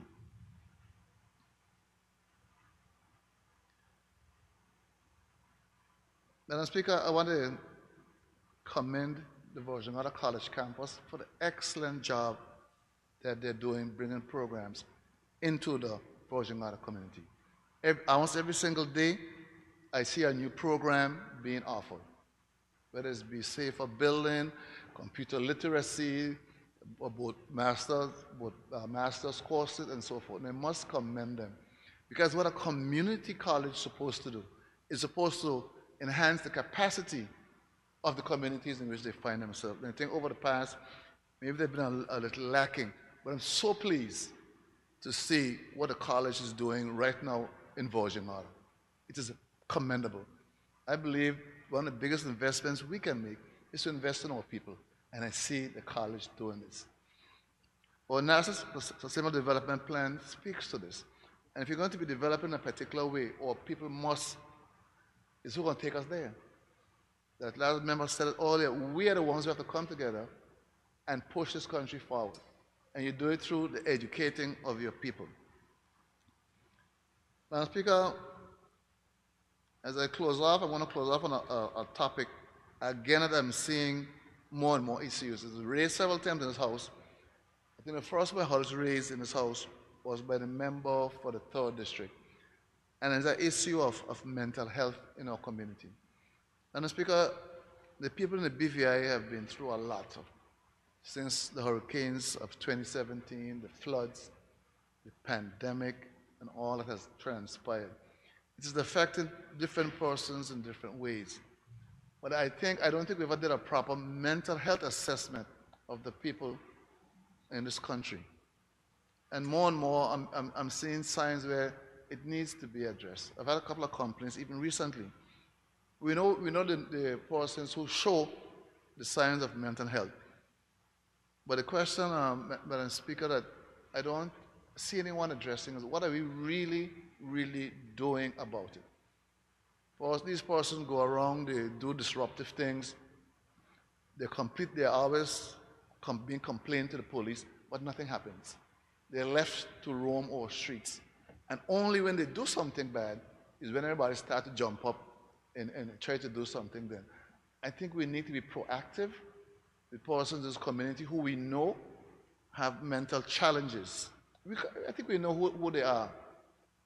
Are other cases we might not be aware of. A person may do a good job of masking their mental health situation. But there are those who we are quite, quite aware of. And as I say, we need to not wait for something to happen, but to be proactive and put something in place to address this issue. Madam Speaker, I just want to thank you for giving me the opportunity to say a few words on any other business as I missed most of the sitting today, but I thought it fitting that I should join the overseas minister on Anegada today.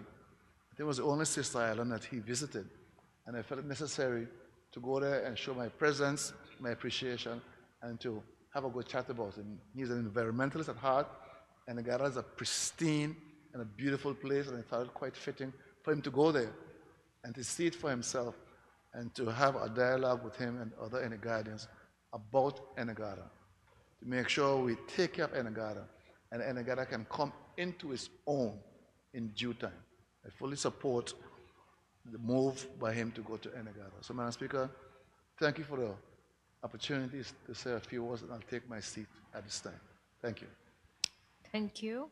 I now call on the Premier. Thank you. Thank you, Madam Speaker.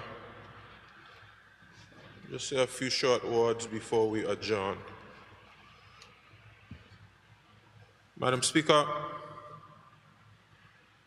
um, as we customarily do, uh, we wish condolences to all persons in our community who have lost loved ones and persons in the Virgin Islands community who are going through a difficult time. And we want to let persons know uh, that we're here for you and we care for you. And we're working our best to address whatever challenges in our role as legislators and ministers. Madam Speaker, uh, before I go too far, I want to address two matters raised by the leader of the opposition. Um, first was um, erroneous reports that I slept on the floor of the airport in Antigua. Uh, Madam Speaker, this is something I've addressed before and I'll address it again. Under no circumstances did I sleep on Antigua's airport floor. And um, hopefully, Madam Speaker, we can put that matter to rest um, because we have lots of very important matters that we have to discuss as a Virgin Islands people. I think um, that false information being put out there was, was reckless.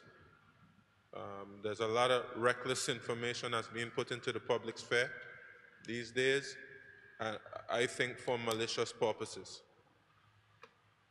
Um, but, Madam Speaker, um, the Bible tells us, no weapon formed against me shall prosper. And there are lots of arts, lots of uh, arrows being pointed in my direction. Um, and I think it's a sad thing that it takes place, Madam Speaker. most of it is because of politics. And it's sad to see how politics causes us to seek to tear each other down and destroy each other. You know, I, I have persons who, they even go as far as taking my, my father's um, unfortunate circumstances to try to use it against me politically. I mean, that's how low they stoop, just for politics. Uh, we, we just passed a National Sustainable Development Plan, Madam Speaker, and I reflect on, I reflect on how we as a Virgin Islands people have survived some of the worst uh, and, and most difficult circumstances known to, to mankind. And the way that we made it through was through love, through neighborliness, through taking care of our fellow man, fellow woman, our brothers and our sisters. And we've gained some level of prosperity. And now we are at each other's throats for the sake of power and all types of other things. And Madam Speaker, I just, I just think it's, I think we're better than that as a community. And of course, we're in the political season. And you'll hear all types of things in the political season just for the sake of power. And I just ask persons to keep their heads on. Keep a good head on your shoulders. Don't get caught up in the madness. Because when the political season is over, we will still have to live with each other and survive with each other. Let's see if we can conduct ourselves in such a way that would be befitting of persons of such a noble lineage and persons whose ancestors worked hard to get us here. Let's conduct ourselves in such a way, Madam Speaker. So, uh, I'm thankful for those persons who have been praying for me. Because when you see um, persons who are intent to destroy you for whatever particular reason, you know, the, you say we wrestle not against flesh and blood, but principalities and powers and spiritual wickedness and high places. And we have to have persons who pray for us uh, when we are being attacked by the enemy. By no stretch of the imagination am I a perfect individual, as we are all um, flawed. We all fall short of the glory of God. But I feel privileged to be loved by our Creator. I feel blessed and highly favored every day uh, for the opportunity to be able to serve the people of the Virgin Islands in the capacity as the Premier, as a minister, as a legislator. It's something I take seriously uh, because, of course, I want to use my gifts my skills, my opportunities to be able to make the Virgin Islands a better place. And I'm, I'm humbled by the opportunity, and I see the opportunity for my colleagues and I to improve things for the people of the Virgin Islands, and it pleases me. When I see the Minister of Education, full steam ahead, uh, when I see her passion for education in the Virgin Islands, and for young people and seeing them meet their full potential. Coming from teaching at the high school, coming from being um, a, a, a, a, college student at H. Lavity Stoutt Community College and having the opportunity to impact these institutions. You know, it gives me a great sense of pride. Uh, when I see the Minister um, for Communications and Works and you see his brain working on how to improve some, some aspect of the society. It, it gives me great pride. I was in the traffic the other day, and this is at 5 o'clock. And I'm going around the, you know, the, we did the one way, you know, between the roundabout and the Cutlass Tower. And I'm saying to myself, this is supposed to be rush hour traffic, and I'm, and I'm not seeing any, I'm barely seeing any vehicles on the road. And I could remember, I could remember um, before that change was made, you'd be there on that street, I think it's the Castro Street right there between uh, Bobby's and the parking lot there, and you'd be stuck there for times. Stuck there for times. And just through the, the genius, the ingenuity of, of the minister, just through using his intelligence, he made a change and he was able to improve things for the people of the Virgin Islands. And we can have a million other examples where we've been able to improve things. And that gives me a great sense of pride. Now, Madam Speaker, it's so easy to find problems in the Virgin Islands. And yes, we should identify the problems, bring attention to them so that they can be solved. But some persons find it easy to be able to just go around the Virgin Islands identifying problems. And that's how we will say that we're relevant. It's easy to solve, find problems because they're all over. What's difficult is to go ahead and solve those problems. And that's a problem, that, that's something that we have to do together. We have to solve these problems together. The cabinet has a role, the House of Assembly has a role. The civil service has a role. Private businesses have a role. Civic society has a role. Sometimes when you hear people speak, uh, you, you would think that um, a, a minister is to be blamed for every single thing that goes wrong in the Virgin Islands. No. Um, it's difficult to solve problems. And it's easy to identify them. But we have been appointed for a time such as this. And we, every time they, we see a problem, we keep knocking them down one by one. And whenever we solve a problem, they just they, they don't even half the time they don't even say thank you. Most of the persons who are bringing attention to these challenges, they just move on to the other sets of problems and act as though that problem that you solved never existed. You know, that's, that's, that's a technique that is used. But I say give Jackie jacket and, and, and give credit where it is due. And let's just continue tackling the problems as, as we're confronted by them. Some of these challenges are decades old. Decades old. But we just put our shoulder to the plow and we continue to do the work on behalf of the people. Sometimes these, solving these problems take time, they take resources, they take creativity, but we get the job done and we don't take no for an answer. Uh, Madam Speaker, the other issue had to do with increments. And I I'm sure it was by mistake, Madam Speaker, but the, the media never picked up my announcement during the budget debate that increments would be paid. I said during the budget debate in December, Madam Speaker, that I instructed the financial secretary to find the money to pay the increments.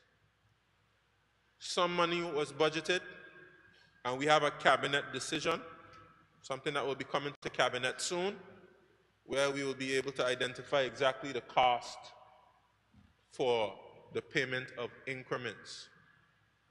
But you have a lot, lots of persons who are agitated, who are anxious about increments. And I have already announced that increments will be paid for our hard working public servants. And this administration previously has paid, I believe, two sets of increments. Um, so I don't want anybody to get the impression that this administration has not been paying increments in very difficult circumstances, going through a pandemic, when obviously revenues were down because tourism was shut down. Okay? We have still committed ourselves to the payment of increments. Uh, you know, I, I, think we need uh, information sharing in the society, which is supposed to help inform people about what's taking place. Not just what's salacious and what causes the most um, talk and the most gossip. We have to help persons understand what is taking place in our society, and we have to seek information from the right sources. Madam Speaker. So I'll say it one more time, just in case somebody didn't hear it. I have already announced the payment of increments for our hardworking public servants. I have instructed the financial secretary to find money. Money has been budgeted. If additional money needs to be budgeted, we will get it. Uh, cabinet will be considering a paper uh, where we will be able to make a decision on the payment of, of the increments in terms of exactly how it will be done. And we'll report uh, further to the people of the Virgin Islands. Uh, Madam Speaker, on the matter of the Anegada Airport uh, being international, receiving international visitors, Madam Speaker, I've been reliably informed by the Deputy Premier Minister of Communications and Works, who has been in touch with the Airports Authority, and the Airport Authority has been in communication with the Immigration Department that there's a matter that will soon be resolved that will allow for Anegada to receive international visitors through the airport. So I want to show my honorable colleague in the 9th District that that's something that we are working on and will soon be resolved because we understand the importance of all our sister islands and the fact that the sister islands, even more so than Tortola, rely heavily on tourism. And while, just as I said, Madam Speaker, uh, some persons like to paint a picture as though we don't care about those persons in the sister islands. And I've, I've watched this government work over going on four years now. And, and we care for the people in the sister islands. And we recognize that in the sister islands, you not, don't get the type of service you deserve. And we are working hard to be able to solve those challenges. And certainly I'm grateful that we have a representative. Uh, we have representative for the ninth and the second and at-large representatives who constantly remind us about the needs of the sister islands. And um, we won't take our eye off the ball. We'll keep um, focusing on the needs of sister islands and how we improve them. And same way that I described. We take a problem and we, we, we solve them. We solve them, we keep knocking them down one at a time. Madam Speaker, I'm going to say a little bit about the visit of Overseas Territory Minister Lord Goldsmith. Madam Speaker, I see um, the media has communicated that the visit of Lord Goldsmith is shrouded in secrecy. uh, very dramatic, uh, Madam Speaker. I, I told the Virgin Islands community weeks ago that Lord Goldsmith would be visiting the Virgin Islands. Certainly, it is far from a secret. I made it clear that I was in discussions with Lord Goldsmith in London, and we would continue our discussions when Lord Goldsmith came to the Virgin Islands. So none of that is a secret. Madam Speaker, the, the itinerary of the Minister of the Overseas Territories is handled by the Governor's office. So certainly I'm not sure why I'm being blamed for um, the, govern the um, sharing of information about Lord Goldsmith's itinerary. But be that as it may, Madam Speaker, I'm happy to report that myself, members of the cabinet, and also members of the House of Assembly were able to meet Lord Goldsmith. I had a meeting with him yesterday morning, uh, followed by a meeting with the cabinet and Lord Goldsmith. Lord Goldsmith was also able to have a meeting with the leader of the opposition, and he had a we had a reception later in the evening where persons were able to interact with the minister, and of course, the minister addressed persons at the reception. And just to say, of course, we discussed matters of mutual interest.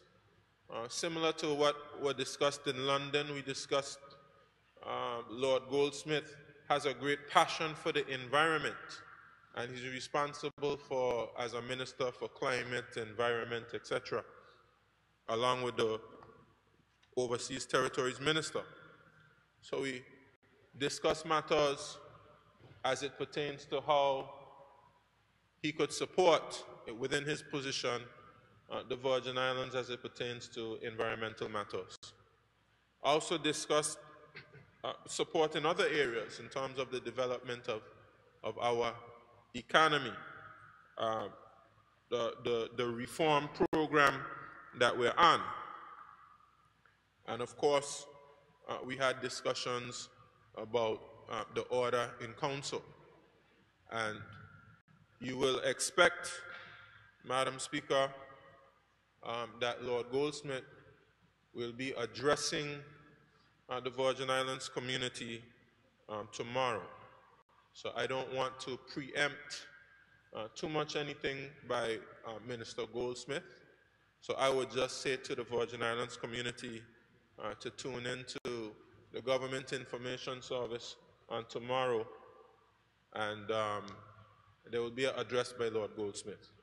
And nothing for anybody to be concerned about or worried about because our interaction was very positive. And I think we are further cementing, uh, Madam Speaker, uh, the very positive engagement that we've had with the United Kingdom as we push for the best interests of the people of the Virgin Islands, including our democracy, maintaining our democracy here in the Virgin Islands. And I'm sure, of course, when persons um, listen to the address by Lord Goldsmith, persons will have more to say um, and more to discuss about it because, of course, it's a very topical matter, our relationship with the United Kingdom government. But no one should be confused about the interest that I represent and that this administration represents. It's the best interest of the people of the Virgin Islands. And we have to, have to, we have to continue the conversation about our relationship with the United Kingdom. But what is clear is that we have to strengthen our institutions and give people the confidence that they need that we have the checks and balances within our society so that we can aspire to greater self governance and self determination. Uh, that is the goal that we should all be striving for to have a, a, a, a greater measure of um, self governance and autonomy as other people in the world have. That is what we should aspire to. Uh, and what goes hand to hand in that is the progressive development of our institutions and the strengthening of, uh, of the elements of a model democracy like transparency, accountability, adherence to the rule of law, uh, delivering uh, for the people in such a way where they get value for their money, e- delivering uh, effective uh, public services for the people, giving them opportunities through education, uh, economic opportunities, through the development of the economy, uh, uh, taking care of our environment, all of the things enshrined in this sustainable development plan. You know, this, this is what our aspiration is. And we want the United Kingdom to assist us in whatever way possible as we walk that road. And we want assistance from other development partners, whether it's the OECS, whether it's CARICOM, whether our friends in the United Nations, whether it's um, you know Africa, um, any any of our friends from around the world, Latin America, etc. That is our aspiration. Madam Speaker, there's a lot more to say. Um, we have a very uh, short session as we approach the dissolution of the House. Uh, so, so, Madam Speaker, we'll try to be as efficient as possible. Um, and we'll be soon coming back to this House um, to debate um, the Police Act. Uh, and we want to encourage persons, Madam Speaker, to read the Police Act. This Police Act was introduced in the last session. It may have been introduced in the session before, I'm not sure.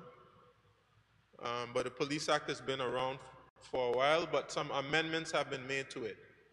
So we have brought it here as a new bill. And we want persons to read it backwards and front. And certainly, of course, we'll make available uh, email for persons to send their comments um, on the Police Act. And you'll still have opportunities through, um, I would say, um, the Premier's office. Of course, uh, security is a subject that falls under the governor, and I bring legislation to the House of Assembly on the governor's behalf. So I would be happy to receive any comments at the Premier's office on the Police Act. Uh, we'll also provide an email address. We'll have make sure it's loaded up on the government information services website uh, so that persons can can provide that feedback. But please, please, please read that Police Act. Let's send it around on WhatsApp. Let's get it into all the groups. Let's not give anybody an excuse to say that they have not seen it. As I said before, it has been introduced before, so it's not new. Wide ranging public consultation was done on the Police Act. I myself went around with the police officers and we had meetings on every single island and in, in various communities. And we had good feedback and good discussion on the Police Act. And I'm asking everyone to be able to read it. Uh, some changes have been made based on the consultation and based on further stakeholder consultation. And we want everyone to have the opportunity to read and see this act uh, so that when we come and do our second reading, which we intend to do on next week, uh, we can do so uh, with persons having had the benefit of reading it. So, Madam Speaker, um, as always, I thank you, uh, the clerk, the deputy clerk, and, and the House of Assembly staff um, for all you do to facilitate these meetings and certainly um, we look forward to coming back to this honorable, honorable house um, so that we can uh, continue to do the work of the people. Uh, Madam Speaker, um, again, I want to let the people of the Virgin Islands know that we love them, we care for them, and we're working hard for them. And um, I, I look forward to continuing working hard for them. Thank you, Madam Speaker. Thank you, Premier. I call upon the clerk. Item number 10, adjournment. Thank you. I call upon the Premier.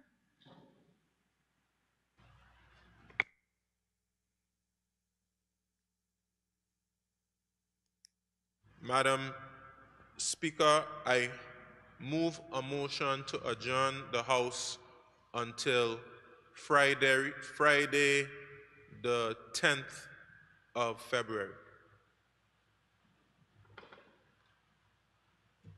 at 1 p.m. No, no, no, at 10 a.m. Madam Speaker, I move a motion to adjourn the House to Friday, the 10th of February at 10 a.m. Thank you, Madam Speaker. Second motion. Honorable members, honorable members, a motion has been moved and seconded for this House to be adjourned to Friday, 10 February 2023 at 10 a.m. Those in favor? Those against? The ayes have it. The motion is passed. This House is adjourned to Friday, 10 February 2023 at 10 a.m.